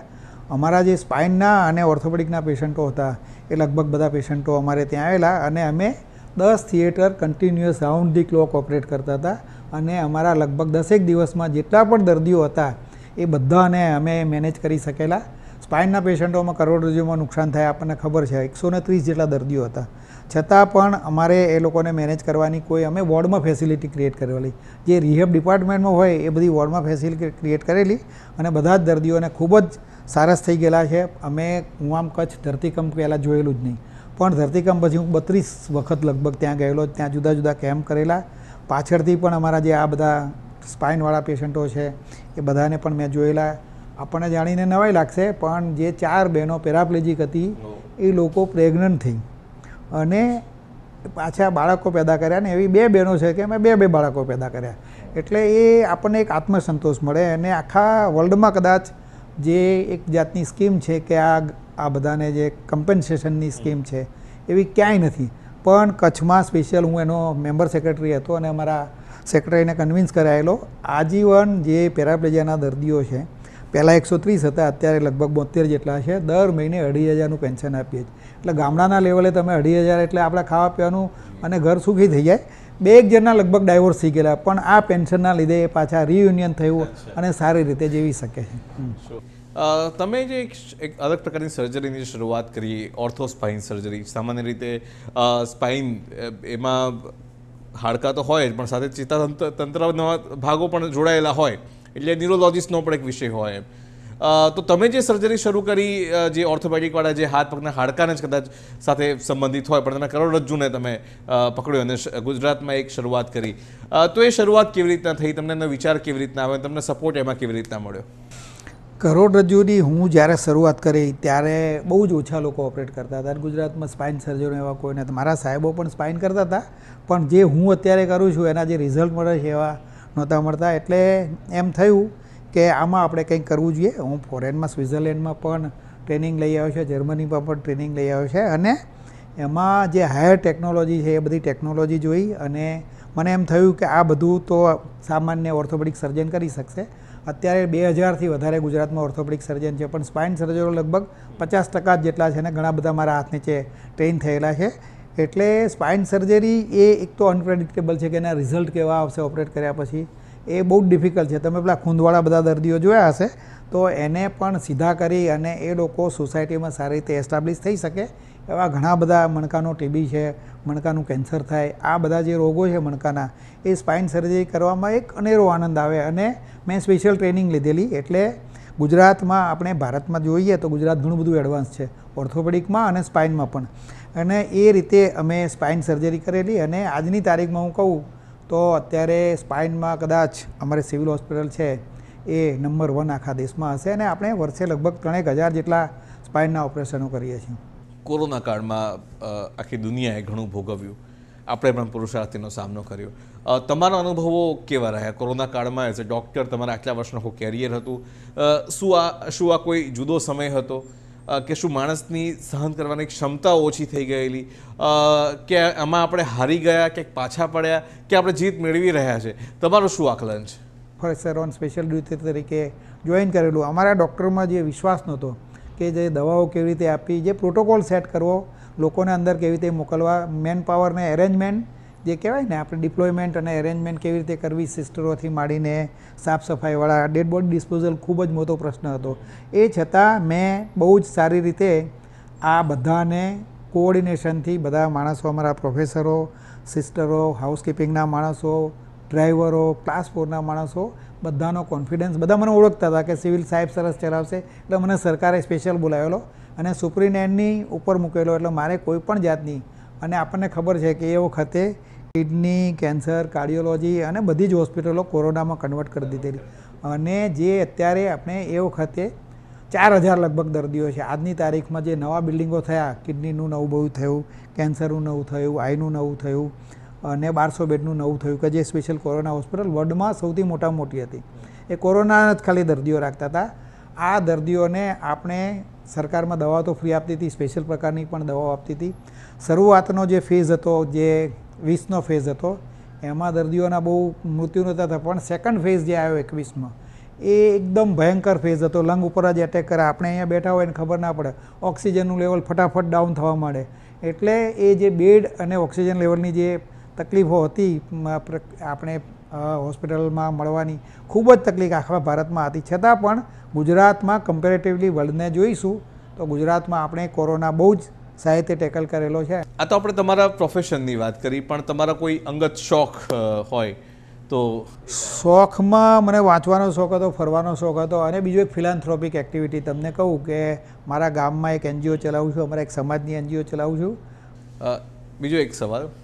રાજકારણમાં જવાની ઈચ્છા ખરી? મને આપને ખબર છે કે મને ટિકિટની ઓફર બે હજાર સાતમાં થયેલી. એ પછી જ્યારે જ્યારે આવેલા ઇલેક્શન બારમાં પણ ઓફર થયેલી, સત્તરમાં પણ ઓફર થયેલી. મારા ઘણા બધા મિત્રો પોલિટિકલ છે અને બહુ હાયર પોસ્ટવાળા છે, એટલે મને એમને ઘરે બોલાવીને મને કહે કે ડૉક્ટર તમે પોલિટિક્સમાં પડો. પણ મને લાગે કે આ જે પ્રોફેશન છે અને તમે જે લોકોને મદદ કરો છો, એ એક જુદી જ જાતનો અનેરો આનંદ છે. પેલામાં પેલામાં બી ચોક્કસ તમે પોસ્ટ હોય તો તમે પણ આખા ગુજરાતનું કામ કરી શકો. છતાં અત્યારે મને એવું ફિલિંગ થાય છે કે અત્યારે જે હું કામ કરું છું બરાબર કરું છું. પણ ભવિષ્યમાં કંઈ થશે એ જોઈશું. પણ અત્યારે ડૉક્ટર તરીકે હું આનંદ લઈ રહ્યો છું. છેલ્લો સવાલ એ પૂછીશ કે ઘણા બધા યુવા ડૉક્ટરો આપણે સાંભળી રહ્યા છે. ઘણા બધા યુવાનો જે પોતાની કારકિર્દી કાં તો જાહેર સેવાના ક્ષેત્રે બનાવવા માંગતા હોય કે મેડિકલ ક્ષેત્રે બનાવવા માંગતા હોય એમને આપ શું કહેશો? ખાસ કરીને જે યુવાઓ છે મેડિકલના જ નહીં પણ બસ સામાન્ય યુવાઓ છે કે ભાઈ કોઈ પણ જાતની જે ચેલેન્જીસ લાઈફમાં આવે ઘણા બધા લોકો ગભરાઈ જતા હોય છે. નાની ચેલેન્જ આવે છતાં પણ લોકો આપઘાત કરી બેસે કે ગામ છોડી બેસે ને ભાગી જાય. પણ જે પણ ચેલેન્જીસ આવે તમે એને બેસીને એનાલિસિસ કરો અને એને ફેસ કરો. તો તમે લાઈફમાં આગળ વધશો અને ગમે ત્યાં તમારો જે ટાર્ગેટ હશે એચિવમેન્ટનો એ તમે ત્યાં ચોક્કસપણે પહોંચી શકશો. જી. તો ખૂબ જ સરસ સુંદર સંવાદ થયો અને અમને મુલાકાતનો સમય આપવા બદલ ડૉક્ટર પ્રભાકર આપનો ખૂબ ખૂબ આભાર માનું છું. તો દર્શક મિત્રો, આ હતા ડૉક્ટર એમ એમ પ્રભાકર કે જેમનું જીવન સંઘર્ષોથી ભરેલું ને એ સંઘર્ષમાંથી આપણને ઘણો સંદેશ મળે છે. જીવન જીવવાનો, જીવન તરફ આગળ વધવાનો, હકારાત્મક તર- તરફ આગળ વધવાનો. અને એ જ આપણી જિંદગી કાફે, સંવાદનો હેલ્લારોમાં આ જ સંવાદ આપણા હૃદય સુધી પહોંચે આપણા મન સુધી પહોંચે, હાડકાના પાણી સુધી પહોંચે. એ જ અભ્યર્થના સાથે અહીં વિરમું છું. ફરી મળીશું આવતા સપ્તાહે એક નવા અતિથિ સાથે. ત્યાં સુધી અંદર રજા આપશો. આવજો.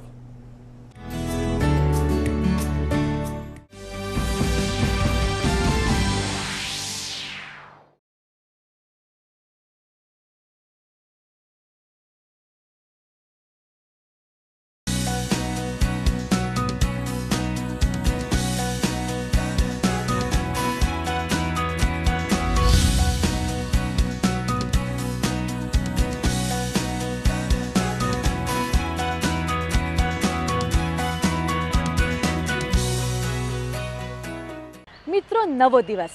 એક શ્રેષ્ઠ કાર્ય કરવા, શ્રેષ્ઠ બનવા અને શ્રેષ્ઠ મેળવવાની એક ઉત્તમ તક છે. સમય, વાત અને તક આ ત્રણેયનો યોગ્ય ઉપયોગ કરીએ તો સફળતા આપના હાથમાં જ છે.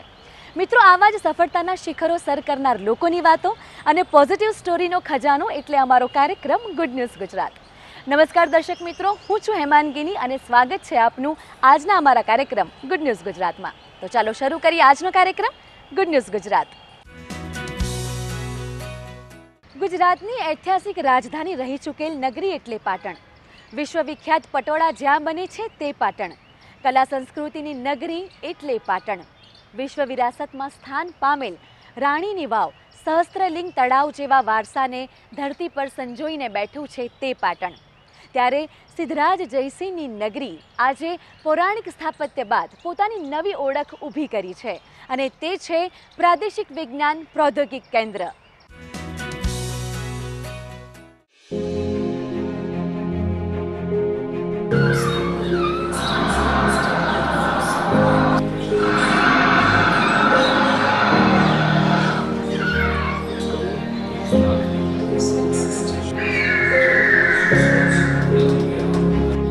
પંચ્યાસી કરોડથી પણ વધુના ખર્ચે Gujarat council of science and technology ગુજકોસ્ટ વિજ્ઞાન અને પ્રૌદ્યોગિકી વિભાગ, ગુજરાત સરકાર દ્વારા તૈયાર થયેલ આ વિજ્ઞાન કેન્દ્ર પાટણની નવી ઓળખ બનશે. સાયન્સ સેન્ટરના મુખ્ય ઉદ્દેશ છે, એક શબ્દમાં કહું તો એડુટેનમેન્ટ. એડુટેનમેન્ટ એટલે કે એડ્યુકેશન વિથ એન્ટરટેનમેન્ટ. એટલે બાળકો સાયન્સ અને ટેકનોલોજીના જે નાના મોટા કન્સેપ્ટ છે, આ રમતગમત તરીકે શીખી શકે, એમાં ઇન્ટરેસ્ટ રહે અને ભવિષ્યમાં પણ મેક્સિમમ ઇનોવેશનમાં ગુજરાત તરફથી અને આપણા દેશ ભારત તરફથી કન્ટ્રીબ્યુશન થાય વર્લ્ડ લેવલ ઉપર આ એવી આપણી અપેક્ષા છે. આ રિજિયોનલ સાયન્સ સેન્ટરમાં પાંચ ગેલેરીનો સમાવેશ કરવામાં આવ્યો છે. આ પાંચ ગેલેરીઓમાં સર્વપ્રથમ છે ડાયનાસોર ગેલેરી જેમાં ઇન્ડોર અને આઉટડોર છે. એમાં ત્રીસ જેવા એક્ઝિબિટ છે જેમાં મેક્સિમમ એક્ઝિબિટ એવી છે જે લાઈવ એનિમેટ્રોનિક્સ ટેકનોલોજી ઉપર આધારિત છે, જે ડાયનાસોર હલન ચલન પણ કરી શકે, બૂમ પાડી શકે. એવા વિઝિટર્સને એવી અનુભૂતિ થશે કે એક લાઈવ જુરાસિક એજમાં પ્રવેશ કરી ગયા છે. પછી હ્યુમન સાયન્સ એટલે માનવ વિજ્ઞાન ગેલેરી છે, જેમાં કોશિકાથી માંડી જે ભ્રૂણના વિકાસ છે, એના પછી સંપૂર્ણ માનવ જાતિના ઉત્પત્તિથી ઉત્ક્રાંતિ સુધીમાં અને શરીરમાં આવતા પ્રજનન તંત્ર છે શ્વસન તંત્ર છે પાચન તંત્ર છે બધા તંત્રોના સુવ્યવસ્થિત ઇન્ટરેક્ટિવ એક્ઝિબિટ દ્વારા પ્રદર્શન કરવામાં આવ્યું છે. જે સ્કૂલના બાળકો વિઝિટ કરશે, એના ખાસ વિજ્ઞાન કઈ રીતે સમજી શકાય પ્રયોગાત્મક ઢંગથી એમાં એના ફાયદો થશે.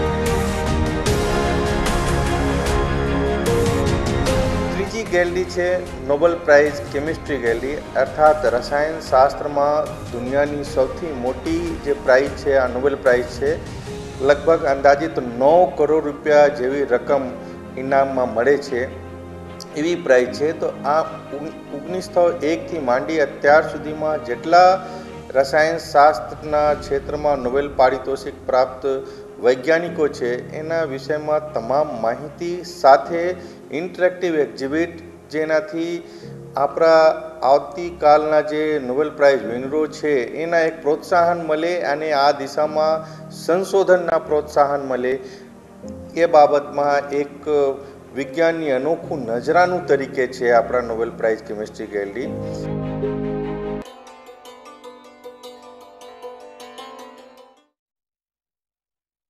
આ છે ગુજરાતનું એક નાનકડું ગામ. ખેડૂત મિત્રોને સાત બારનો ઉતારો મેળવવો હોય. પોર્ટલ પરથી કૃષિ સંબંધિત સબસિડી લેવી યુવાનોને સરકારી નોકરી માટે અરજી કરવી હોય. મોબાઈલ રિચાર્જ કરાવવું હોય. અને જન્મ મરણનો દાખલો કઢાવવો હોય. આ પ્રમાણપત્ર લેવું હોય. વીજળી કે ગેસનું બિલ ભરવું હોય. ઈ ગ્રામ કેન્દ્ર પરથી.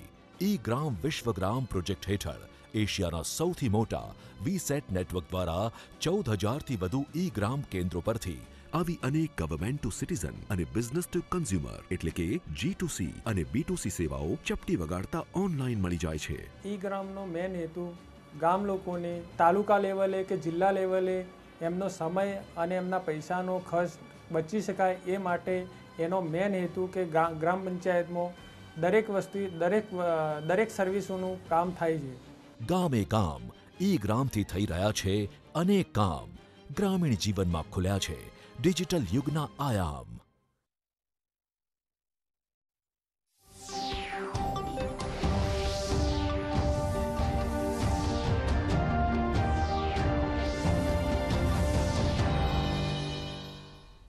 નમસ્કાર, દૂરદર્શન સમાચાર સાથે ઇવનિંગ ન્યૂઝમાં હું રિયા ઉપાધ્યાય. સમાચારની શરૂઆત કરીશું મુખ્ય સમાચારથી. પ્રધાનમંત્રી નરેન્દ્ર મોદીએ વડોદરા સ્વામિનારાયણ મંદિર દ્વારા આયોજિત યુવા શિબિરમાં કર્યું સંબોધન. યુવાનોને ઓછામાં ઓછા પંચોતેર કલાક દેશ સેવાના કાર્યોમાં ફાળવવા કર્યું આહવાન. સાથે સ્ટાર્ટઅપના ક્ષેત્રમાં જંપ લાવવા કરી અપીલ.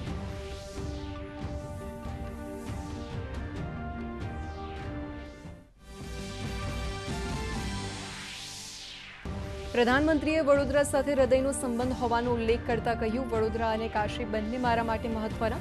સ્ટેચ્યુ ઓફ યુનિટીના કારણે વડોદરા પર બન્યું મહત્વનું કેન્દ્ર. સાથે યુવાનોને ડિજિટલ વ્યવહાર વધારવાનો આગ્રહ કરતા કહ્યું ડિજિટલ ઇન્ડિયા લાવશે નવી ક્રાંતિ.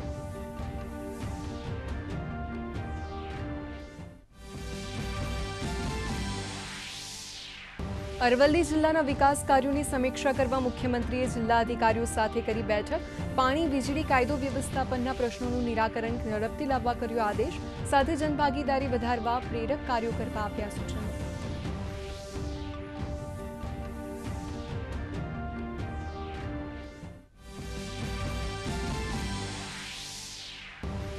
શિક્ષકોના પ્રશ્નોનું નિવારણ લાવવા બદલ શિક્ષણ સંઘ દ્વારા શિક્ષણ મંત્રી જીતુભાઈ વાઘાણીનું કરાયું સન્માન. શિક્ષણ મંત્રીએ કહ્યું નોન ટીચિંગ સ્ટાફની ભરતી અને સાતમા પગાર પંચના હપ્તાની ચૂકવણીની કામગીરી બનાવાશે ઝડપી. રાજ્યના બે લાખથી વધુ શિક્ષકોને મળશે લાભ.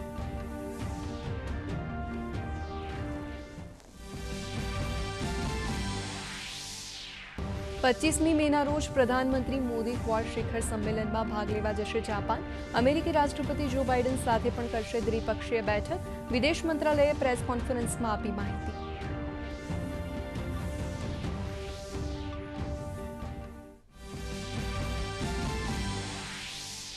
જ્ઞાનવ્યાપી મસ્જિદ મામલે સુનાવણી આવતીકાલ સુધી રખાઈ મુલતવી. સુપ્રીમ કોર્ટે હિન્દુ પક્ષકારોનો નિર્ણય રાખ્યો માન્ય.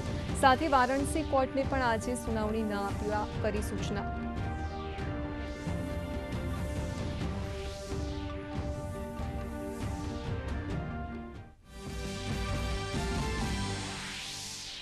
ગ્લોબલ માર્કેટની નબળાઈના પગલે ભારતીય શેર બજારમાં ભારે કડાકો. આજે બીએસસીનો સેન્સેક્સ એક હજાર ચારસો સોળ અંકના ભારે ધડાકા સાથે બાવન હજાર સાતસો બાણું પર થયો બંધ, તો નિફ્ટી ચારસો ત્રીસ અંકના ઘટાડા સાથે પંદર હજાર આઠસો નવ પર થયો બંધ. આઈટી, મેટલ, ફાઇનાન્સ સહિત રિયલ એસ્ટેટના સ્ટોક્સ ગગડ્યા.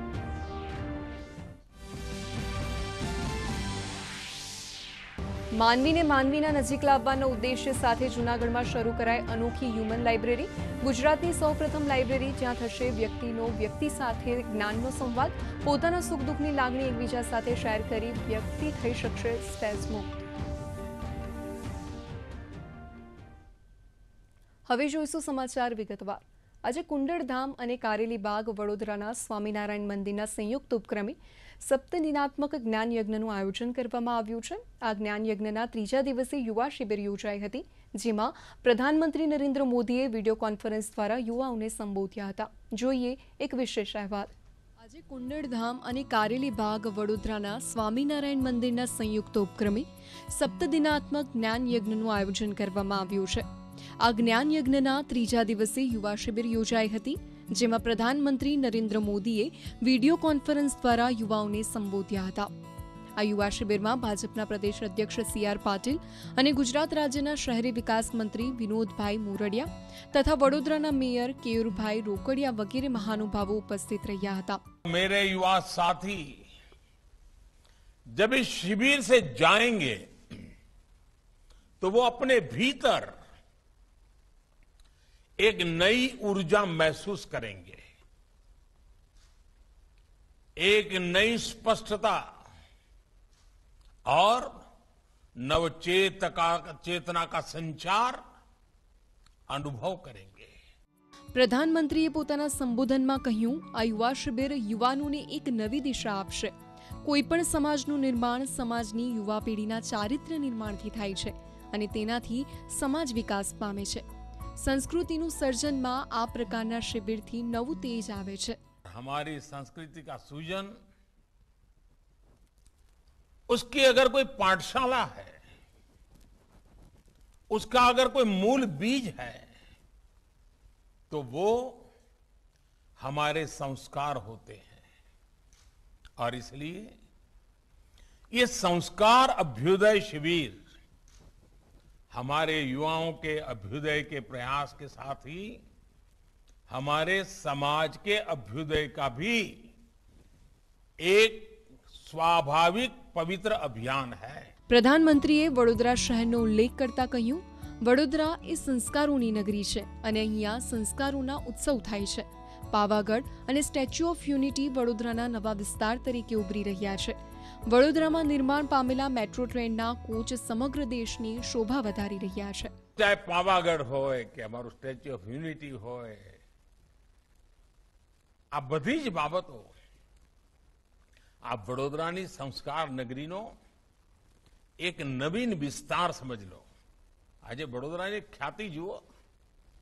વડોદરામાં બનનારા મેટ્રોના કોચ દુનિયાની અંદર દોડે છે. આ વડોદરાની તાકાત છે. અને આ ભારતની તાકાત છે. હાલ સમગ્ર દેશ પંચોતેરમી આઝાદીના અમૃત મહોત્સવની ઉજવણી કરી રહ્યું છે. ત્યારે પ્રધાનમંત્રીએ યુવાનોને ઓછામાં ઓછા પંચોતેર કલાક કુપોષણ અભિયાન અને સ્વચ્છતા જેવી બાબતોના કામ માટે ફાળવવાનું આહ્વાન કર્યું હતું. ઉપરાંત, વીજળી અને પાણી બચાવવાના કામમાં પણ યુવાનો પહેલ કરે તેવી અપીલ કરી હતી. સાથે જન ઔષધિ કેન્દ્રોથી દવાની ખરીદી કરી ગરીબોને મદદ કરવા માટે પણ યુવાનોને આગ્રહ કર્યો હતો. પંચોતેર કલાક માતૃભૂમિની સેવા માટે કોઈને કોઈ કામ, ચાહે સ્વચ્છતાનું કામ લઈએ, ચાહે કુપોષણમાંથી બાળકોને મુક્ત કરાવવાનું કામ લઈએ, ચાહે પ્લાસ્ટિક ના કચરાથી લોકો પ્લાસ્ટિક ન વાપરે સિંગલ યુઝ પ્લાસ્ટિકમાંથી મુક્તિ મેળવે, એનું અભિયાન ચલાવીએ કોઈ ને કોઈ એવું કામ આપણે કરીએ અને આ વર્ષમાં પંચોતેર કલાક એના માટે આપી શકીએ. વધુમાં પ્રધાનમંત્રીએ ખેતીનો ઉલ્લેખ કરતા યુવાનોને પ્રાકૃતિક ખેતી અપનાવવા કહ્યું હતું. સાથે જ આઝાદીના અમૃત પર્વ નિમિત્તે આગામી એક વર્ષ દરમિયાન માત્ર ડિજિટલ નાણાકીય વ્યવહાર કરવાનો અને ઓછામાં ઓછા પંચોતેર કલાક માતૃભૂમિની સેવા કરવાનો સંકલ્પ કરવા જણાવ્યું હતું. આ એક વર્ષ આપણે રોકડથી કોઈ વહીવટ નહીં કરીએ. ખરીદી પણ નહીં કરીએ, વેચાણ પણ નહીં ડિજિટલ કરીશું. જ્યારે તમે શાકભાજી વાળા પાસે પણ લેવા જશો, કે હું તો ડિજિટલ પેમેન્ટ આપીશ તો શાકભાજી વાળો બી શીખશે કે ભાઈ ડિજિટલ કેવી રીતે પૈસા લેવાય છે? એ બી બેંકમાં ખાતું ખોલાવશે. એના બી પૈસા સારા કામ માટે વાપરવાના શરૂ થશે. એક નાનકડો તમારો પ્રયાસ. કેટલાય લોકોની જિંદગીમાં મૂળભૂત પરિવર્તન લાવી શકશે. આમ, પ્રધાનમંત્રીએ ભારતને વિશ્વની આશા ગણાવી હતી. બ્યુરો રિપોર્ટ, દૂરદર્શન સમાચાર, અમદાવાદ. વડોદરાના કારેલીબાગ સ્થિત સ્વામિનારાયણ મંદિર ખાતે સપ્તદિનાત્મક જ્ઞાનયજ્ઞમાં ત્રીજા દિવસે પ્રધાનમંત્રી નરેન્દ્ર મોદી વર્ચ્યુઅલ લાઈવ ઉપસ્થિત રહ્યા હતા. આ પ્રસંગે ભાજપના પ્રદેશ અધ્યક્ષ સી આર પાટીલ અને ગુજરાત રાજ્યના શહેરી વિકાસ મંત્રી વિનોદ મોરડિયા તથા વડોદરાના મેયર કેયુર રોકડિયા વગેરે મહાનુભાવો ઉપસ્થિત રહ્યા હતા. આ અવસરે પીએમ મોદીએ જણાવ્યું હતું કે રાષ્ટ્ર માટે પણ યુવાનોએ પોતાનું યોગદાન આપવું જરૂરી છે. તેમજ પ્રાકૃતિક ખેતી અપનાવવા અને આગામી એક વર્ષ દરમિયાન ડિજિટલ નાણાકીય વ્યવહાર કરવા, ઓછામાં ઓછા પંચોતેર કલાક માતૃભૂમિની સેવા કરવાનો સંકલ્પ કરવા જણાવ્યું હતું. પ્રધાનમંત્રી નરેન્દ્ર મોદી સાહેબે યુવાનોના શિબિરમાં વર્ચ્યુઅલ એમને ઘણી બધી યુવાનો સાથે વાત કરી છે. યુવાનો પાસેથી એમને ઘણી બધી અપેક્ષા પણ છે. બરોડા સાથે એમનો વર્ષોનો નાતો રહ્યો છે. તે સમયના એમની સાથે કામ કરાવડા અમને એક લોકોને પણ એમણે યાદ કર્યા અને યુવાનોને પ્રાકૃતિક ખેતી તરફ વળવા માટે પણ એમણે અનુરોધ કર્યો. આઝાદીના અમૃત મહોત્સવ નિમિત્તે એક વર્ષમાં લગભગ પંચોતેર કલાક યુવાનો કોઈકને કોઈક સ્વચ્છતા અભિયાન જેવા કોઈને કોઈ રાષ્ટ્ર માટેના કામો હાથ પર લે એવી પણ એમને વિનંતી કરી છે. યુવાનોનો જે રીતે પ્રતિસાદ મળતો હતો, એની પરથી ચોક્કસપણે એમ કહી શકાય કે ખૂબ સારો પ્રતિસાદ મળશે. યુવાનો એમાં જોડાશે. ખૂબ મોટી સંખ્યામાં ભક્તો અને મહાનુભાવો પણ ઉપસ્થિત રહ્યા અને આપણા દેશના વડાપ્રધાન માનનીય શ્રી નરેન્દ્રભાઈ મોદીજી પણ વર્ચ્યુઅલ ઉપસ્થિત રહ્યા અને તમામ યુવાનોને સારો એવો સંદેશ આપ્યો. રાષ્ટ્રભક્તિ સાથે પ્રભુ ભક્તિ અને રાષ્ટ્રભક્તિ બંનેનો સમન્વય કરીને ચાલીએ તો આપણે આ લોકમાં ખૂબ સારી રીતે સુખી થઈએ અને ખાસ કરીને તમામ યુવાનોને ખૂબ બધી આપણા દેશને ઉન્નતિ માટેની માર્ગદર્શનો માટેની ટિપ્સ નરેન્દ્રભાઈ મોદીએ આપી. રાજ્યના શિક્ષણ મંત્રી જીતુ વાઘાણીએ શિક્ષણ સંઘના હોદ્દેદારોને સંબોધિત કર્યા હતા. ગુજરાત રાજ્ય શૈક્ષણિક સંકલન સમિતિએ શિક્ષણ જગતના આઠ પ્રશ્નોના સુખેદ ઉલ્લેખ લાવવા બદલ શિક્ષણ મંત્રીનું સન્માન કર્યું હતું. આ પ્રસંગે શિક્ષણ મંત્રીએ જણાવ્યું હતું કે, રાજ્યના લાખો શિક્ષકોએ અમારો પરિવાર છે. તેમના પ્રશ્નોનો યોગ્ય ઉકેલ લાવવો એ જ અમારા સરકારની પ્રાથમિકતા છે. શિક્ષકોને નિયમાનુસાર મળવાપાત્ર તમામ લાભ આપવા એ અમારી જવાબદારી છે. જેને સરકાર નિભાવી રહી છે. તાજેતરમાં જ ઓગણચાળીસ હજાર શિક્ષકોના હિતમાં લવાયેલા નિર્ણય- નિર્ણયોની અંદાજે બે લાખ જેટલા લોકો પર હકારાત્મક અસર થઈ છે. તમારી વર્ષો જૂની જે લાગણી ને માગણી હતી, હું હું એવું કહું છું કે તમારો અધિકાર હતો. અને અમે એવું માની શકાય કોઈ એમાં ઉપકાર નથી કરતા. અમારી જવાબદારી છે, અમે કરીએ છીએ. અહીંથી એકાણુંથી તો એ જવાબદારીમાં છે. એટલે હું એવું માનું છું કે ત્રીસ પાંત્રીસ વર્ષ જૂના પણ કેટલાક પ્રશ્નો તમારા હતા પચીસ વર્ષ જૂના. એ આજે ભારતીય જનતા પાર્ટીની સરકારે ભૂપેન્દ્રભાઈના નેતૃત્વમાં પૂરા કર્યા છે. ગ્રાન્ટીન એડમાં વિદ્યાર્થીઓને ભણાવવા એ સહેલું નથી મને ખબર છે. અને એને તમે પહેલ પાડીને સમાજની વ્યવસ્થામાં મૂકો છો એટલે વિશેષ અભિનંદન આપું છું. ગ્રાન્ટીન એડ હોય સરકારી હોય આ બધી જ તમારું કમિટમેન્ટ એ રાજ્યના શિક્ષણ જગતની મને આનંદ છે કે પ્રાઇમરી માધ્યમિક ઉચ્ચતર માધ્યમિક અને પ્રોફેસર આ ત્રણેયના લગભગ સો સો ટકા પ્રશ્નો એ પૂરા થયા. નાણ કાકા મને કે સો કરોડનો બોજો આવે છે ત્રણસો ને અડસઠ કરોડનો બોજો છે. હવે રોકાઈશું એક નાનકડા વિરામ માટે. અરે જાગૃતિ તું કેમ આજે આટલી બધી ખુશ દેખાય છે? આજે હું અઢાર વર્ષની થઈ અને અઢાર વર્ષની થતાં જ મેં મારું નામ મતદાર યાદીમાં નોંધાવી દીધું છે. હવે હું પણ મતદાન કરી શકીશ. જયા હું તો તને પણ કહું છું. તું પણ મતદાર યાદીમાં તારું નામ નોંધાવી જ દે. ના હો અત્યારે ક્યાંય જવાનો સમય નથી. અરે માસી આપણે તમારી આ જ માનસિકતાને તો બદલવાની છે. મત આપવો એ આપણો હક અને ફરજ. બંને છે. હમ? હા મમ્મી. જાગૃતિની વાત સાચી છે. મારે પણ ઘરની જવાબદારી સાથે ભારત દેશના એક જાગૃત નાગરિક તરીકેની ફરજ બજાવવી છે. તો બોલ જાગૃતિ ક્યારે જવું છે મતદાર યાદીમાં નામ નોંધાવવા માટે? મતદાર યાદીમાં નામ નોંધાવવા માટે તારે ક્યાંય જવાની જરૂરત નથી. આ વોટર હેલ્પલાઇન એપ છે. આ એપ દ્વારા તું નામ નોંધાવી શકે છે નામ સુધરાવી શકે છે તેમજ અન્ય કામો પણ કરી શકે છે. હવે હું પણ ગૌરવપૂર્ણ મતદાર બની. ભારત દેશની લોકતાંત્રિક પ્રક્રિયાનો ભાગ બનીશ. જયાએ તો પોતાનું નામ મતદાર યાદીમાં નોંધાવી દીધું છે. હવે તમે પણ વોટર હેલ્પલાઇન એપ ડાઉનલોડ કરો અથવા W W W dot NVSP dot in portal પર તમારા નામની નોંધણી કરાવી વિશ્વની સૌથી મોટી લોકશાહીને સુદૃઢ કરવામાં સહભાગી બનીએ.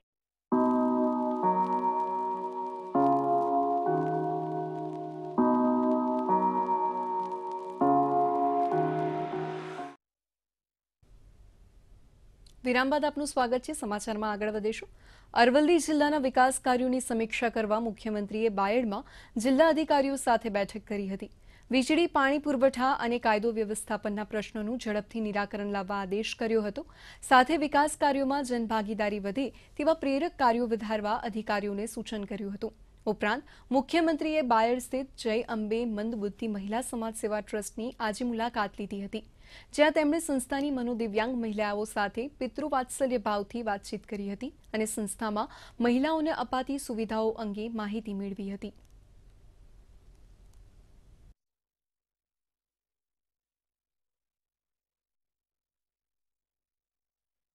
મંદબુદ્ધિની આપણી જે મહિલાઓ છે એની જે આપણા જે ટ્રસ્ટના જે આગેવાનો જે સેવા કરી રહ્યા છે, એની અમારી વહીવટી તંત્ર અમારા પદાધિકારી, અધિકારીઓ સાથે સન્માનીય ભૂપેન્દ્રભાઈ પટેલ સાહેબ અમે બધાએ મુલાકાત લીધી અને એમને પણ શુભેચ્છા પાઠવી છે.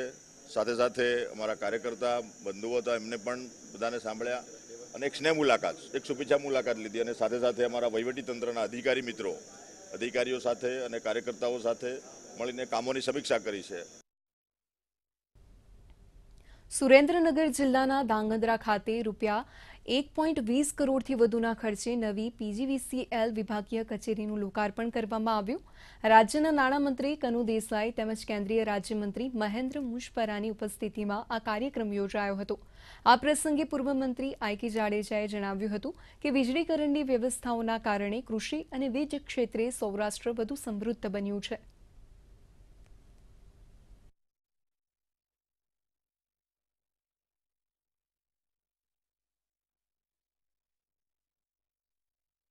આ વધુ એક ખાસ મહત્ત્વની વાત એ છે કે દરેક લોકોએ પીજીવીસીએલ જે કામગીરી કરી છે એને બધાવી એટલે ખાસ કરીને પીજીવીસીએલના અધિકારીઓ અને કામદારોને પણ ખાસ અભિનંદન આપું છું. અને ચોક્કસ ખાતરી આપું છું કે હવે પછી પણ વીજ કંપનીની કામગીરી આવી જ રહેશે અને ખેડૂતોને જરૂરી સેવાઓ આપવાનું ચાલુ રાખીશું અને ડિસેમ્બરના અંત સુધીમાં બધા વીજ જોડાણો આપવાનો અમારો લક્ષ્યાંક છે. એમાં અમે ચોક્કસ રીતે આગળ વધીશું. સુરતની નવી સિવિલ હોસ્પિટલને એનએબીએચ એક્રિડિટેશન સર્ટિફિકેટ મળ્યું છે. Constitute board of quality council of India દ્વારા હોસ્પિટલની અંદર અપાતી સુવિધાને લઈને આ સર્ટિફિકેટ અપાતું હોય છે. હોસ્પિટલના ઇન્ચાર્જ સુપ્રિન્ટેન્ડન્ટ ગણેશ ગોવેકરે જણાવ્યું કે આ સર્ટિફિકેટ મળવાથી હોસ્પિટલના સ્ટાફનો આત્મવિશ્વાસ વધશે. આ proper management of the patient અને ઇન્ફેક્શન કંટ્રોલ સમિતિ, બાયોમેડિકલ વેસ્ટ મેનેજમેન્ટ પછી pharmacy and supply of the drugs training of the our medical staff, paramedical staff અમારે જે રેકોર્ડ મેનેજમેન્ટ છે, આ પ્રોપર છે, ત્યારે બધું આપેલું આપેલું છે. એનાથી અમારે જે બેનિફિટ થશે, એક તો પેશન્ટ માટે ક્વોલિટી ઇમ્પ્રુવમેન્ટ થશે બીજું રૂલ્સ એન્ડ રેગ્યુલેશનનો પ્રોપર ઇમ્પ્લિમેન્ટ થાય છે, એ એ બતાવે છે. કોન્ફિડન્સ અમંગ ધ અમારો જે સ્ટાફ છે એના વધે છે. પ્રધાનમંત્રી નરેન્દ્ર મોદી તારીખ ચોવીસ મીના રોજ જાપાનના ટોક્યોમાં ક્વાડ નેતાઓની ત્રીજે શિખર સંમેલનમાં ભાગ લેશે. આ બેઠકમાં ક્વાડ નેતાઓને હિન્દ પ્રશાંત ઘટનાક્રમ, સમસામયિક વૈશ્વિક મુદ્દાઓ પર વિચારોના આદાન પ્રદાનનો અવસર મળશે. તેમ વિદેશ મંત્રાલયના પ્રવક્તા અરિંદમ બાગચીએ જણાવ્યું હતું ઉપરાંત આ બેઠક બાદ પ્રધાનમંત્રી મોદી અમેરિકન રાષ્ટ્રપતિ જો બાઇડન અને ઓસ્ટ્રેલિયાના પ્રધાનમંત્રી સ્કોટ મોરિસન સાથે દ્વિપક્ષીય બેઠક કરશે સાથે તેમણે ભારત ચીન બોર્ડરની સ્થિતિ અને અફઘાનિસ્તાનને કરવામાં આવી રહેલી મદદ અંગે પણ માહિતી આપી હતી है अ, विशेष रूप से गेहूं भेजा है गेहूं का चल रहा है अभी भी दवाइयाँ भेजी हैं वैक्सीन भी भेजी थी मैं पहले भी कह चुका हूँ एल के बारे में हमारी जो रेगुलर बा, बातचीत हो रही थी अ, होती रहती है। चाइनीज़ फॉरेन मिनिस्टर भी आए थे उनसे ही बात हुई। हमारी जो अपेक्षाएँ हैं उनके पास रखी गई। और आपको याद होगा कि हमारे विदेश मंत्री ने डायरेक्टली भी बताया कि कैसी वार्तालाप हुई और क्या चीज़ों पे क्या मुद्दे हैं और हमारी क्या अपेक्षाएँ हैं उसमें। और इसको हम इसको आगे बढ़ाते रहेंगे कोशिश यही रहेगी। कि जो, हमारी जो, जिस तरह से हमने कह रखा है कि ये सोल्यूशन निकालना पड़ेगा आप बातचीत से और, जब तक वो सॉल्व नहीं हो बाकी चीज़ों पे हम आगे नहीं बढ़ सकते। ટેરર ફંડિંગના મામલામાં દિલ્હીની કોર્ટે અલગાવવાદી નેતા યાસીન મલિકને કસૂરવાર દોષિત જાહેર કર્યો છે. દિલ્હીની કોર્ટે ટેરર ફંડિંગના મામલામાં જમ્મુ કાશ્મીરના અલગાવવાદી નેતા યાસીર મલિકને દોષિત જાહેર કરી દિલ્હી કોર્ટ દ્વારા આગામી તારીખ પચીસમી મેના રોજ આ અંગે સજા અંગે પોતાનો ચુકાદો સંભળાવશે.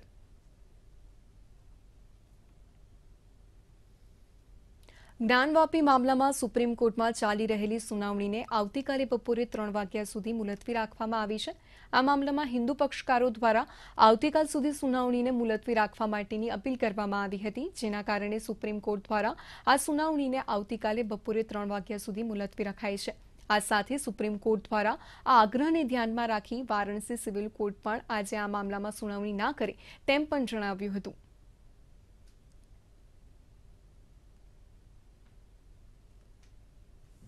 સપ્તાહના ચોથા દિવસે ગ્લોબલ માર્કેટની નબળાઈના પગલે ભારતીય શેર બજાર પણ રેડ ઝોનમાં ખુલ્યું હતું. સવારથી જ કડાકા સાથે ખુલેલ શેર બજાર દિવસના અંતે પણ ભારે કડાકા સાથે બંધ રહ્યો હતો. આજે બીએસસીનો સેન્સેક્સ એક હજાર ચારસો સોળ અંક સા ભારે ઘટાડા સાથે બાવન હજાર સાતસો બાણું પર બંધ થયો. તો એનએસસીનો નિફ્ટી ચારસો ત્રીસ અંકના ઘટાડા સાથે પંદર હજાર આઠસો નવ પર બંધ થયો. રશિયા યુક્રેન વોરની સ્થિતિ, ડોલર સામે રૂપિયો નબળો થવાની સ્થિતિ અને મોંઘવારીની સ્થિતિના પગલે શેર બજાર પર નકારાત્મક અસર જોવા મળી હતી. IT, metal, finance, real estate સહિતના તમામ સ્ટોક્સ ગગડ્યા હતા. Tata steel, tech Mahindra, Wipro, Infosys, SBI, SCL tech, Hindalco, Adani પોર્ટ્સના સ્ટોક્સમાં વેચવાલીના પગલે બજાર નરમ રહ્યું હતું. બોટાદમાં જિલ્લા ભાજપ કાર્યાલય ખાતે કિસાન મોરચાની કારોબારી બેઠક યોજાઈ હતી, જેમાં યોજાનાર કિસાન મોરચાના જિલ્લા કક્ષાના વિવિધ કાર્યક્રમો અંગે ચર્ચા કરવામાં આવી. તો આ બેઠકમાં જિલ્લા કિસાન મોરચાના હોદ્દેદારો, કારોબારી સભ્ય, જિલ્લા કિસાન મોરચાના કારોબારી સભ્ય આઈટી સોશિયલ મીડિયાના કન્વીનર સહિતના અગ્રણીઓ ઉપસ્થિત રહ્યા હતા.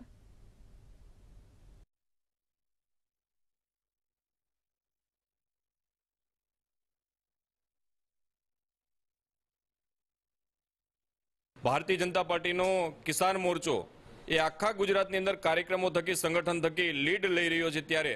આ જિલ્લાની અંદર દરેક કાર્યક્રમો સારા થાય એ માટેનું પ્લાનિંગ હતું. સાથે સાથે આ દેશના પ્રધાનમંત્રી નરેન્દ્રભાઈ મોદી હોય, રાજ્યના મુખ્યમંત્રી ભૂપેન્દ્રભાઈ પટેલ હોય, એ બંને સરકારોએ જે ખેતીલક્ષી, ખેડૂતલક્ષી અને ગ્રામીણલક્ષી જે યોજનાઓ બનાવી છે, આ યોજનાઓની વાત નાનો માણસ, ગરીબ માણસ, શોષિત માણસ સુધી પહોંચે એ માટેનો આજની બેઠકમાં કાર્યક્રમો નક્કી કરવામાં આવ્યા હતા.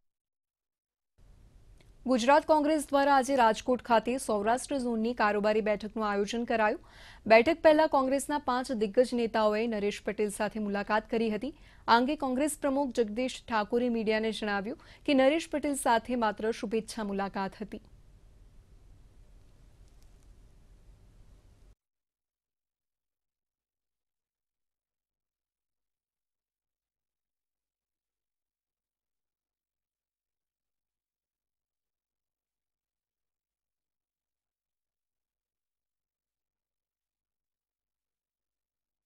પરેશભાઈ સમગ્ર ગુજરાતમાં અગ્રગણ્ય સામાજિક આગેવાન છે. એક પ્રતિષ્ઠિત ઉદ્યોગપતિ પણ છે. દેશ, પ્રદેશ અને વિશ્વના પ્રવાહોની સાંપ્રત સ્થિતિથી વાકેફ વ્યક્તિત્વ પણ છે. સૌ લોકો. જ્યારે રાજકોટમાં પ્રદેશ કોંગ્રેસ સંગઠનની સમીક્ષા બેઠક છે ત્યારે સમાજના મોભી ને મળવા આવ્યા હતા. અત્યારના મોબાઈલ યુગમાં માણસનો માણસ સાથેનો સંપર્ક તૂટતો જાય છે. ત્યારે સંપર્ક જાળવી રાખવા ગુજરાતમાં પ્રથમવાર જૂનાગઢની કલેક્ટર ઓફિસ ખાતે હ્યુમન લાઇબ્રેરી શરૂ કરવામાં આવી છે. વ્યક્તિ સ્ટ્રેસમાંથી ફ્રી થાય અને એક વ્યક્તિ બીજા વ્યક્તિ સાથે પોતાના સુખ દુઃખ શેર કરી શકે તે માટે આ હ્યુમન લાઇબ્રેરી શરૂ કરવામાં આવી છે. આ હ્યુમન લાઇબ્રેરી બપોરે એકથી ત્રણ વાગ્યા સુધી ખુલ્લી રહેશે. લાઇબ્રેરીના ઉદ્ઘાટન પ્રસંગે જિલ્લા કલેક્ટર રચિત રાજે જણાવ્યું હતું કે આ કોન્સેપ્ટથી લોકોનું જીવન સ્ટ્રેસ્ટમુક્ત અને લોકો એકબીજાને સમજતા થાય તેના ભાગરૂપે આ લાઇબ્રેરી શરૂ કરવામાં આવી છે.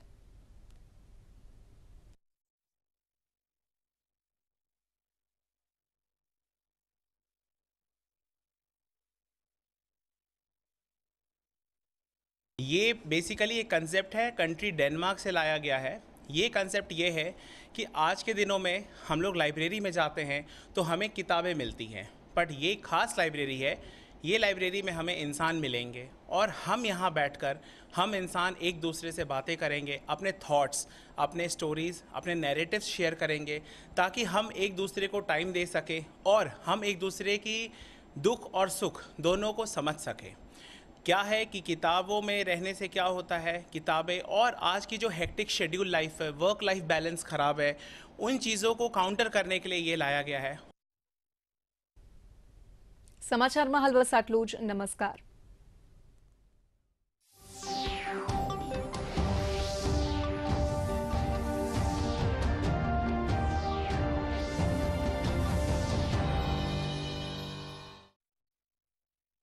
ના લોકો પણ હવે ઓનલાઈન વિશ્વ સાથે જોડાઈ ગયા કોઈએ વીજળી કે ગેસ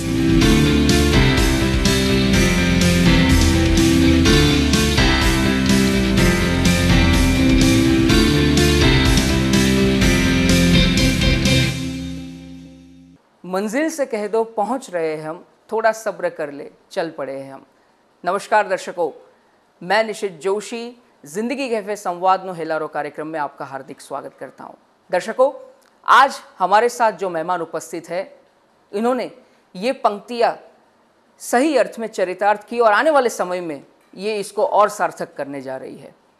दर्शकों, ये एक ऐसी ट्राई एथलेट है। ट्राई एथलेट माने स्विमिंग, रनिंग और साइकिलिंग का कॉम्बिनेशन।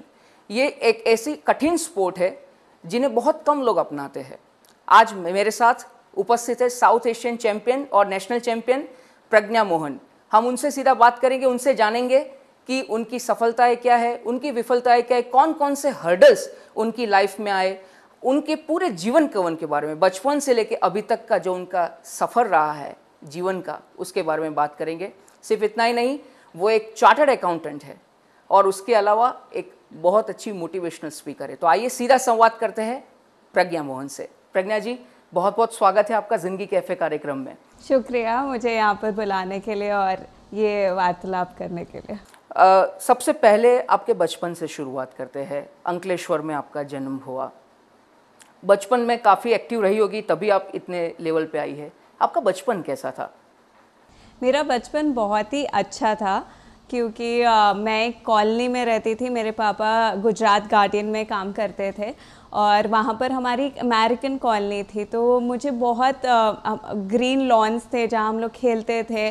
फिर स्विमिंग पूल था छोटा सा जहाँ पर मैंने स्विमिंग पहली बार किया और वहीं पर मैंने काफ़ी अपने स्टार्टिंग का प्रैक्टिस किया है।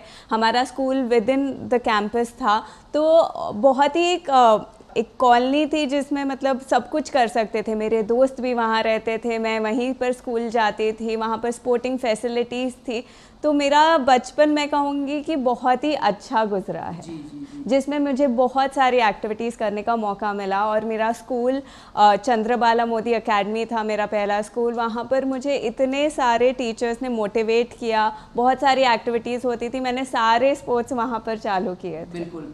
तो ऐसा कह सकते हैं कि बचपन से ही आपको स्पोर्ट्स के प्रति रुचि थी और धीरे धीरे उसकी ही फलश्रुति है जो अभी आप इतने सफलता के शिखर को प्राप्त किया है। बहुत अच्छी बात है।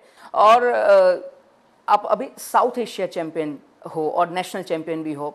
2019 में, दर्शकों, मैं एक बात बताऊँगा, आपको जान के भी आनंद होगा कि 2019 में जो वर्ल्ड कप हुआ था, ट्राइथलॉन वर्ल्ड कप, जो स्पेन में हुआ था, उसमें प्रज्ञा जी एक ऐसी ही इंडियन है जिसने भारत देश को रिप्रेजेंट किया था। तो ये हम सब के लिए गर्व की बात है। प्रज्ञा जी जैसे कि आपने स्कूलिंग की बात की एक व्यक्ति आपके जीवन में आए, गीतांजलि चौधरी। तो वो गीतांजलि चौधरी जी का रोल क्या था आपके जीवन में, वो बताइए। गीतांजलि मैम मेरे पहले स्विमिंग टीचर थे। जो मेरे स्कूल में आई थिंक 2002 में मेरी उनसे मुलाकात हुई और उन्होंने मेरा पहला स्विमिंग लेसन लिया। वो मेरे ज़िंदगी में बहुत ही महत्वपूर्ण व्यक्ति हैं क्योंकि उनका एक बहुत ही अनोखा स्टाइल था। मतलब कि बच्चे पानी से डरते थे स्विमिंग पूल में पानी देख के और इतना डेप्थ देख के डरते थे। तो वो आ, हम लोगों को उनके पीठ के ऊपर बैठाती थी और पूरा स्विमिंग पूल के चारों तरफ़ ले जाती थी जिससे हमारा पानी का डर कम हो जाए। तो वो वो कहानी मतलब ऐसा लगता था जैसे वो क्रोकोडाइल बन जाती थी और हम बंदर थे और उनके पीठ पे बैठ के पूरा स्विमिंग करते थे। तो एक वो बहुत ही अच्छा तरीका था उनका और जैसे वो अप्रोच करती थी कि मतलब बच्चों को पानी से डर ना लगे, बच्चे स्विमिंग से प्यार करने लगे और वो एक बहुत ही अच्छी नेशनल स्विमर उनके ज़माने में रही थी और अभी भी मैं उनसे कांटेक्ट में हूँ। इनफैक्ट ट्वेंटी ट्वेंटी में वो चेन्नई स्पेशली आई थी मेरा नेशनल चैम्पियनशिप देखने। तो वो एक मेंटोर हैं और वो मेरी बहुत ही अ, मतलब कि उन्होंने मेरा एक स्विमिंग जर्नी चालू किया बहुत है। बढ़िया। तो फिर फिर उसके बाद ये जर्नी के बारे में बताइए कि कैसे ये जर्नी आगे बढ़ी? अ, तो जब मैं अंकलेश्वर में थी अ, तब अ, मैंने स्विमिंग फॉर्मली सीखी 2002 में और उसके बाद zonal competition CBSE zonal competition में पार्ट लिया फिर स्टेट लेवल कंपटीशन में पार्ट लिया और अ, मैं ये भी बताना चाहूँगी कि मैंने पहले अपने स्टेट चैम्पियनशिप में पार्ट लिया तो अंडर 14 स्कूल गेम्स का स्टेट चैम्पियनशिप था और उसमें मैं सब इवेंट में मतलब तीन या चार इवेंट्स थे सब में मैं लास्ट आई। अच्छा। अच्छे से लास्ट आई। और तब भी मतलब वो मोटिवेशन था कि मतलब मैंने डिस्ट्रिक्ट्स को पार करके स्टेट चैम्पियनशिप में भाग लिया तो उसका मेरे को बहुत खुशी थी। मैं डीमोटिवेट नहीं हुई कि मैं हार गई। और फिर धीरे धीरे अंकलेश्वर के बाद हम लोग वलसाड़ शिफ्ट हुए थे। मेरे पापा ने उनका जॉब चेंज किया था तो अतुल लिमिटेड करके कंपनी है और उसकी एक टाउनशिप है। तो हम लोग वहाँ पर रह रहे थे और वहाँ पर एक 50 मीटर का ओलंपिक डिस्टेंस पूल था जहाँ पर मैं ट्रेनिंग करती थी। तो वहाँ पर गए तो उसके बाद स्टेट चैम्पियनशिप में एक एक करके अ, अ, 2006 में मैं फाइनली स्टेट चैम्पियन बनी। अपने इवेंट में जिसके साथ मैं नेशनल चैम्पियनशिप के लिए सिलेक्ट हुई। तो ऐसी मेरी जर्नी बहुत ग्रेजुअल रही है। ऐसा नहीं हुआ कि पहले दिन स्विमिंग के और मैं तुरंत जीत गई। अ, मैं पहले लास्ट आई फिर थर्ड आई फिर सेकंड आई फिर जाके फ़र्स्ट आई जिसके वजह से मैं नेशनल चैम्पियनशिप में सेलेक्ट हुई। तो ये जर्नी बहुत ही ग्रेजुअल रही और मैं नेशनल स्विमर फिर अपने पूरे हाई स्कूल ईयर्स में रही। बहुत बढ़िया बहुत बढ़िया। नेशनल स्विमर तो रही। बहुत कम लोगों को पता है कि आप चेस भी बहुत अच्छा खेलना जानती है। और अपने भाई से आप प्रेरित होके आपने चेस खेलना शुरू किया था तो वो घटना बताइए। तो मेरा भाई बचपन से ही चेस में बहुत ही ज़्यादा इंटरेस्टेड था। तो वो एक नेशनल चेस प्लेयर था और जब वो बहुत ही छोटा था आई थिंक नौ या दस साल का था, तब उसने अंडर सेवेंटीन स्टेट चैम्पियनशिप भी जीत ली थी। तो जो बहुत ही बड़ी बात थी। मुझे चेस में इतनी ज़्यादा रुचि नहीं थी बट क्योंकि वो खेल रहा था और वो मेरा भाई था तो ऐसा होता है कि जो भाई कर रहा है मैं भी कर सकती हूँ। तो अ, उसके वजह से मैंने चेस जो कोचेज़ आते थे तो मैंने भी थोड़ा बहुत सीखा और धीरे धीरे क्योंकि वो चेस टूर्नामेंट्स में जाता था तो मैं भी उसके साथ जाती थी। आ, तो बहुत सारे टूर्नामेंट्स खेले हैं। इनफैक्ट मेरा पहला जो मुझे कैश प्राइज़ मिला है वो स्विमिंग में या ट्रायथलॉन या रनिंग में नहीं मिला है वो मेरे को चेस में मिला है। एंड uh, मैं स्टेट चैम्पियन शिप में भी थर्ड आई हूँ चेस में। तो उस तरह से इतनी ज़्यादा रुचि ना होने के बावजूद क्योंकि मेरा भाई खेल रहा था उससे उसके वजह से मैंने चेस खेलना चालू किया और अभी भी मैं कभी कभार खेल अच्छा तो चेस को चेस की ही बात को आगे बढ़ाते हैं। नॉर्मली आप क्या होता है कि बच्चे छोटे होते हैं तो शरारती होते हैं। आपने ऐसी कौन सी शरारत की थी बचपन में जो लोगों को आप बताना चाहती है? तो अगर चेस की बात करें तो चेस टूर्नामेंट्स में क्योंकि मेरा भाई इतना अच्छा खेलता था तो अंकलेश्वर में जहाँ पर हम लोग रहते थे वहाँ पर काफ़ी ऐसा आ, उसका नाम था कि प्रतीक मोहन है तो वो बहुत अच्छा चेस प्लेयर है। तो सपोज़ मेरा कोई मतलब कि ओपोनेंट होता था जो आ, उसको जानता था कि प्रतीक मोहन अच्छा चेस प्लेयर है और आ, एक बार ऐसा हुआ था कि टूर्नामेंट में मैं किसी के सामने खेल रही थी और वो मुझसे जीत रहा था चेस बोर्ड पे और उसका दोस्त था जो दूसरे के खिलाफ खेल रहा था। तो उसने उसको बताया कि वो जीत रहा था मेरे जो सामने था। उसको बताया कि तू जानता है ये किसकी बहन है? तो उसने पूछा कि नहीं किसकी? तो उसने बोला कि प्रतीक मोहन की। तो वो इतना डर गया बेचारा कि उसने वहीं पर रिज़ाइन कर दिया। अच्छा। और फिर एक और इंसिडेंट हुआ था। जब मैं बहुत ही छोटी थी आई थिंक छः या सात साल। की होंगी तब एक टूर्नामेंट में वो मैंने चेस में क्या होता है कि हम लोग चेक देते हैं और फिर चेकमेट होता है। तो आ, मैंने चेक दिया अपने क्वीन के साथ आ, सामने वाले को और वो मेरा क्वीन काट रहा था क्योंकि मेरा क्वीन सपोर्टेड नहीं था। तो मैंने उसको बोला कि जब चेक देते हैं तब जो चेक दे रहा है पीस उसको नहीं काट सकते। जो एक गलत चीज़ थी पर क्योंकि कर दिया rule. On the go change कर दिया मुझे सूट करने के लिए। जी, जी, तो अ, ये सब शरारतें तो की हुई है। बढ़िया बच्चे तो शरारत करते ही अभी तो फिर धीरे धीरे आपने सीखा कि रूल्स क्या होते हैं और फिर आप अपने आप काफ़ी गंभीर हुई अपने स्पोर्ट्स के प्रति। प्रज्ञा दूसरा जो बात है कि जो ये ट्राइथलॉन है ये काफ़ी यूनिक गेम है। तो उसके बारे में कुछ बताइए। पहले तो आप ये मैं प्रश्न में आऊँगा लेटर कि चार्टर्ड अकाउंटेंट भी आप थे, आपने साइंस ली इलेवन ट्वेल्थ में तो ये साइंस कॉमर्स स्पोर्ट्स इन सब का सम्मिश्रण कैसे हुआ? ये ये थोड़ा इंटरेस्टिंग हमारे दर्शकों के लिए होगा। ये बताइए। तो मैं बचपन से अबाव एवरेज स्टूडेंट थी स्टडीज़ में मतलब कभी टॉपर नहीं रही बट अच्छे मार्क्स आ जाते थे। तो जब टेंथ के बाद स्ट्रीम चूज़ करने का आया तो मैंने कहा कि मेरा कोई ऐसा प्रायोरिटी नहीं था कि मुझे बड़े हो कि यही पढ़ाई करनी है कि इंजीनियरिंग है डॉक्टरी है। तो मैंने सोचा कि साइंस क्यों नहीं ले लेते, ताकि सारे स्ट्रीम्स खुले रहें।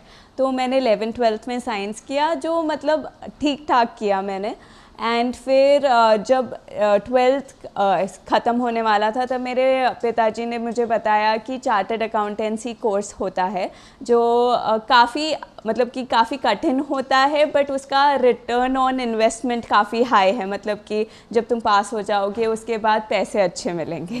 तो एक मिडिल क्लास फैमिली से आने का, फिर तो वही होता है कि जितना कठिन कोर्स हो, उतना बेटर है। फ्यूचर के लिए तो फिर मैंने सोचा क्यों नहीं तो चार्टर्ड अकाउंटेंसी फिर उस हिसाब से मैंने चालू किया एंड uh, जब ट्वेल्थ हो गया फिर एंट्रेंस एग्ज़ाम होता है फिर इंटरमीडिएट uh, एग्ज़ाम होता है और उसके बाद फाइनल्स होता है आर्टिकलशिप के बाद। तो वो जर्नी मैं अ, मतलब कि चल ली और उसके साथ साथ ही ट्रायाथलॉन हुआ। मैं 2012 में अपने स्कूल से ग्रेजुएट हुई। उसके बाद अ, 2012 में मैंने रनिंग चालू किया था लॉन्ग डिस्टेंस रनिंग मतलब मैं हाफ़ मैराथॉन्स भागती थी। और जो क्लब मैंने ज्वाइन किया था वो एक मतलब ये अहमदाबाद डिस्टेंस रनर करके एक क्लब है। वो मैंने ज्वाइन किया था जिनके साथ मैं ट्रेनिंग करती थी भागने की। वो लोग वीक में एक बार साइकिलिंग के सा- मतलब साइकिल भी करते थे। तो तीन दिन हम लोग भागते थे और एक दिन साइकिलिंग करते थे। तो धीरे धीरे मेरा साइकिलिंग भी अच्छा होते गया। एंड फिर 2013 की बात है 2013 जनवरी ये तब दौरान था जब जो प्राइम मिनिस्टर मोदी जी तब चीफ मिनिस्टर थे गुजरात के और वो अब थे तो काफ़ी स्पोर्टिंग और कल्चरल इवेंट्स अहमदाबाद में स्पेशली हो रहे थे।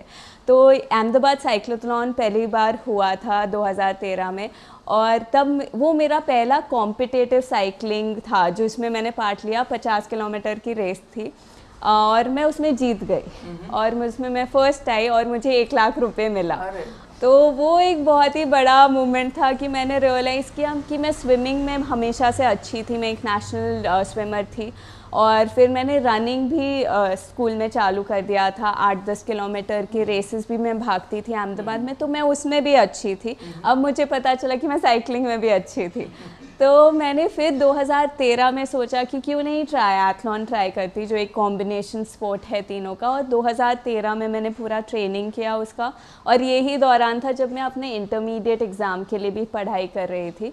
तो 2014 जनवरी में मैं फिर नेशनल चैम्पियन बन गई जो अच्छा। मतलब एक मतलब कि वो मैं सोच के नहीं गई थी कि मैं नेशनल चैम्पियन बनूँगी। मतलब हम लोग जब नेशनल चैम्पियनशिप के लिए गए थे स्टेट चैम्पियनशिप बन मतलब कि करके तो हम लोगों ने सोचा था कि हम समझेंगे कि नेशनल्स में कैसा कंपटीशन होता है और नेक्स्ट ईयर शायद ट्राई करेंगे। पर मैं नेशनल चैम्पियन पहले ही साल में बन गई जो एक बहुत ही बड़ा माइलस्टोन था जिसके वजह से मुझे इंटरनेशनल एक्सपोजर्स भी मिले। उसी साल फिर मैंने इंटरनेशनल रेसेस भी किया। तो ये दौरान था जब मैंने मतलब कि ऐसे मैंने ट्रायथलॉन चालू किया और चार्टर्ड अकाउंटेंसी पैरेलली चला। और फिर 2017 में मैंने अपना चार्टर्ड अकाउंटेंसी कोर्स ख़त्म किया जिसके बाद मैंने ट्रायथलॉन फुल टाइम हम्म, 2017 में अपने चार्टर्ड अकाउंटेंसी कोर्स ख़त्म किया। हाँ। बहुत अच्छी बात है आप अपने आप को ऐसा बोल रही कि मैं एक अबोव एवरेज स्टूडेंट हूँ। आपने सीए के लिए तो कोचिंग ही नहीं लिया। तो ये तो कॉन्ट्रा मतलब कॉन्ट्रास्ट है ना ये पूरा मतलब विरोधाभास है ये। तो इसके बारे में क्या कहेंगे? चार्टर्ड अकाउंटेंसी मैंने मैंने जो कोर्स मतलब लोग ऐसे हैं कि दो दो तीन तीन ट्रायल के बाद भी पास नहीं होते और आपने एक ही ट्रायल में निकाल लिया हो और विदाउट एनी कोचिंग तो चार्टर्ड अकाउंटेंसी कोर्स जहाँ तक मैंने देखा कि बहुत ज़्यादा लेंदी है, उतना डिफ़िकल्ट नहीं है तो उस कोर्स को ऐसा है कि आपको अपना टाइम देना पड़ता है। वो आप ये नहीं सोच सकते कि एक या दो महीने में पढ़ के पास हो जाए। आपको वो छः सात महीने डेडिकेटेड स्टडी देना ही पड़ता है उस कोर्स को। तो मैं मुझे ऐसा लगा कि चार्टर्ड अकाउंटेंसी एंड प्लस वो आर्टिकलशिप जो हम लोग तीन साढ़े तीन साल की करते हैं उसमें इतना प्रैक्टिकल नॉलेज हम लोग गेन कर लेते हैं जिसकी वजह से जो फाइनल एग्जामिनेशंस होता है उसमें काफ़ी हमें ईज होता है क्योंकि हम लोग ने प्रैक्टिकली वो सब काम किया होता है। तो मुझे तो चार्टर्ड अकाउंटेंसी कोर्स करने में बहुत मज़ा आया था मुझे रोज़ ऑफ़िस जाने में लोगों से इंटरेक्ट करने में और समझने में कि कैसे कंपनी पूरी चलती है वो उसमें मुझे बहुत ही ज़्यादा मज़ा आया। एक साल कॉलेज भी कर ली कि कॉलेज लाइफ कैसी होती है देखने के लिए? हाँ मतलब वो बॉलीवुड मूवीज़ में दिखाते हैं ना कि कॉलेज में आके सब डांस करते हैं तो मज़े मतलब वो करते एंजॉय किया कि नहीं किया कॉलेज हाँ हाँ वो सब पूरा फ्रेशर्स पार्टी हुआ था सब कुछ हुआ था तो एक साल में मतलब एच एल आई सी में थी। तो मतलब बहुत ही मज़ा आया और वहाँ के जो फ्रेंड्स बने हैं वो अभी तक मेरे फ्रेंड्स हैं। तो अ, मतलब बहुत ही अच्छा इन्वायरमेंट था और क्योंकि वो एच एल आई सी की थोड़े मतलब कि वो जस्ट स्टार्ट ही हुआ था तब कॉलेज आई थिंक तीन चार पाँच साल ही हुए थे उस कॉलेज को। तो बहुत ही नया मैनेजमेंट था वो भी सीखने की कोशिश कर रहे थे। तो बहुत ही अच्छा टाइम था मेरा कॉलेज बहुत बढ़िया। अब तो पढ़ने में लिखने में भी इतने ब्रिलियंट हो खेलने कूदने में भी इतने ब्रिलियंट हो तो ये आप एक बहुत बड़ी इंस्पिरेशन हो आज की जनरेशन के लिए। थैंक यू सो मच अच्छा तो प्रज्ञा दूसरा जो प्रश्न है कि आपने बोला कि ट्रायथलॉन ट्राई करके देखते हैं लेकिन एक सीरियसनेस भी होता है पर्टिकुलर कोई स्पोर्ट्स के प्रति। तो वो गंभीरता कब से बनी आपकी? कि मुझे इसमें ही जाना है ये मुझे अपना पैशन बनाना है इसको। तो जैसे मैंने बताया कि 2013 में मैंने सोचा ट्राई करके देखते हैं फिर जब 2014 में मैं नेशनल चैम्पियन बनी फिर साउथ एशियन में मैं सेकंड आई थी फिर थोड़ा इंटरनेशनल एक्सपोजर हुआ वापस नेशनल्स आया। तो उस दौरान वो थोड़ा पैशन टाइप था मतलब वो था कि अभी देखते हैं क्या होता है। फिर अ, जब मैंने चार्टर्ड अकाउंटेंसी कोर्स 2017 में फिनिश किया तब तक मेरा स्पोर्ट उसके साथ ही चल रहा था। उसके बाद जब 2017 में एक डिसीज़न मेकिंग आया कि जॉब करना है प्रैक्टिस करना है या स्पोर्ट्स में थोड़ा टाइम इन्वेस्ट करना है। तब थोड़ा सीरियसनेस आया कि ट्रायथलॉन को फुल टाइम लेना है। तो फुल टाइम का मतलब ये भी होता है कि उससे पैसे कमाने हैं उससे लाइफ एक सस्टेन करना है। तो तब थोड़ा सीरियसनेस आया था कि मतलब अब थोड़ा सीरियसली इसको परस्यू करना है। तब मैं इंटरनेशनल कोचेस के पास भी पहली बार गई थी। ऑस्ट्रेलिया गई थी मैं पहली बार तीन महीने के लिए। तो तब एक सीरियसनेस आया था कि मतलब अब बाहर आए हैं अच्छे से ट्रेन करना है एकदम डिसिप्लिन्ड रहना है। और फिर जब 2018 और अ, 17 में मैंने ट्रेन किया बाहर और फिर 2019 में मैं वर्ल्ड कप के लिए सिलेक्ट हो गई अम, उसके बाद तो मतलब ऐसा था कि ओके मतलब मैं इसमें वर्ल्ड लेवल तक जा सकती हूँ। और फिर ऐसा हुआ कि वर्ल्ड लेवल पे अच्छा क्यों नहीं कर सकती हूँ? तो तब से आई थिंक और सीरियसनेस बढ़ गई टूवर्ड्स दिस स्पोर्ट एंड पूरा पैंडमिक के वक्त मैं ऑस्ट्रेलिया में थी और मेरी ट्रेनिंग ऑल दो कि हम हमारे कॉम्पिटिशन्स नहीं हो रहे थे, सारे जो कॉम्पिटिशन्स थे वो कैंसिल हो गए थे या पोस्टपोन हो गए थे, तब भी मैं पूरे ट्रेनिंग में रही और मैंने ये इंश्योर किया कि ये मैं डीमोटिवेट ना हूँ कि कॉम्पिटिशन्स नहीं हैं और अपने एक लाइन में मतलब कि कभी ना कभी तो वापस आएँगे कॉम्पिटिशन्स तो उस मोटिवेशन के साथ ट्रेनिंग चालू रखी। चलो बच अच्छा है परिवार का सपोर्ट तो था आप, आपके प्रति। पीछे मैं थोड़ा स्कूल में लेके जाता हूँ आपको। एक ऐसा ऐसी घटना घटी थी आपको आईपोड चाहिए था। तो वो घटना क्या है फिर आपके पेरेंट्स ने आपको जो सीख दी तो और आपका फिर माइंड उस तरफ़ डाइवर्ट हुआ वो घटना क्या थी वो बताइए। तो मैं टेंथ स्टैंडर्ड में थी और मुझे तब मतलब फ़ोन इतने कॉमन नहीं थे। और ये 2009 की बात होगी। तो अम, सब मेरे थोड़े बहुत अ, जो मेरे स्कूल मेट्स थे मेरे क्लासमेट्स थे उनके पास आईपॉड थे म्यूज़िक सुनने के लिए। तो मुझे भी हुआ कि सबके पास है तो मेरे पास भी होना चाहिए। तो मैंने अपने घर पे आके बोला कि मुझे आईपॉड चाहिए। और जैसे ही मैंने बोला, वैसे ही मेरे पेरेंट्स ने मुझे बोल दिया कि नहीं मिलेगा। तो मैं मतलब कि वो रिवोल्ट स्टेज पे आ गई कि ऐसे कैसे? मुझे कैसे नहीं मिलेगा? और फिर मैं उनको बोलने लगी कि आप लोग बहुत ही कंजूस हो, आप लोग मुझे प्यार नहीं करते हो, आप, मैं कुछ मांग रही हूँ तो आप दोगे नहीं। पूरा वो मेलो ड्रामा सीन हुआ। उसके बाद उन लोगों ने कहा कि ठीक है, जाके पूछ के आओ कि मतलब कि कितने में मिलेगा। तो मैं सारे मतलब कि डिजिटल स्टोर्स थे, वहाँ पर जाके पूछ के आई कि कितने में मिलेगा आईपॉड ये थोड़े बहुत सब्सटीट्यूट भी देखे, वो एम पी थ्री प्लेयर्स आते थे, वो सब जो थोड़े सस्ते थे। तो वो सब आके बताया तो मतलब ऐसे पाँच से दस हज़ार का था। तब तो मुझे लगा कि पाँच से दस हज़ार के लिए इतना क्यों चिक चिक कर रहे हैं मेरे माँ बाप और फिर उन लोगों ने कहा कि एक वो एक्सप और फिर उन्होंने मतलब कि मैं मैं उनको फिर ब्लेम करने लगी कि और कंजूस हो, आप लोग पाँच से दस हज़ार के लिए इतना ज़्यादा सोच रहे हो, वैसा सब। तो उसके बाद उन लोगों ने मुझे कहा कि एक लिस्ट बनाओ कि तुम्हारे स्पोर्ट्स में जब मैं स्विमिंग कर रही थी तो कितना खर्चा होता है और जो तुम्हारा सबसे रिचेस्ट पर्सन होगा जो सारे गैजेट्स होंगे जिसके पास तुम्हारा क्लासमेट होगा उसके पास कितने गैजेट्स होंगे उसका एक लिस्ट बनाओ। तो जब वो लिस्ट बनाया तब मुझे समझ आया कि मेरे मम्मी पापा जो मेरे ऊपर स्पेंड कर रहे थे मेरे स्पोर्ट्स में मेरा ट्रैवल नेशनल चैम्पियनशिप के लिए अ, सब मिला के बहुत ज़्यादा था कोचेज़ और ये सब। कंपेयर टू अगर मेरे पास सारे गैजेट्स होते उसके कंपैरिजन में तो तब मुझे समझ आया कि स्पोर्ट्स और मेरे मम्मी पापा कंजूस नहीं हैं और मुझसे बहुत ज़्यादा प्यार करते हैं क्योंकि वो लोग मेरे लिए इतना स्पेंड कर रहे थे on the thing that I like मतलब मेरे पैशन के लिए। तो आई थिंक तब से मेरा वो डेडिकेशन टुवर्ड्स स्पोर्ट्स की मतलब मैं तब तक स्पोर्ट्स मतलब ठीक है कर रहे हैं उसके हिसाब से कर रही थी। बट तब समझ आया कि अम, स्पोर्ट्स बहुत ज़्यादा इम्पोर्टेंट है और मेरे पेरेंट्स इतने सपोर्टिव हैं। जी जी जी तो बिल्कुल हर एक के पेरेंट्स सपोर्टिव ही होते हैं और हमारे भले के लिए ही हमारे माँ बाप सोचते हैं। ये जो स्पोर्ट्स की बात की आपने प्रज्ञा 2017 में आपने चार्टर्ड अकाउंटेंसी का कोर्स ख़त्म किया और फिर आप फुल फ्लेज लेवल पे इस पे आ गए क्योंकि आपके मन में जो द्विधा थी वो द्विधा दूर हो गई कि अभी तो मुझे इसमें ही जाना है। अभी फिर आपने इस पैशन को कैसे अडॉप्ट किया वहाँ से?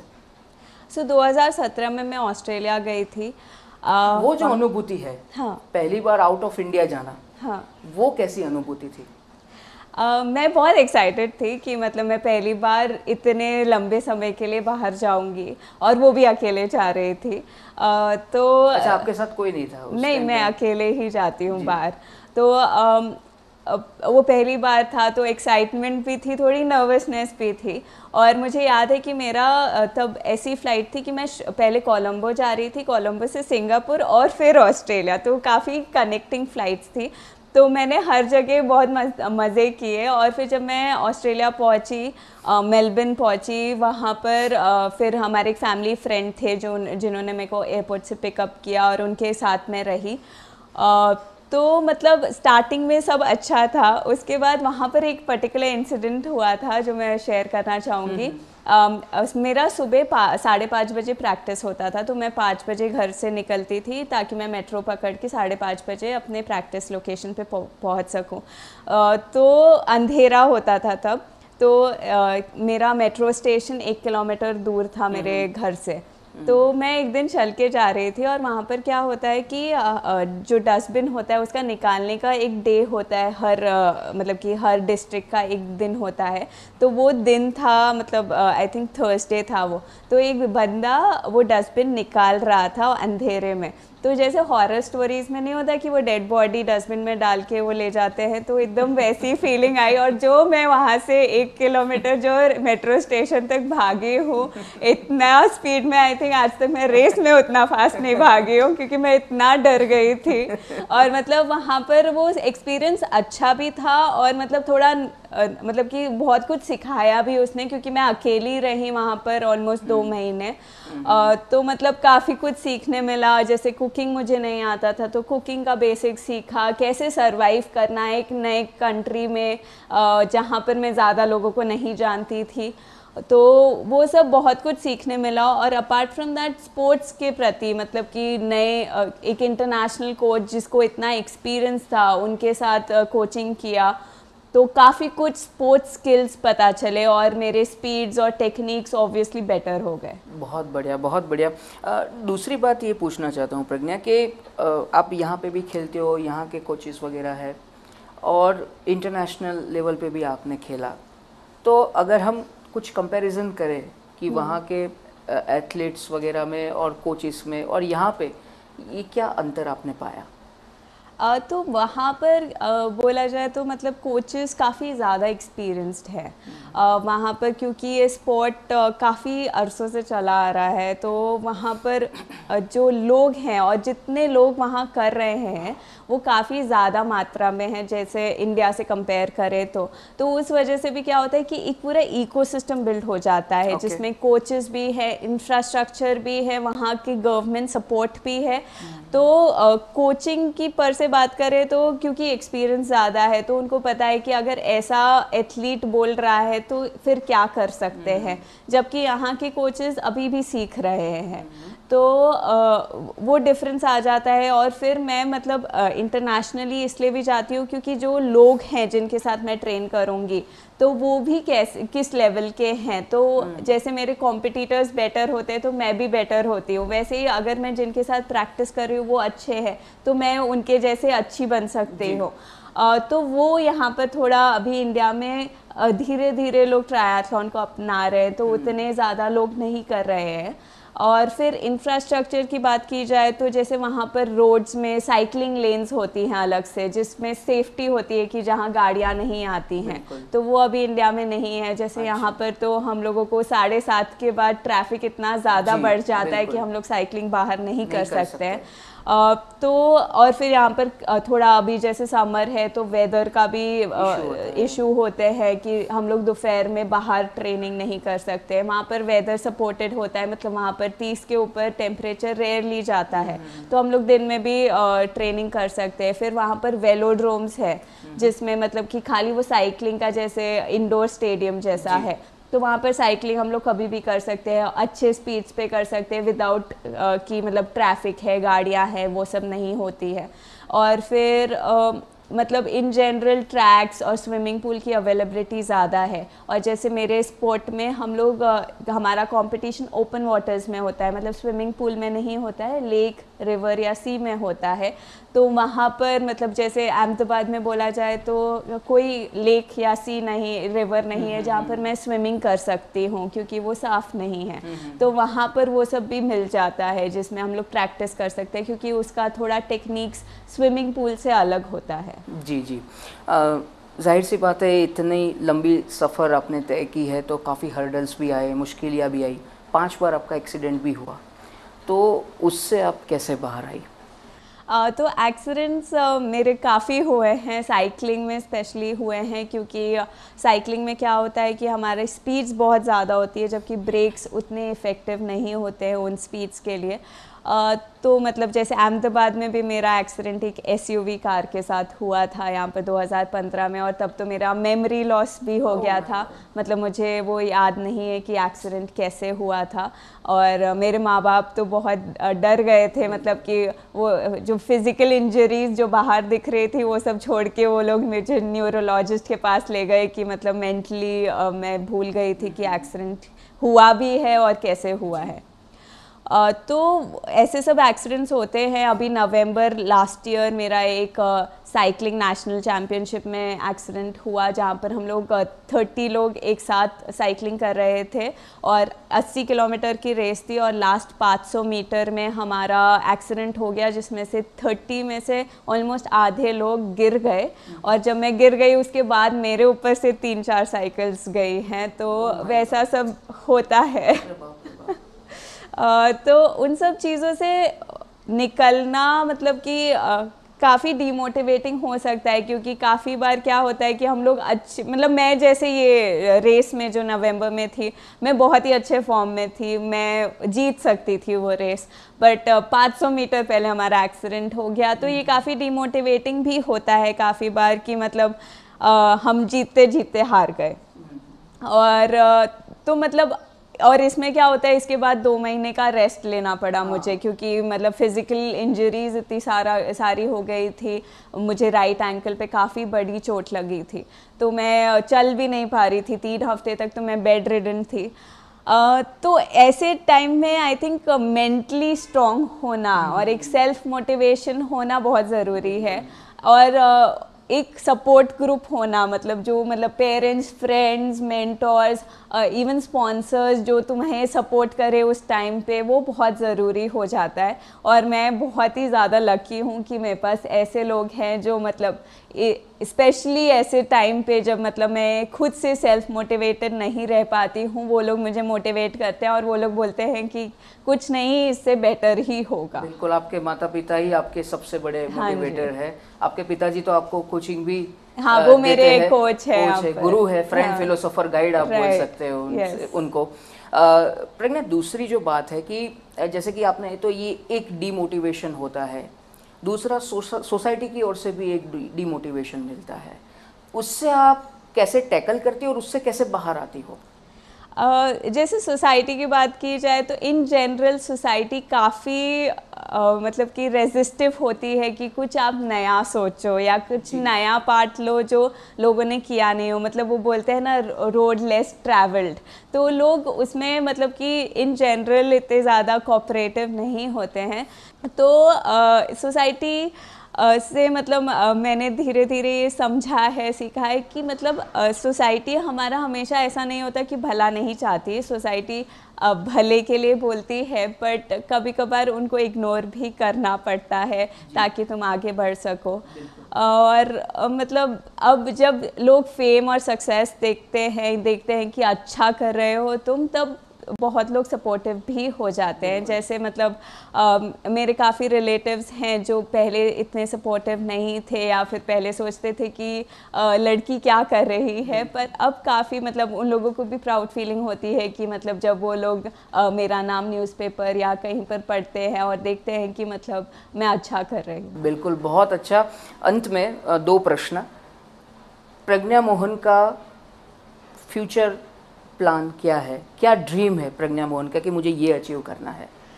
तो मुझे ओलंपिक ट्रायथलॉन में ट्रायथलॉन ओलंपिक्स में 2000 से है, पर आज तक कोई इंडियन वहाँ पर क्वालिफाई करके ओलंपिक्स में नहीं जा पाया है।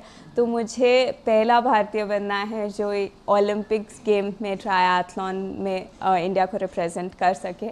और इसके लिए पूरी अ, मैं जी जान मेहनत कर रही हूँ ताकि ये 2024 में मैं साकार कर सकूँ। और अंत में दूरदर्शन के माध्यम से आप हमारे दर्शकों को और आज की जो युवा पीढ़ी है उनको क्या संदेश देना चाहेंगे? मैं ये संदेश देना चाहूँगी कि आप लोग कुछ ना कुछ जो आपको पसंद है वो कीजिए।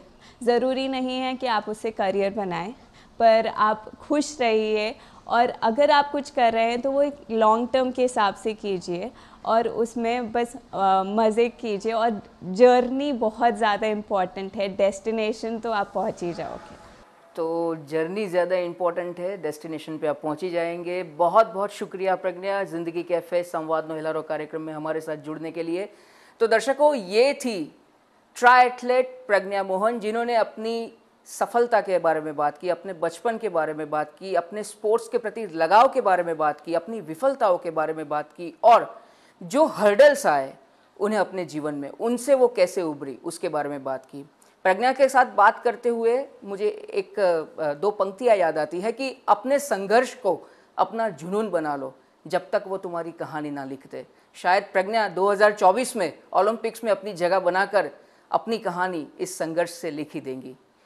और इसी विचार के साथ इस कार्यक्रम में इतना ही। अगले रविवार को फिर से एक नए अतिथि के साथ आपके समक्ष उपस्थित रहेंगे। तब तक आपसे विदा लेते हैं। नमस्कार।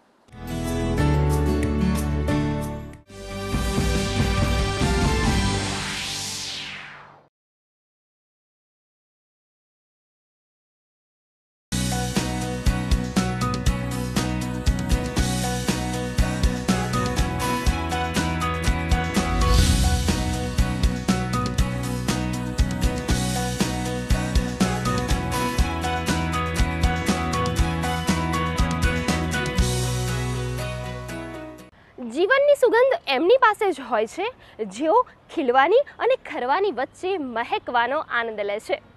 અને પોતાના કાર્યોથી જીવનને મહેકાવતા લોકોની વાતો અમે આપના સુધી લઈને આવીએ છીએ દર સપ્તાહે ગુડ ન્યૂઝ ગુજરાતના માધ્યમ દ્વારા. નમસ્કાર, હું છું નિકેતા શુક્લા અને આજના એપિસોડમાં આપણે વાત કરીશું મંજુબાના રસોડાની, લોકોને હસાવતી એસપી ઇન્ડિયા ટીમની અને એ સાથે કેટલીક સકારાત્મક ખબરોની. તો ચાલો શરૂ કરીએ આજનો આપણો કાર્યક્રમ ગુડ ન્યૂઝ ગુજરાત.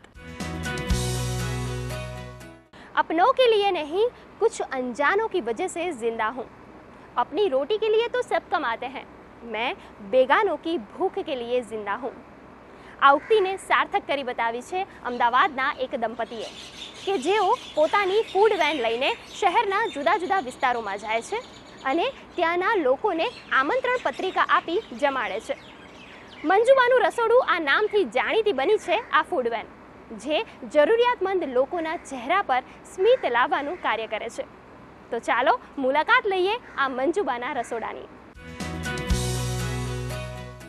सुला दिया माँ ने भूखे बच्चे को ये कहकर परिया आएगी सपनों में रोटियां लेकर किसी की मुस्कुराहटों पे हो निशान किसी का दर्द हो सके तो ले उदार किसी के दिल में हो तेरे लिए प्यार जीना इसी का नाम है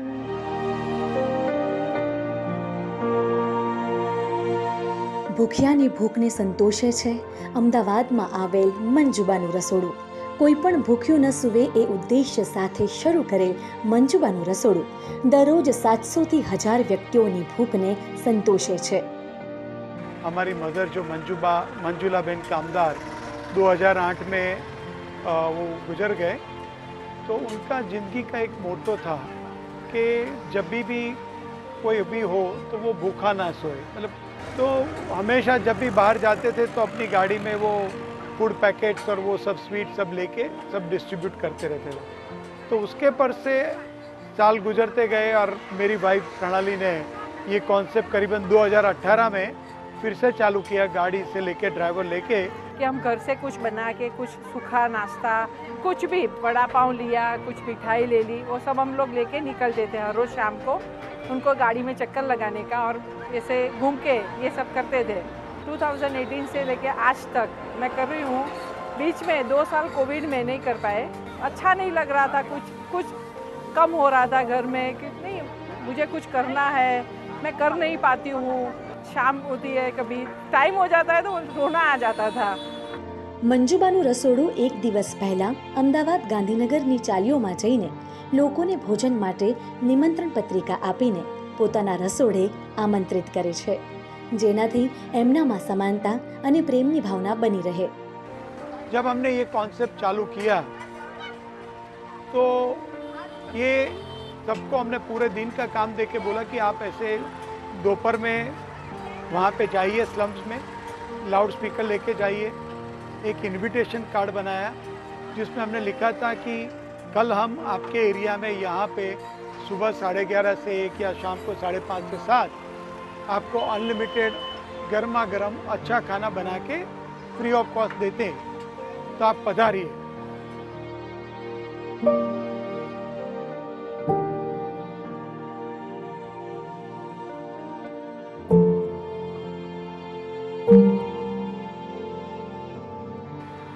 आदमी को जब ये आप इनविटेशन के रूप में देते हैं तो ये एक सोशल निग्लेक्टेड कम्युनिटी है जिसको लगता है कि मुझे इनवाइट किया गया। हम सब जानते हैं, जब हम कोई भी शादी के फ़ंक्शन में या पार्टी में जाते हैं तो बुफे में हम लोग भी 100-200 लाइन, आदमियों की लाइन में खड़े रहते हैं। और खाना खाने में हमको कभी भी ये हिचकिचाहट नहीं होती है कि मैं मांग के खा रहा हूँ। जबकि यहाँ पे ये लोग जब आते हैं, हमारी फ़ूड ट्रक पे तो ये प्यार से लाइन में खड़े होके विद हैप्पी फेसेस ये कार्ड लेके आते हैं इनविटेशन के मुझे ये आमंत्रण दे के बुलाया गया तो मुझ- मेरे लिए खाना बन रहा है और मुझे खिलाया जा रहा है तो एक अंदर एक संतोष की भावना होती है कि मैंने कुछ अच्छा खाना खाया और मुझे प्यार से खिलाया गया આ પ્રેમભર્યું સ્મિત એ ભૂખના આનંદનું પ્રમાણ છે જેની ઈચ્છા આ દરેકના મનમાં હતી મંજુબાનું રસોડું જ્યાં આ માસૂમ બાળકોને એમના પસંદની આઈસ્ક્રીમ ગુલાબ જામુન જેવી ચીજ વસ્તુઓ પરોસવામાં આવે છે જેને જમીને આ બાળકોની ખુશીમાં ચાર ચાંદ લાગી જાય છે अच्छा सा मेनू बनाया है हमने 40 अलग अलग कॉम्बिनेशन का स्वीट के साथ स्वीट के बगैर जिसमें मसाला डोसा आता है पिज़्ज़ा आता है दाल बाटी है तो ये सब चीज़ें बच्चा खाने की बहुत इच्छा रखता है बट वो अफोर्ड नहीं कर सकता। आज उनकी जो आमदनी है, उसमें से वो अपना घर का महा मेहनत से पूरा करता है। उस उस जगह पे जब कोई लग्जरी आइटम खानी हो तो उसको तकलीफ़ पड़ती है। तो हमने, हमारा मेनू ही ऐसा डिज़ाइन किया आइसक्रीम के साथ चिकन के साथ, जिससे उसको एक आत्मा की संतृप्ति मिले कि भाई, मैंने अच्छा खाना खाया। मुझे तो वही अच्छा लगता है कि उसको कुछ जो नहीं मिले, ना वही खाना देना है। नहीं, रोटी, सब्ज़ी नहीं, रोटी, सब्ज़ी नहीं देनी है, खिचड़ी विचड़ी ऐसा कुछ नहीं। जो वो लोग खरीद नहीं सकते, कि वो बाय नहीं कर सकते, कुछ ले नहीं सकते, ऐसा ही कुछ खाना देते हैं ना तो बहुत अच्छा लगता है। बहुत ही अच्छा लगता है कि उनको, उनकी खुशी देख के बहुत अच्छा लगता है।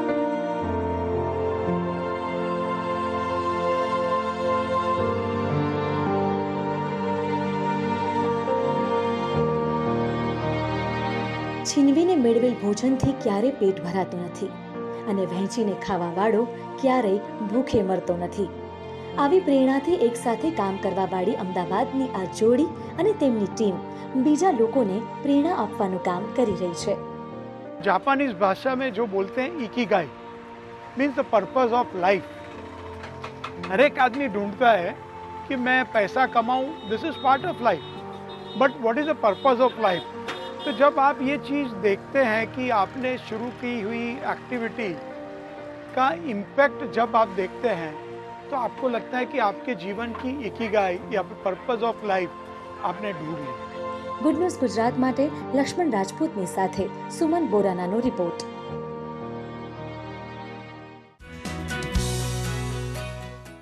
જુદી જુદી કોમેડી કરી લોકોને હસાવનાર કલાકાર હંમેશા આપણા દિલ પર રાજ કરતા હોય છે ચાર દોસ્તોની એવી ટીમ કે જેઓ ભણ્યા ઓછું છે, પરંતુ ગુજરાતી ભાષામાં રમૂજી વાતો કરે છે અને વાસ્તવિકતા પર કટાક્ષ કરી આપણા સૌને ખડખડાટ હસાવી મૂકે છે. ત્યારે આવો મળીએ આ ચાર દોસ્તોની એસપી ઇન્ડિયા ટીમને. કેટલા વાગે આવવાના છે ભાઈ લોકો?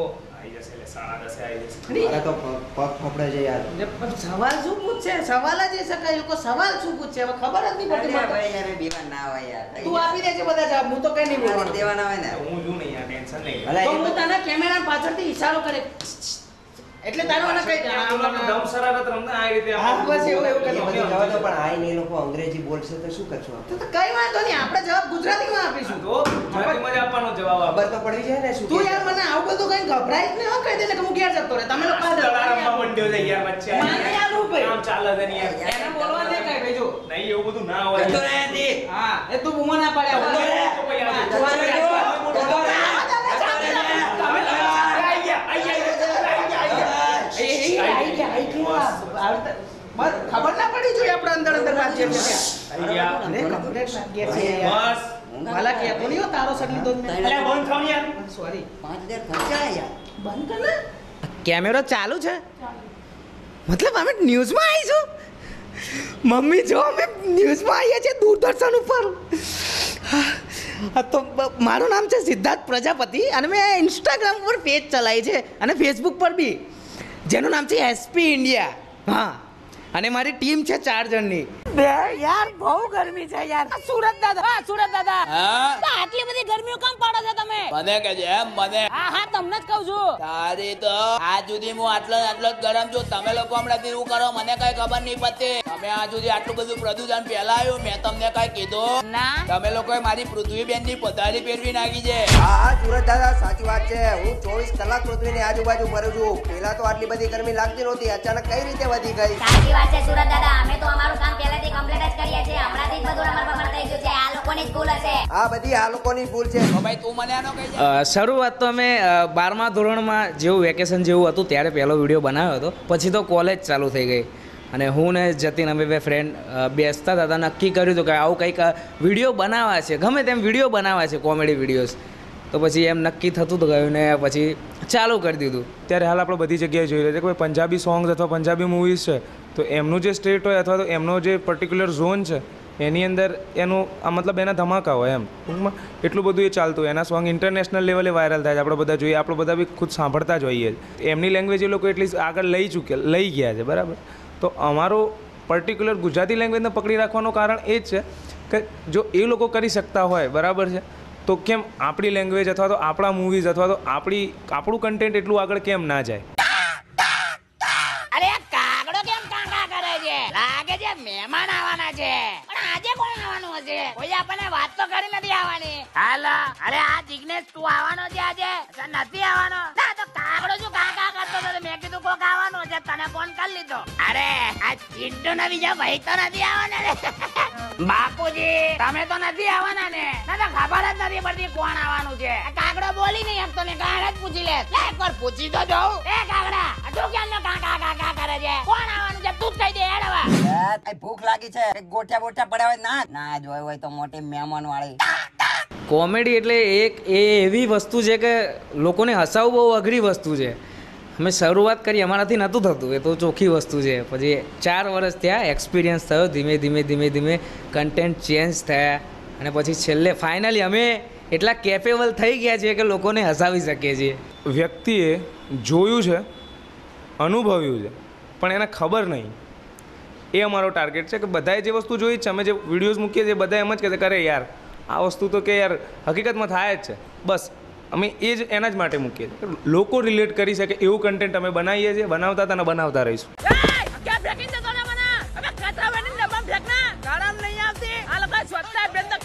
ઘરમાં છે.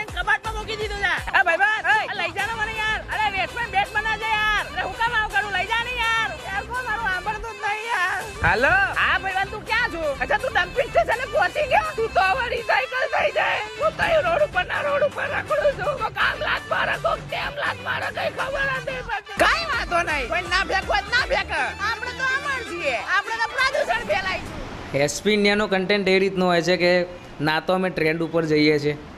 અમે અમારી રીતે અમારા મનથી એવું લાગે કે આ વસ્તુ બનાવવા જેવી છે. મતલબ કે વાસ્તવિકતા છે.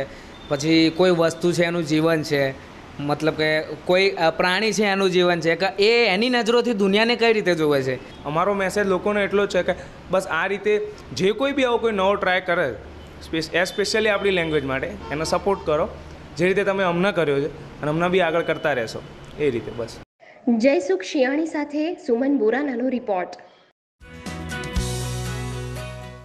સામાજિક કે માનસિક અક્ષમતા ધરાવતા દિવ્યાંગ બાળકો ભલે કેટલા કાર્યો કરવામાં સક્ષમ ન હોય પરંતુ તેમની આંતરિક શક્તિઓને જો ખીલવવામાં આવે, તો તેઓ વધુ કાર્યક્ષમ બની શકે છે. અને આ વાતને સાબિત કરી આપી એશિયન લિટરરી સોસાયટીએ કે જેઓએ હાલમાં જ એક કાર્યક્રમની ઉજવણી કરી, જેમાં આ દિવ્યાંગ બાળકોએ મન મૂકીને પોતાની આંતરિક શક્તિઓનો પરિચય કરાવ્યો.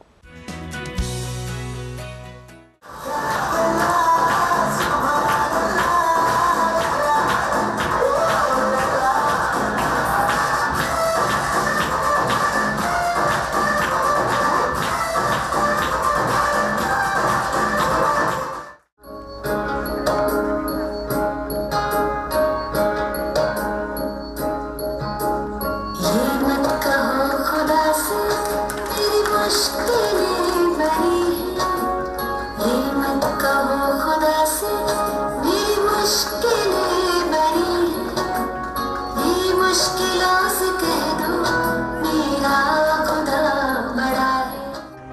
સ્ટેજ પર જોરદાર પરફોર્મન્સ આપી રહેલા આ બાળકોને આપે નિહાળ્યા. તમે જોયું કે તેઓ ડાન્સની એક પણ બીટ ભૂલતા નથી. સુમધુર ગીત પણ તેઓએ રજૂ કર્યા. જ્યારે નાની બાળકીએ જે રબર ગર્લ તરીકે ઓળખાય છે, તેણે જટિલ યોગનું નિદર્શન કર્યું. જે બાળકોએ આ પરફોર્મન્સીસ આપ્યા છે, તેઓ સ્પેશિયલ ચાઇલ્ડ એટલે કે દિવ્યાંગ બાળકો છે. કુદરતે તેમની કેટલીક શક્તિઓને લઈ લીધી છે. પરંતુ એ સાથે બીજી અઢળક શક્તિઓ પણ અર્પી છે જેના દ્વારા તે પોતાના જીવનને પૂર્ણ બનાવી શકે છે જરૂર છે માત્ર આ શક્તિને ઓળખી તેને ખીલવવાની नॉर्मल बोल के हमारे पास कोई टर्म नहीं हम लोग सब में कुछ न कुछ प्रॉब्लम्स है ही जैसे मैं ड्राइव नहीं कर सकती हूँ I am disabled in driving मुझसे नहीं होता मुझसे बैंक के काम नहीं होते तो नॉर्मल बोल के कुछ भी नहीं है हमें उस पर जोर देना चाहिए जो हम कर सकते हैं और जो हमारे बच्चे कर सकते हैं सबसे पहली चीज़ हमारे बच्चों की इज़्ज़त करें। वो जो अच्छा कर सकते हैं, वहाँ पे फोकस करें, ना कि वो जो नहीं कर सकते हैं, वो सोच सोच कर आप परेशान हो। और सोसाइटी से भी हमारी मैसेज होगी कि हमें दया की ज़रूरत नहीं है, हमें कंपैशन की ज़रूरत है एक्सेप्टेंस की ज़रूरत है। हमारे ऊपर ये रिस्पॉन्सिबिलिटी आई है कि हम दुनिया को दिखाएँ, हमारे बच्चे कितने टैलेंटेड हैं। उन्हें लेकर बाहर आएँ आप लोग। એશિયન લિટરરી સોસાયટી આવા જ બાળકોમાં રહેલી સુષુપ્ત શક્તિઓને બહાર લાવી તેઓને સમાજમાં પ્રવૃત્ત અને સ્વીકાર્ય બનાવવા પ્રયત્નો કરી રહી છે ये A L S sphere foundation की का एक इनिशिएटिव है जहाँ एशियन लिटरेरी सोसाइटी जो कि अ, एक लाख से ज़्यादा जिसमें कवि लेखक ह- अ, सौ से ज़्यादा कंट्रीज से उस ग्रुप के मेंबर्स हैं और ये A L S Pravas forum उनका सोशल इनिशिएटिव है जहाँ पे हम स्पेशल नीड बच्चों के टैलेंट को शोकेस कर रहे हैं और साथ ही साथ इनसे रिलेटेड अवेयरनेस क्रिएट कर रहे हैं આ સંસ્થા દ્વારા હાલમાં જ અમદાવાદના વસ્ત્રાપુર ખાતે પરવાસ બે હજાર બાવીસ કાર્યક્રમની ઉજવણી કરવામાં આવી જેમાં બાળકોએ ઉત્કૃષ્ટ પ્રસ્તુતિ કરી હતી જે નિહાળી ઉપસ્થિત સૌ લોકો મંત્રમુગ્ધ બની ગયા હતા हम सफर मेरे हम सफर पंख तुम परवाज हम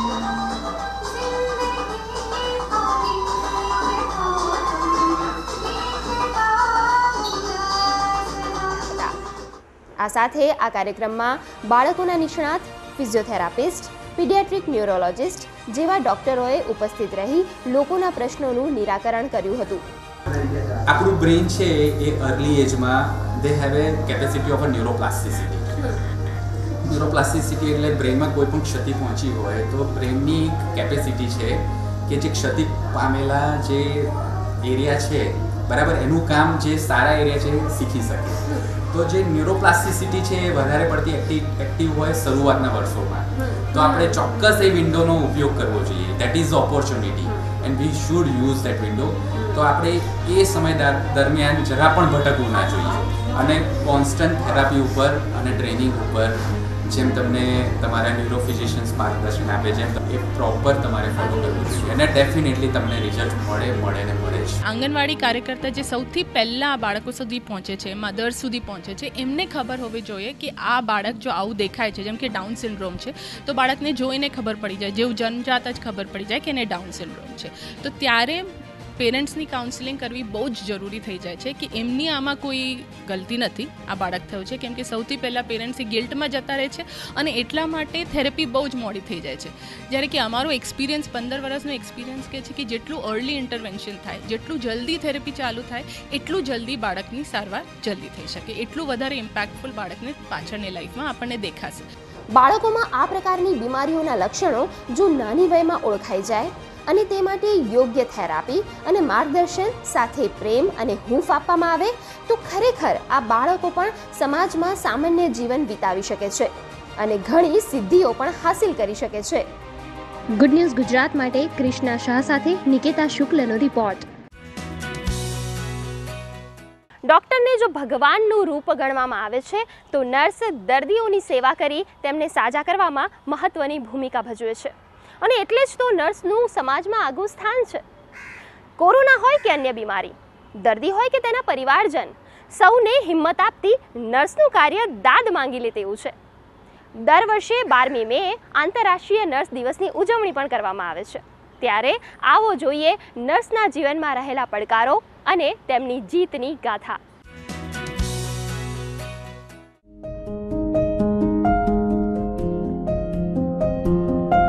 ડૉક્ટર જેટલું જ નર્સનું કામ હોય છે. ડૉક્ટર તો એક ઓર્ડર આપી કે એક ટાસ્ક આપીને જતા રહે કે આ તમારે કરવાનું છે. પછી બધી સેવા અમારે પેશન્ટને અમારે પોતે જ આપવાની હોય છે. એટલે પેશન્ટના નજીકમાં નજીક ગણીએ તો પરિચારિકા જ રહેતી હોય છે.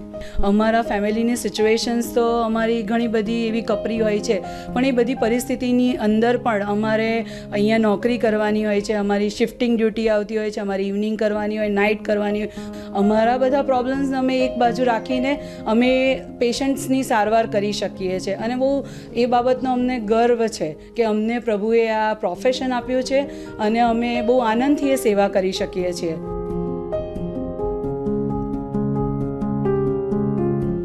કોરોના કાળ બહુ ખરાબ હાલત હતી એ વખતે, કારણ કે ત્યારે પોતાના માણસોથી બધા પરિવાર છૂટા પડતા હતા.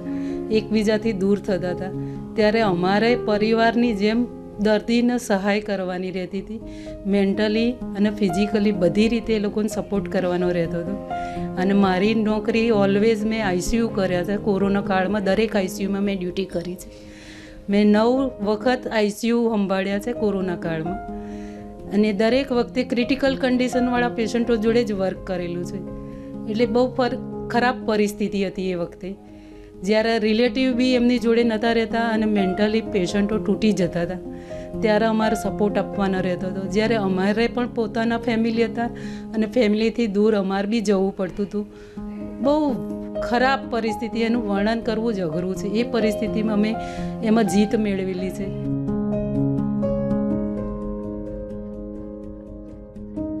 ફ્લોરેન્સ નાઇટેંગલથી માંડીને આજ સુધી તમામ નર્સિસ અને નર્સિંગ સ્ટાફનું દર્દીને સાજા કરવામાં ખૂબ યોગદાન રહ્યું છે. કોરોના કાળમાં આપણે જોયું કે ડોક્ટરોએ કેટલી મહેનત કરી, પણ એટલી જ મહેનત તમામ નર્સિસે કરી છે અને આના માટે હું દુનિયાની તમામ નર્સિસનો પણ ઋણ સ્વીકાર કરું છું અને એમને ધન્યવાદ આપું છું. મારે એક બે કિસ્સા જરૂર આજે કહેવા છે. હું જ્યારે કેન્સર હોસ્પિટલમાં ટ્રેનિંગમાં હતો, ત્યારે એક ડોક્ટરે ઓપરેશન કરેલું, હું ડ્યુટી પર હતો. અને હું બેઠો હતો ને એકદમ એક નર્સ દોડીને આવ્યા ને એમણે કીધું કે પેશન્ટની ડ્રેનેજ બોટલ આખી બ્લડથી ભરાઈ ગઈ છે. અમે તરત દોડ્યા. દોડ્યા અને તરત જોયું, તરત એને ઓપરેશન થિયેટરમાં લીધા અને તરત એનું બ્લીડિંગ બંધ કર્યું અને પેશન્ટનો જીવ બચી ગયો. માત્ર ને માત્ર નર્સની ચપળતાના કારણે એવી જ રીતે એકવાર અમે લેપ્રોટોમી કરતા હતા, એટલે પેટ ખોલીને ઓપરેશન કરતા હતા અને બધું પતી ગયું, સરસ રીતે પતી ગયું. પછી અમે મોપ્સ બહાર કાઢ્યા અને નર્સે અમને જણાવ્યું કે એક મોપ ખૂટે છે. એટલે અમે કીધું કે ના, અમે તો બધા જ મોપ્સ કાઢ્યા છે. પણ તમે કહો છો તો એકવાર ફરીથી જોઈ લઉં છું ફરીથી જોવામાં એક મોપ અંદરથી નીકળ્યું અને અમે બહાર કાઢ્યું અને તરત જ નર્સનો આભાર માન્યો. અને આ રીતે અમને અમારી હોસ્પિટલમાં, અમારા પ્રેક્ટિસમાં નર્સિસ અમને ફળ્યા છે. અને આ માત્ર તેમની સતર્કતા, તેમની તેમની કરુણા, તેમની ચપળતા અને એમના ઉત્સાહને કારણે. જયસુખ શિયાણી સાથે સુમન બોરાનાનો રિપોર્ટ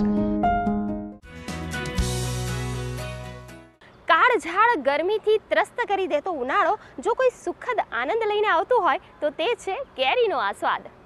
કેરીના રસિયાઓની પ્રિય કેરીના ઉત્પાદન પર ગ્લોબલ વોર્મિંગ અને રાસાયણિક ખાતરના કારણે માઠી અસર પડી છે.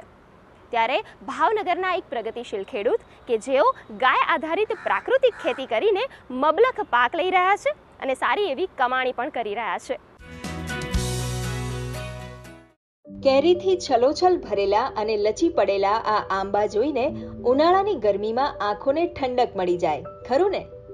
આ આંબાવાડી છે ભાવનગરના તણસા ગામના પ્રગતિશીલ ખેડૂત બ્રિજરાજસિંહ ગોહિલની, જે ચાર વર્ષથી ગાય આધારિત પ્રાકૃતિક ખેતી કરે છે અને રાસાયણિક ખાતરને સંપૂર્ણ તિલાંજલિ આપી ઓછા ખર્ચે વધુ આવક મેળવી સમૃદ્ધ થયા છે.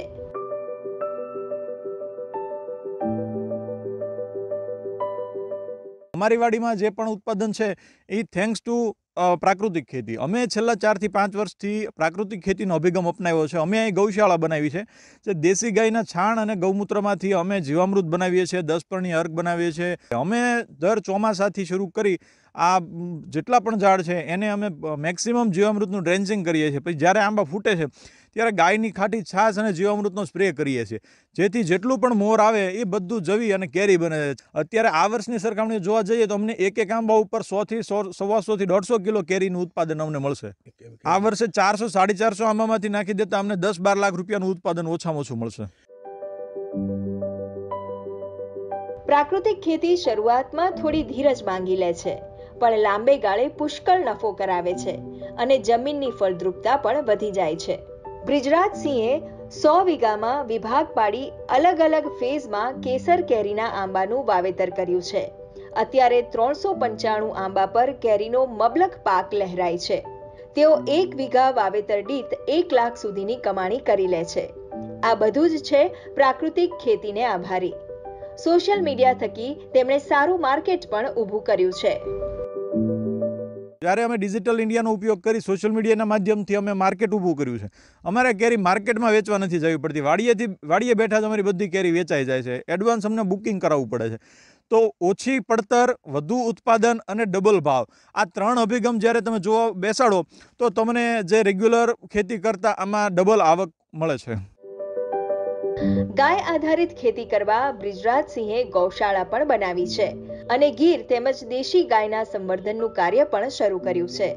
ગૌમૂત્ર, ગોબર, જંગલની વનસ્પતિનો ઉપયોગ કરી પ્રાકૃતિક ખેતીનો અભિગમ દરેક રીતે ફળદાયી નીવડ્યો છે. અન્ય ખેડૂતોને હું એક જ સંદેશ આપવા માંગુ છું કે જે આપણી જૂની પદ્ધતિ હતી પ્રાકૃતિક ખેતી, એ પ્રાકૃતિક ખેતીનો અભિગમ અપનાવો, એનાથી તમારી બે ધારી નીતિ તમને તમારા આંગણે દેશી ગાય બાંધશો તો તમારા ફેમિલીને ગાયનું ચોખ્ખું દૂધ દૂધ, છાશ મળશે અને એ ગાયનું ગૌમૂત્ર અને છાશ તમે ખેતીમાં ઉપયોગ કરશો તો તમારે ક્યારે રાસાયણની કે એગ્રોની ક્યારેય જરૂર નહીં પડે. તો તમારે એક બીજો ખીચા ખર્ચો બચી જશે અને તમારી જમીન છે એની રોગ પ્રતિકારક શક્તિ વધશે. એટલે તમને દિવસે ને દિવસે જે તમારી ઉત્પાદન ઘટતું ગયું હતું, એ ઉત્પાદન હવે વધતું જોવા મળશે. વડાપ્રધાન શ્રી નરેન્દ્ર મોદી અને ગુજરાતના રાજ્યપાલ આચાર્ય દેવવ્રતજીના ખેડૂતોને પ્રાકૃતિક ખેતી માટેના આહવાનને આ પ્રગતિશીલ ખેડૂતે સુપેરે અનુસરીને અન્યો માટે પ્રેરણારૂપ બન્યા છે. પ્રાકૃતિક ખેતી કે જે કહી શકે છે, વ્યક્તિના સ્વાસ્થ્ય માટે ખૂબ જ ફાયદાકારક છે, જેને લઈને આ ખેડૂત છે એ ભારત સતર્ક બની રહ્યા છે અને આર્થિક સમૃદ્ધ પણ બની રહ્યા છે. કેતન રાજપુરા, દૂરદર્શન ન્યૂઝ, ભાવનગર. તો દર્શક મિત્રો, આ હતો આજનો અમારો સકારાત્મક ખબરોનો કાર્યક્રમ ગુડ ન્યૂઝ ગુજરાત આપ આપના અભિપ્રાય અને આવી જ ગુડ ન્યૂઝ અમને મોકલી શકો છો. અમારો ઈમેલ આઈડી છે good news Gujarat at the rate Gmail dot com આ એપિસોડ આપ અમારી YouTube channel DD news Gujarati પર પણ નિહાળી શકો છો. તો આ સપ્તાહે માત્ર આટલું જ. આવતા સપ્તાહે ફરીથી મળીશું. ત્યાં સુધી અમને રજા આપશો. નમસ્કાર.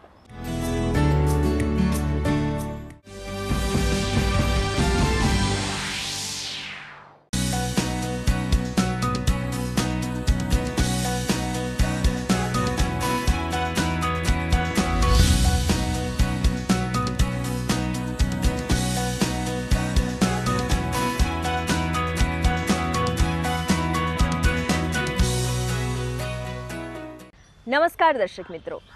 મિત્રો, જીવન અરીસા જેવું છે.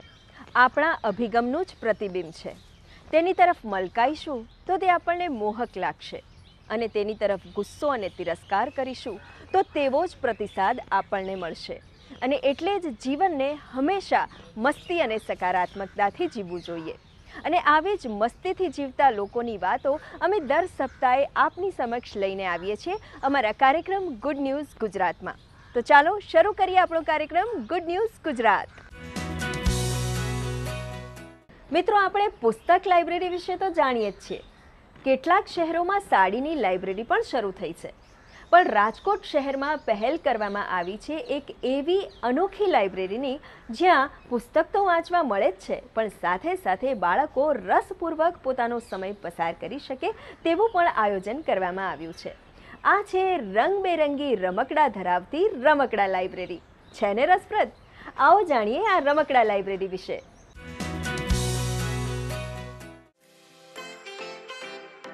આ રંગબેરંગી મજાના રમકડા. જ્ઞાન સાથે ગમ્મત પીરસતા શૈક્ષણિક સાધનો. પગેથી ધક્કો મારી ચલાવવામાં આવતી આ ગાડીઓ અને કોઈ પણ વ્યક્તિ જો અહીં આવે તો રમતિયાળ બની જાય તેવી આ જગ્યા. અને સુંદર મજાના રમકડા વચ્ચે જો બાળકોને લઈ આવવામાં આવે, તો તેને તો જાણે પોતાની મનગમતી દુનિયા જ મળી જાય. હા મિત્રો, અહીં આવતા બાળકો માટે તો આ શક્ય બનશે. કારણ કે રાજકોટ શહેરમાં ખાસ એકથી બાર વર્ષના બાળકો માટે શરૂ કરવામાં આવી છે રમકડા લાઇબ્રેરી. અહીંયા બાર વર્ષના સુધીના બધા બાળકોના માટે રમકડા અવેલેબલ છે અહીંયા. જે બાળકો થેરાપી ચાલતી હોય તો એના માટેના રમકડા બી અહીંયા આપણે રાખીએ છીએ કે જે અહીંયા આવી અને વાલી ઘરે લઈ જઈ શકે, જે બાળકો નથી આવી શકતા ને એને રમાડી શકે છે. રાજકોટમાં પુસ્તક લાઇબ્રેરીની સાથે સાથે હવે નવી પહેલ શરૂ કરી, રમકડા લાઇબ્રેરી પણ શરૂ કરવામાં આવી છે. અહીં નાના બાળકોના વાલીઓ પોતાના બાળકો માટે બજારમાં મળતા મોંઘા રમકડાને આ લાઇબ્રેરીમાંથી નિઃશુલ્ક મેળવી આપેલા સમય સુધી પોતાના ઘરે લઈ જાય છે. આમ નવા અને જુદા જુદા રમકડા મેળવી બાળકો પણ ખુશ અને માતા પિતા પણ ખુશ. તો સાથે આ જગ્યાએ પુસ્તકાલય પણ બનાવવામાં આવ્યું છે. જ્યાં નાના મોટા સૌ કોઈ પુસ્તક, મેગેઝિન કે સમાચાર પત્રનું વાંચન કરી શકે છે અને સાથે ઘરે લઈ જવા પુસ્તકો તો ઉપલબ્ધ હોય જ છે. રાજકોટમાં ત્રણ અમારી સરકારી લાઇબ્રેરી, બીજી ત્રણ ગ્રાન્ટેડ લાઇબ્રેરી કાર્યરત છે. લાઇબ્રેરીનો ખૂબ બોળો પ્રમાણમાં ઉપયોગ કરવામાં આવે છે. અત્યારે બત્રીસ હજાર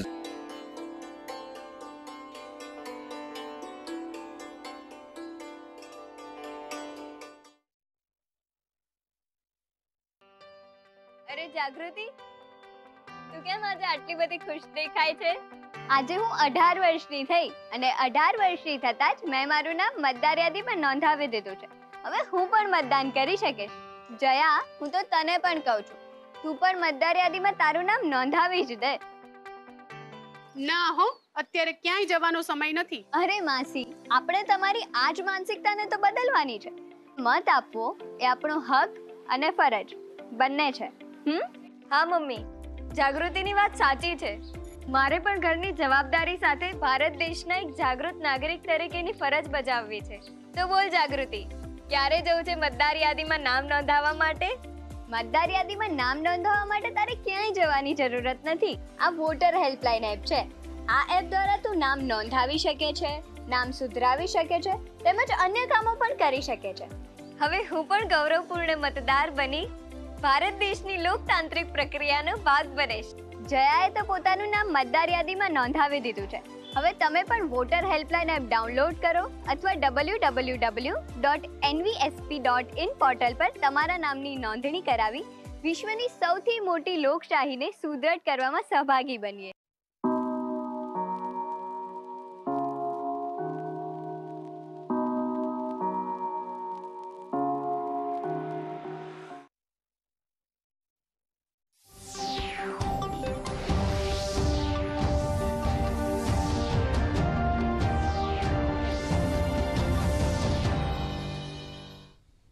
નમસ્કાર, દૂરદર્શન સમાચાર સાથે ન્યૂઝ ફોકસમાં હું રિયા ઉપાધ્યાય. સમાચારની શરૂઆત કરીશું મુખ્ય સમાચારથી.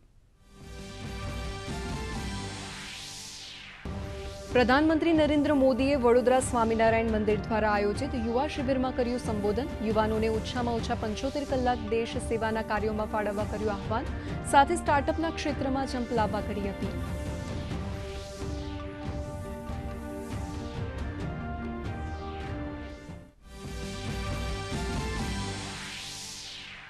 પ્રધાનમંત્રીએ વડોદરા સાથે હૃદયનો સંબંધ હોવાનો ઉલ્લેખ કરતા કહ્યું, વડોદરા અને કાશી બંને મારા માટે મહત્વના. સ્ટેચ્યુ ઓફ યુનિટીના કારણે વડોદરા પણ બન્યું મહત્વનું કેન્દ્ર. સાથે યુવાનોને ડિજિટલ વ્યવહાર વધારવાનો આગ્રહ કરતા કહ્યું, ડિજિટલ ઇન્ડિયા લાવશે નવી ક્રાંતિ.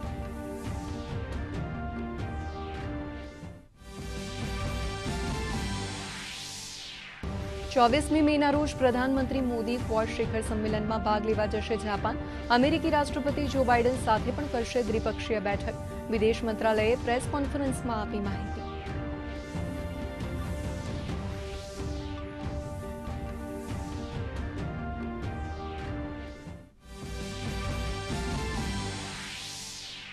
ચોત્રીસ વર્ષ પહેલા પટિયાલામાં ગુરનામસિંહ સાથે મારપીટ મામલે નવજોતસિંહ સિદ્ધુને એક વર્ષની જેલની સજા, બે હજાર અઢારમાં એક હજાર રૂપિયાના દંડની સજાને સુપ્રીમ કોર્ટે જેલની સજામાં ફેરવી.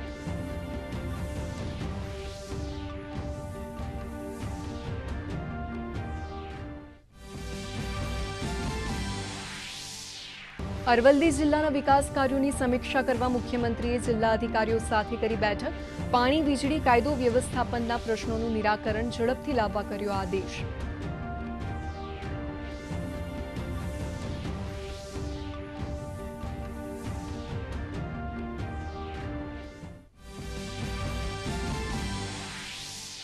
શિક્ષકોના પ્રશ્નોનું નિવારણ લાવવા બદલ શિક્ષણ સંઘ દ્વારા શિક્ષણ મંત્રી જીતુભાઈ વાઘાણીનું કરાયું સન્માન. શિક્ષણ મંત્રીએ કહ્યું નોન ટીચિંગ સ્ટાફની ભરતી અને સાતમા પગાર પંચના હપ્તાની ચૂકવણીની કામગીરી બનાવાશે ઝડપી.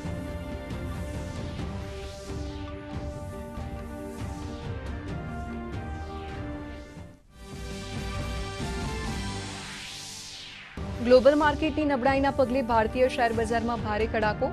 આજે બીએસસી સેન્સેક્સ એક હજાર ચારસો સોળ અંકના ભારે ઘટાડા સાથે બાવન હજાર સાતસો બાણું પર થયો બંધ. તો નિફ્ટી ચારસો ત્રીસ અંકના ઘટાડા સાથે પંદર હજાર આઠસો નવ પર થયો બંધ. આઈટી, મેટલ, ફાઇનાન્સ સહિત રિયલ એસ્ટેટના સ્ટોક્સ ગગડ્યા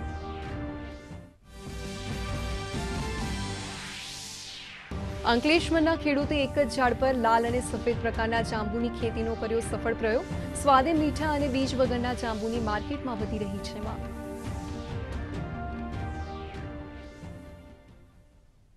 હવે જોઈએ સમાચાર વિગતવાર.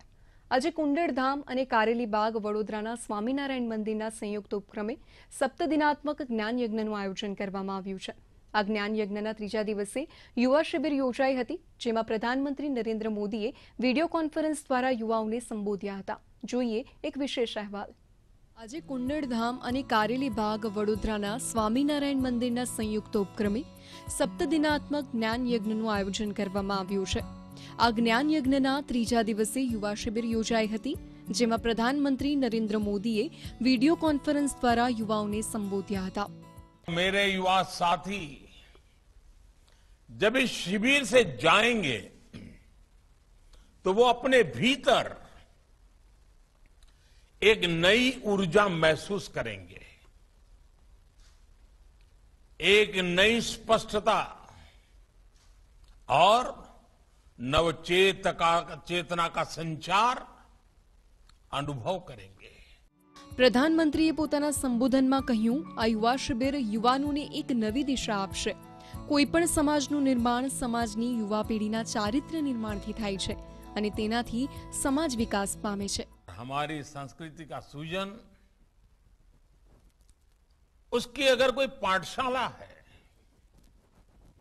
उसका अगर कोई मूल बीज है तो वो हमारे संस्कार होते हैं और इसलिए ये संस्कार अभ्युदय शिविर हमारे युवाओं के अभ्युदय के प्रयास के साथ ही हमारे समाज के अभ्युदय का भी एक स्वाभाविक पवित्र अभियान है પ્રધાનમંત્રીએ વડોદરા શહેરનો ઉલ્લેખ કરતા કહ્યું વડોદરા એ સંસ્કારોની નગરી છે અને અહીંયા સંસ્કારોના ઉત્સવ થાય છે.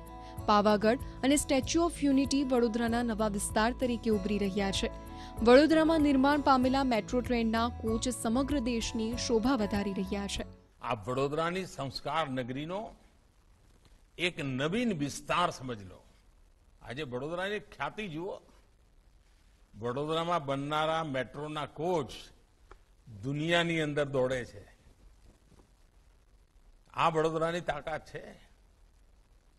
અને આ ભારતની તાકાત છે. હાલ સમગ્ર દેશ પંચોતેરમી આઝાદીના અમૃત મહોત્સવની ઉજવણી કરી રહ્યું છે. ત્યારે પ્રધાનમંત્રીએ યુવાનોને ઓછામાં ઓછા પંચોતેર કલાક કુપોષણ અભિયાન અને સ્વચ્છતા જેવી બાબતોના કામ માટે ફાળવવાનું આહ્વાન કર્યું હતું. સાથે જન ઔષધિ કેન્દ્રોથી દવાની ખરીદી કરી ગરીબોને મદદ કરવા માટે પણ યુવાનોને આગ્રહ કર્યો હતો. ચાહે સ્વચ્છતાનું કામ લઈએ ચાહે કુપોષણમાંથી બાળકોને મુક્ત કરાવવાનું કામ લઈએ, ચાહે પ્લાસ્ટિક ના કચરાથી લોકો પ્લાસ્ટિક ન વાપરે સિંગલ યુઝ પ્લાસ્ટિકમાંથી મુક્તિ મેળવે, એનું અભિયાન ચલાવીએ. કોઈ ને કોઈ એવું કામ આપણે કરીએ અને આ વર્ષમાં પંચોતેર કલાક એના માટે આપી શકીએ. સાથે જ આઝાદીના અમૃત પર્વ નિમિત્તે આગામી એક વર્ષ દરમિયાન માત્ર ડિજિટલ નાણાકીય વ્યવહાર કરવાનો અને ઓછામાં ઓછા પંચોતેર કલાક માતૃભૂમિની સેવા કરવાનો સંકલ્પ કરવા જણાવ્યું હતું. બ્યુરો રિપોર્ટ, દૂરદર્શન સમાચાર, અમદાવાદ. વડોદરાના કારેલીબાગ સ્થિત સ્વામિનારાયણ મંદિર ખાતે સપ્તદિનાત્મક જ્ઞાનયજ્ઞમાં ત્રીજા દિવસે પ્રધાનમંત્રી નરેન્દ્ર મોદી વર્ચ્યુઅલ લાઈવ ઉપસ્થિત રહ્યા હતા. આ પ્રસંગે ભાજપના પ્રદેશ અધ્યક્ષ સી આર પાટીલ અને ગુજરાત રાજ્યના શહેરી વિકાસ મંત્રી વિનોદ મોરડિયા તથા વડોદરાના મેયર કેયુર રોકડિયા વગેરે મહાનુભાવો ઉપસ્થિત રહ્યા હતા. આ અવસરે પીએમ મોદીએ જણાવ્યું હતું કે રાષ્ટ્ર માટે પણ યુવાઓને પોતાનું યોગદાન આપવું જરૂરી છે, તેમજ પ્રાકૃતિક ખેતી અપનાવવા અને આગામી એક વર્ષ દરમિયાન ડિજિટલ નાણાકીય વ્યવહાર કરવા અને ઓછામાં ઓછા પંચોતેર કલાક માતૃભૂમિની સેવા કરવાનો સંકલ્પ કરવા જણાવ્યું હતું. પ્રધાનમંત્રી નરેન્દ્ર મોદી સાહેબે યુવાનોના શિબિરમાં વર્ચ્યુઅલ એમને ઘણી બધી યુવાનો સાથે વાત કરી છે. યુવાનો પાસેથી એમને ઘણી બધી અપેક્ષા પણ છે. બરોડા સાથે એમનો વર્ષોનો નાતો રહ્યો છે. તે સમયના એમની સાથે કામ કરાવડા અનેક લોકોને પણ એમણે યાદ કર્યા અને યુવાનોને પ્રાકૃતિક ખેતી તરફ વળવા માટે પણ એમણે અનુરોધ કર્યો. આઝાદીના અમૃત મહોત્સવ નિમિત્તે એક વર્ષમાં લગભગ પંચોતેર કલાક યુવાનો કોઈકને કોઈક સ્વચ્છતા અભિયાન જેવા કોઈને કોઈ રાષ્ટ્ર માટેના કામો હાથ પર લે એવી પણ એમને વિનંતી કરી છે. યુવાનોનો જે રીતે પ્રતિસાદ મળતો હતો, એને પરથી ચોક્કસપણે એમ કહી શકાય કે ખૂબ સારો પ્રતિસાદ મળશે. યુવાનો એમાં જોડાશે. પ્રધાનમંત્રી નરેન્દ્ર મોદી તારીખ ચોવીસ મેના રોજ જાપાનના ટોક્યોમાં કોણ નેતાઓની ત્રીજી શિખર સંમેલનમાં ભાગ લેશે. આ બેઠકમાં કોણ નેતાઓને હિન્દુ પ્રશાંત ઘટનાક્રમ સમસામયિક વૈશ્વિક મુદ્દાઓ પર વિચારોના આદાન પ્રદાનનો અવસર મળશે. તેમજ વિદેશ મંત્રાલયના પ્રવક્તા અરિંદમ બાગચીએ જણાવ્યું હતું. ઉપરાંત આ બેઠક બાદ પ્રધાનમંત્રી મોદી, અમેરિકન રાષ્ટ્રપતિ જો બાઇડન અને ઓસ્ટ્રેલિયાના પ્રધાનમંત્રી સ્કોટ મોરિસન સાથે દ્વિપક્ષીય બેઠક કરશે. સાથે તેમણે ભારત ચીન બોર્ડરની સ્થિતિ અને અફઘાનિસ્તાનને કરવામાં આવી રહેલ મદદ અંગે પણ માહિતી આપી હતી.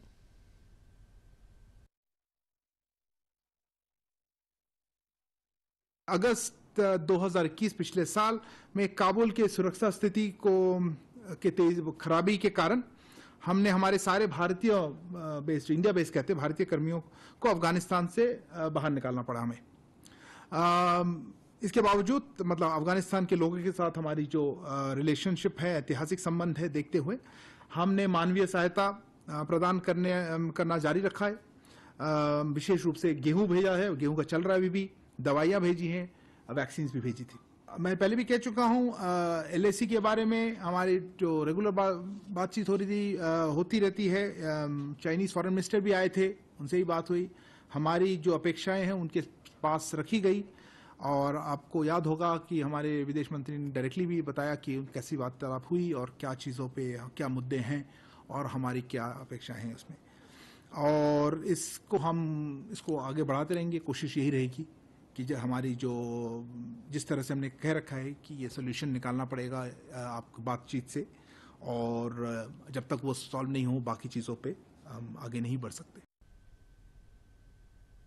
પંજાબ કોંગ્રેસના પૂર્વ અધ્યક્ષ નવજોતસિંહ સિદ્ધુને આજે મોટો આંચકો લાગ્યો છે સુપ્રીમ કોર્ટે આજે ચોત્રીસ વર્ષ જૂના રોડ રેજ કેસમાં સુપ્રીમ કોર્ટ દ્વારા એક વર્ષની સશ્રમ કેદની સજા ફટકારી છે આ અગાઉ આ કેસમાં સુપ્રીમ કોર્ટે સિદ્ધુને એક હજાર રૂપિયાના દંડ ફટકારીને છોડ્યા હતા. સિદ્ધુએ સુપ્રીમ કોર્ટમાં પોતાની સામેના રોડ રેજ કેસમાં દાખલ થયેલી પુનઃ વિચાર અરજીને રદ કરવા માટેનો અનુરોધ કર્યો હતો. સિદ્ધુએ પુનઃવિચાર અરજી અંગે જણાવ્યું હતું કે આ કેસ ચોત્રીસ વર્ષ જૂનો છે અને આ અરજી વિચારણીય નથી. સિદ્ધુએ ચોત્રીસ વર્ષ અગાઉ પતિયાલાના માર્ગ ઉપર થયેલા વિવાદમાં ગુરુનામસિંહની સાથે મારપીટ કરી હોવાનો તેની ઉપર આરોપ છે. ગુરુનામ સિંહનું હોસ્પિટલમાં મૃત્યુ થયું હતું. રોડ રેજનો આ મામલો વર્ષ ઓગણીસો અઠ્યાસીનો છે.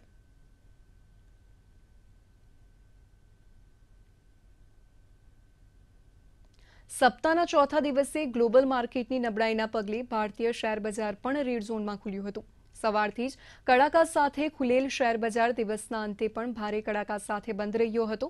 આજે બીએસસીનો સેન્સેક્સ એક હજાર ચારસો સોળ અંકના ભારે ઘટાડા સાથે બાવન હજાર સાતસો બાણું પર બંધ થયો. તો એનએસઈનો નિફ્ટી ચારસો ત્રીસ અંકના ઘટાડા સાથે પંદર હજાર આઠસો નવ પર બંધ થયો. રશિયા યુક્રેન વોરની સ્થિતિ, ડોલર સામે રૂપિયો નબળો થવાની સ્થિતિ અને મોંઘવારીની સ્થિતિના પગલે શેર બજાર પર નકારાત્મક અસર જોવા મળી હતી. IT metal, finance, real estate સહિતના તમામ સ્ટોક્સ ગગડ્યા હતા. Tata steel, tech Mahindra, Wipro, Infosys SBI CLL tech, Hindalco, Adani પોર્ટ્સના સ્ટોક્સમાં વેચવાલીના પગલે બજાર નરમ રહ્યું હતું. રાજ્યના શિક્ષણ મંત્રી જીતુ વાઘાણીએ શિક્ષણ સંઘના હોદ્દેદારોને સંબોધિત કર્યા હતા. ગુજરાત રાજ્ય શૈક્ષણિક સંકલન સમિતિએ શિક્ષણ જગતના આઠ પ્રશ્નોના સુખેત ઉકેલ લાવવા બદલ શિક્ષણ મંત્રીનું સન્માન કર્યું હતું. આ પ્રસંગે શિક્ષણ મંત્રીએ જણાવ્યું હતું કે, રાજ્યના લાખો શિક્ષકોએ અમારો પરિવાર છે.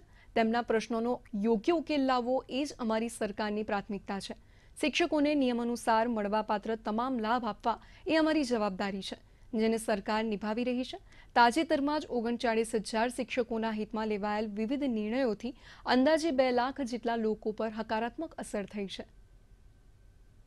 તમારી વર્ષો જૂની જે લાગણી ને માગણી હતી હું હું એવું કહું છું કે તમારો અધિકાર હતો. અને અમે એવું માની છે કે કોઈ એમાં ઉપકાર નથી કરતા. અમારી જવાબદારી છે અમે કરીએ છીએ. અહીંથી એકાણુંથી તો એ જવાબદારીમાં છે એટલે હું એવું માનું છું કે ત્રીસ પાંત્રીસ વર્ષ જૂના પણ કેટલાક પ્રશ્નો તમારા હતા પચીસ વર્ષ જૂના. એ આજે ભારતીય જનતા પાર્ટીની સરકારે ભૂપેન્દ્રભાઈના નેતૃત્વમાં પૂરા કર્યા છે. ગ્રાન્ટેડ એડમાં વિદ્યાર્થીઓને ભણાવવા એ સહેલું નથી, મને ખબર છે. અને એને તમે પહેલ પાડીને સમાજની વ્યવસ્થામાં મૂકો છો, એટલે વિશેષ અભિનંદન આપું છું. ગ્રાન્ટેડ એડ હોય, સરકારી હોય, આ બધી જ તમારું કમિટમેન્ટ એ રાજ્યના શિક્ષણ જગતને.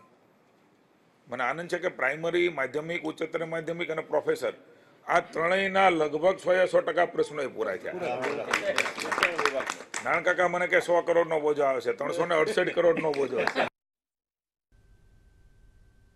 અરવલ્લી જિલ્લાના વિકાસ કાર્યોની સમીક્ષા કરવા મુખ્યમંત્રીએ બાયડમાં જિલ્લા અધિકારીઓ સાથે બેઠક કરી હતી.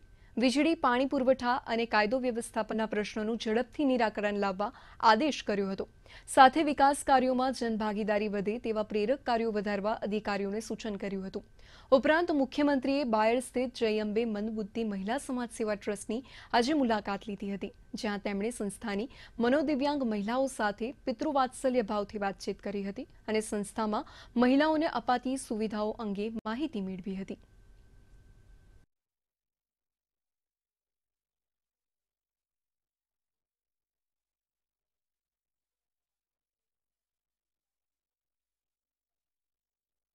મંદબુદ્ધિની આપણી જે મહિલાઓ છે એની જે આપણા જે ટ્રસ્ટના જે આગેવાનો જે સેવા કર્યા છે, એની અમારી વહીવટી તંત્ર, અમારા પદાધિકારી, અધિકારીઓ સાથે સન્માનીય ભૂપેન્દ્રભાઈ પટેલ સાહેબ અમે બધાએ મુલાકાત લીધી અને એમને પણ શુભેચ્છા પાઠવી છે.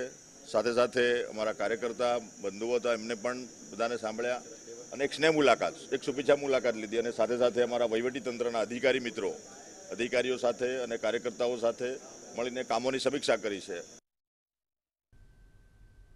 પ્રધાનમંત્રી નરેન્દ્ર મોદીના સ્કિલ ઇન્ડિયા મિશન અંતર્ગત બુધવારે અમદાવાદ વટવા જીઆઈડીસી ખાતે શ્રમ કૌશલ્ય વિકાસ અને યોજગાર વિભાગ દ્વારા ઉદ્યોગ સંપર્ક કાર્યક્રમનું આયોજન કરવામાં આવ્યું. આ કાર્યક્રમમાં ઉદ્યોગ જગત સાથે જોડાયેલા ત્રણસોથી વધુ લોકો હાજર રહ્યા હતા, જેમાં શ્રમ અને રોજગાર નિયામક લલિત નારાયણસિંહ સંધુ ખાસ ઉપસ્થિત રહ્યા હતા. ગુજરાત ડેવલપમેન્ટ મિશન અને નિયામક રોજગાર અને તાલીમ દ્વારા ઉદ્યોગોમાં નિરંતર બદલાતી ટેકનોલોજી અને તેને અનુરૂપ કુશળ માનવબળ પૂરું પાડવાનું કાર્ય કરે છે. એવામાં ઉદ્યોગોમાં માનવબળની જરૂર, કેવા પ્રકારની સ્કિલિંગની આવશ્યકતા અને જરૂરી અભ્યાસક્રમો અંગે ઉદ્યોગકારો સાથે ચર્ચા કરવામાં આવી હતી.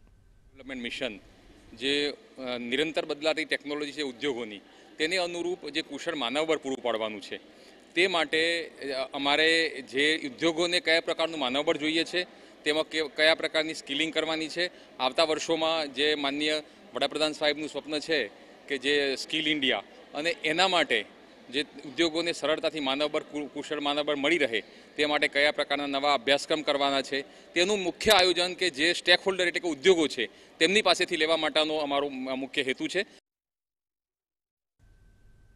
સુરતમાં પોલીસ કમિશનર અજયકુમાર તોમરના અધ્યક્ષ સ્થાને રોડ સેફટી કાઉન્સિલની બેઠક યોજાઈ, જેમાં જોખમી રીતે વાહન ચલાવનાર વાહન ચાલકોના ડ્રાઇવિંગ લાયસન્સ ત્રણ મહિના માટે સસ્પેન્ડ કરવાનો નિર્ણય કરાયો હતો અને સસ્પેન્ડેડ લાયસન્સ સાથે વાહન ચલાવતા વાહન ચાલકોનું લાયસન્સ કાયમી સસ્પેન્ડ કરાશે તેવો નિર્ણય લેવાયો હતો. તો પોલીસ કમિશનરે અકસ્માતનું પ્રમાણ અને મૃત્યુદરમાં ઘટાડો થાય તે હેતુથી સ્ટ્રેટેજિક એક્શન પ્લાન ઘડવા જણાવ્યું હતું. અત્યાર સુધીમાં કુલ એક હજાર અઠ્યાસી વાહન ચાલકોના લાયસન્સ રદ કરવામાં આવેલા છે કે જેઓ ઓવરસ્પીડિંગમાં વાહન ચલાવે છે, રોંગ સાઈડમાં ચલાવે છે અને મોબાઈલ ફોન પર વાત કરે છે. હવે પછી પણ આ કાર્યવાહી એ સઘન ઝુંબેશના હાથરૂપે હાથ ધરવામાં આવેલી છે અને દરેક વાહન ચાલકો જે રોંગ સાઈડમાં પોતાનું વાહન ચલાવે છે, એવા વાહન ચાલકોને કાયદેસરની કાર્યવાહીની સાથે સાથે આરટીઓ વિભાગને લાયસન્સ સસ્પેન્ડ કરવા માટેની પણ રિપોર્ટ તૈયાર કરવામાં આવશે અને આ રિપોર્ટ આધારે આરટીઓ જે અધિકારી જે છે એ લાયસન્સ સસ્પેન્ડ કરી શકશે. દાહોદ જિલ્લાના દર્દીઓએ સારવાર માટે બહારગામ જવું ન પડે, તે માટે દાહોદની ઝાયડસ મેડિકલ કોલેજ એન્ડ હોસ્પિટલમાં નવા આઈસીયુ કેર યુનિટનું લોકાર્પણ કરવામાં આવ્યું હતું. આ કેર યુનિટને લાઈફ સેવિંગ આધુનિક સાધનોથી સજ્જ કરવામાં આવ્યું છે. આ સાથે હોસ્પિટલમાં હવે બેડની સંખ્યા પંદરથી વધારીને ચોવીસ કરવામાં આવી છે જ્યારે હોસ્પિટલ તંત્રએ લોકોને અહીં સારવાર લેવા અપીલ કરી હતી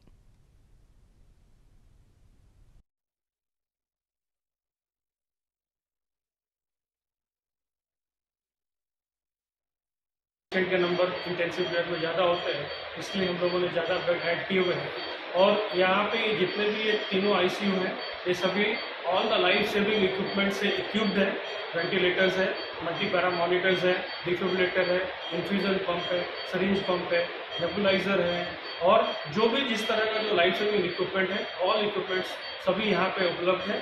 और ये सब जो भी सेवाएँ है, सारी मुफ़्त सेवाएँ हैं। तो कॉलेज हॉस्पिटल तरफ़ थी नवा बिल्डिंग के अंदर आईसीयू ना बार बेड और आईसीयू ना छः बेड એ જનતાને સમર્પિત કરવામાં આવે છે અને એ લોકો આ સેવાનો લાભ લે એના માટે અમે વિનંતી કરીએ છીએ તમારા થકી અમે એ લોકોને વિનંતી કરીશું કે એ લોકો જ્યારે પણ આવે જો પીએમજેવાય કાર્ડ હોય લઈને આવે તો હોસ્પિટલના આગળ પ્રગતિ કરવામાં મદદ થશે हम लोगों ने छः बेड का P I C U open inaugurate किया है जेड एस में फॉर सर्विस ऑफ पीडियाट्रिक्स छोटे बच्चों के लिए न्यू बॉर्न बेबीज़ के लिए અંકલેશ્વરનો એક ખેડૂત સામાન્ય ખેતી કરતાં કંઈક અલગ ખેતી કરીને સારી એવી કમાણી કરી રહ્યા છે. જૂના દીવા ગામની સીમમાં પોતાના જ ખેતરમાં આંબાવાડી સાથે સફેદ જાંબુના ઝાડ વાવી, સફેદ અને લાલ જાંબુનો મબલક પાક ઉગાડી બજારોમાં સારો એવો ભાવ મેળવી રહ્યા છે. આવો જોઈએ વિશેષ અહેવાલ. હાલમાં શાક માર્કેટમાં સફેદ અને લાલ જાંબુ આકર્ષણનું કેન્દ્ર બન્યા છે.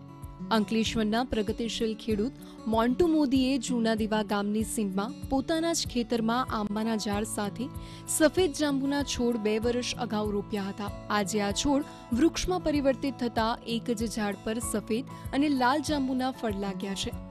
સફેદ જાંબુમાં શિયાળાની ઋતુ દરમિયાન ફૂલ આવવાનું ચાલુ થાય છે અને ઉનાળો ચાલુ થાય ત્યારે ફળ પરિપક્વ બને છે. સફેદ જાંબુની ખાસિયત એ છે કે તેમાં ઠળિયા હોતા નથી. મેં આંબાવાડી જોડે સફેદ જાંબુના છોડનું વાવેતર કરેલ છે ને એ છોડ પર ફળની આવક અત્યારે ચાલુ થઈ ગઈ છે. મારા એ જાંબુ પર બે જાતના જાંબુ લાગે છે. સફેદ જાંબુ ને લાલ જાંબુ, એ પણ ઝુમખામાં લાગે છે. એ ફળની વિશેષતા એ છે કે એ ફળની અંદર થળિયું બિલકુલ આવતું નથી ને ખાવામાં મીઠાશ લાગે છે. ને માર્કેટની અંદર સફેદ જાંબુનો ભાવ અત્યારે સો રૂપિયા કિલો છે. ને લાલ જાંબુનો ભાવ એકસો ચાલીસ રૂપિયા કિલો છે. ને એ છોડનું વાવેતર કરવાથી અત્યારે ખેડૂતોને ઘણો ફાયદો થાય છે. સફેદ અને લાલ જાંબુ આરોગ્યની દ્રષ્ટિએ પણ ગુણકારી છે. તેને ઇમ્યુનિટી બૂસ્ટર તરીકે પણ લેવામાં આવે છે. સફેદ જાંબુમાં iron folic acid potassium magnesium phosphorus અને સોડિયમ જેવા તત્વો રહેલા હોવાથી શક્તિવર્ધક તો છે જ, સાથે સુગર લેવલ પર કંટ્રોલમાં રાખે છે. બજારમાં હાલ આ સફેદ જાંબુ સો રૂપિયા કિલો અને લાલ જાંબુ એકસો ચાળીસ રૂપિયા કિલોના ભાવે વેચાઈ રહ્યા છે. બ્યુરો રિપોર્ટ, દૂરદર્શન સમાચાર, અમદાવાદ.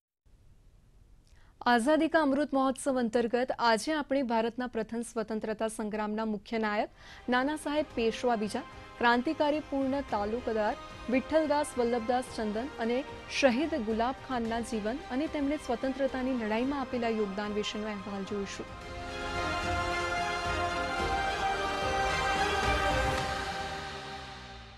આજના એપિસોડમાં અમે ભારતના પ્રથમ સ્વતંત્ર સંગ્રામના મુખ્ય નાયક નાના સાહેબ પેશવા બીજાને યાદ કરી રહ્યા છીએ.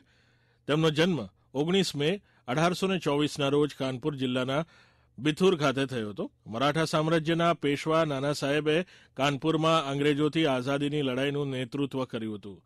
તેમણે કાનપુર ખાતે બ્રિટિશ ચોકીની શરણાગતિ સ્વીકારવા દબાણ કર્યું હતું અને અઢારસો ને સત્તાવનમાં કાનપુર પર કબજો મેળવ્યો હતો.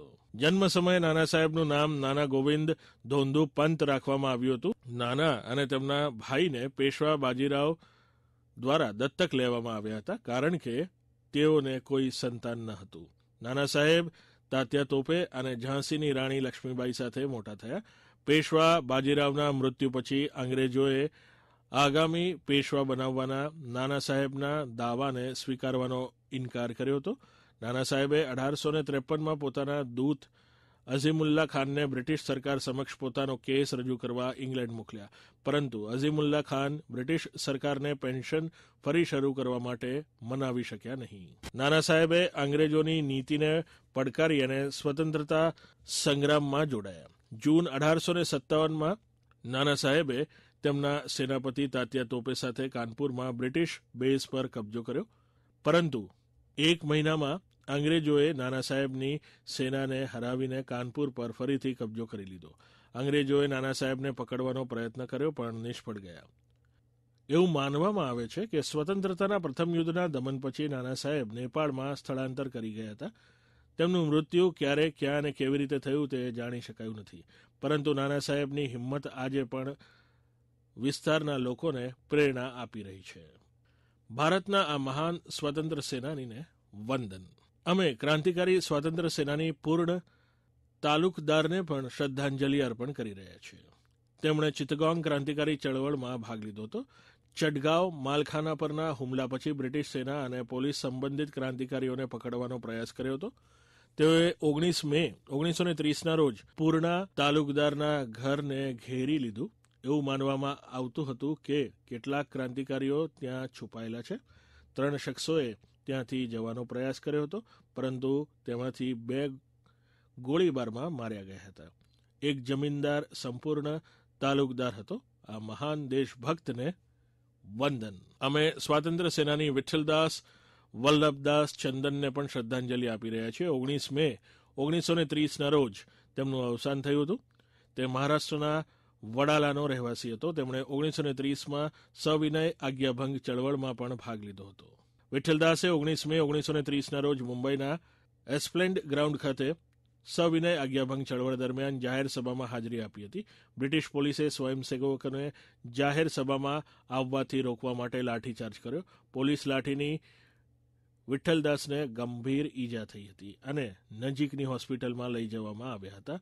જ્યાં તેમને પ્રાથમિક સારવાર આપવામાં આવી હતી. પ્રબળ ઈચ્છાશક્તિને કારણે ઈજાગ્રસ્ત થયેલા વિઠ્ઠલદાસે હિંમત દાખવી અને એસ્પ્લેન્ડે ગ્રાઉન્ડ ખાતેની જાહેર સભામાં હાજરી આપવા માટે ટ્રેનમાં ચડ્યા. પરંતુ તે ટ્રેનમાં બેહોશ થઈ ગયા અને ચાલતી ટ્રેનમાંથી પડી ગયા અને જાહેર સભામાં પહોંચે તે પહેલાં જ તેમનું મોત થઈ ગયું. આ મહાન ભારતીયને વંદન. અમે આજે શહીદ ગુલાબ ખાનને પણ યાદ કરી રહ્યા છીએ. તેમણે અઢારસો ને સત્તાવનમાં ભારતના પ્રથમ સ્વાતંત્ર્ય સંગ્રામમાં ભાગ લીધો હતો. કંપનીના દળોએ ગુલાબ ખાનને પકડી લીધો હતો અને તેના પર બ્રિટિશ સામ્રાજ્ય સામે બળવો કરવાનો આરોપ મૂક્યો હતો. અઢારસો ને સત્તાવનમાં ગુલાબ ખાનને આજીવન કેદ અને બેડીઓમાં સખત કેદની સજા કરવામાં આવી હતી. શહીદ ગુલાબ ખાનને શ્રદ્ધાંજલિ.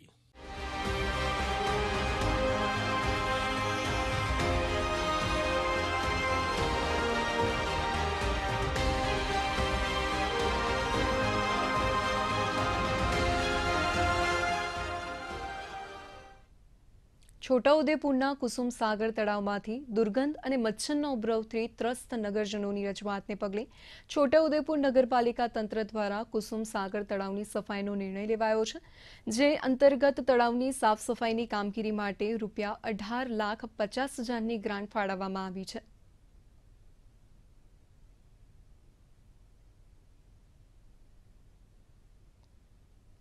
પંચમહાલના ગોધરા શહેરમાં આવેલા ન્યૂ ઈરા હાઈસ્કૂલના ગ્રાઉન્ડ ખાતે યોગ બોર્ડ દ્વારા નિઃશુલ્ક યોગ શિબિરનું આયોજન કરવામાં આવ્યું હતું, જેમાં રાજ્યના યોગ બોર્ડના ચેરમેન, યોગ સેવક શિષપાલ ઉપસ્થિત રહ્યા હતા. યોગ શિબિરમાં મોટી સંખ્યામાં શહેરીજનોએ ભાગ લીધો હતો. આ શિબિરમાં ગોધરા સહિત જિલ્લાના હાલોલ, કાલોલ અને શહેરા પંથકના યોગીઓ સહિત ગાયત્રી પરિવાર અને બ્રહ્માકુમારી સંસ્થાના કુમાર કુમારીઓએ ભાગ લીધો હતો. મને એવું લાગે છે કે પંચમહાલ જિલ્લામાં નહીં, પણ પૂરા ગુજરાતભરમાં આ જે અભિયાન છે, ફિટ ઇન્ડિયાનું, એના માધ્યમથી આ શિષપાલજી દ્વારા અને ગુજરાત રાજ્ય સરકાર દ્વારા રમતગમત ક્ષેત્ર હોય કે ગમે તે ક્ષેત્રમાં આજે ગુજરાત, ભારત દેશ અને પૂરી દુનિયામાં જ્યારે અગ્રેસર હોય છે, ત્યારે યોગના માધ્યમથી ખૂબ અગ્રેસર રહીને આ પૂરેપૂરા યુવાનો પણ આમાં જોડાયેલા છે, મહિલાઓ પણ જોડાયેલા છે. યોગ સંવાદ સાથે યોગ અભિયાન ફિટ ઇન્ડિયા મુવમેન્ટને આગળ વધારીને કાર્યક્રમ કર્યો છે અને એ કાર્યક્રમમાં હું હાજર રહી છું. સમાચારમાં હાલ બસ આટલું જ. વધુ સમાચાર સાથે વળી મળીશું. નમસ્કાર, શુભરાત્રી.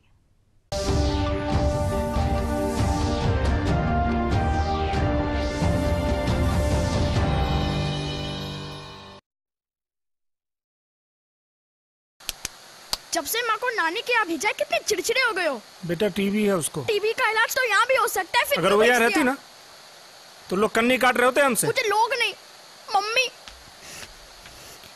अरे क्या? अर्जुन!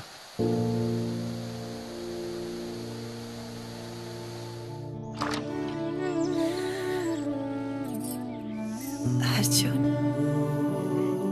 बहुत मिस कर रहा था तुमको और मैं भी मैं भी टीवी रिमोट का सर पर समझ नहीं पा रहा था। अपनों का जोड़ है टीबी का तोड़ तो फिर भेदभाव क्यों? टीबी के इलाज में अपनों का साथ दें। देख पवन आ गया। पवन वहाँ क्यों पता बैठा तुझे है? उसे टीबी है। लास्ट बेंच का मज़ा अकेले अकेले। पता है ना मुझे टीबी है। चल चल। तुझे पता है ना इलाज का असर शुरू होने के बाद टीबी के इन्फेक्शन का डर नहीं रहता? टिफ़िन में क्या है?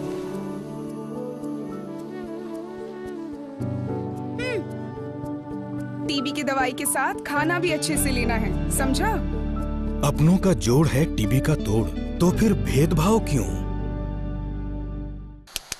जब से माँ को नानी के यहाँ भेजा है कितने चिड़चिड़े हो गए हो। बेटा टीबी है उसको। टीबी का इलाज तो यहाँ भी हो सकता है फिर अगर तो वो यहाँ रहती ना तो लोग कन्नी काट रहे होते हमसे। मुझे लोग नहीं मम्मी।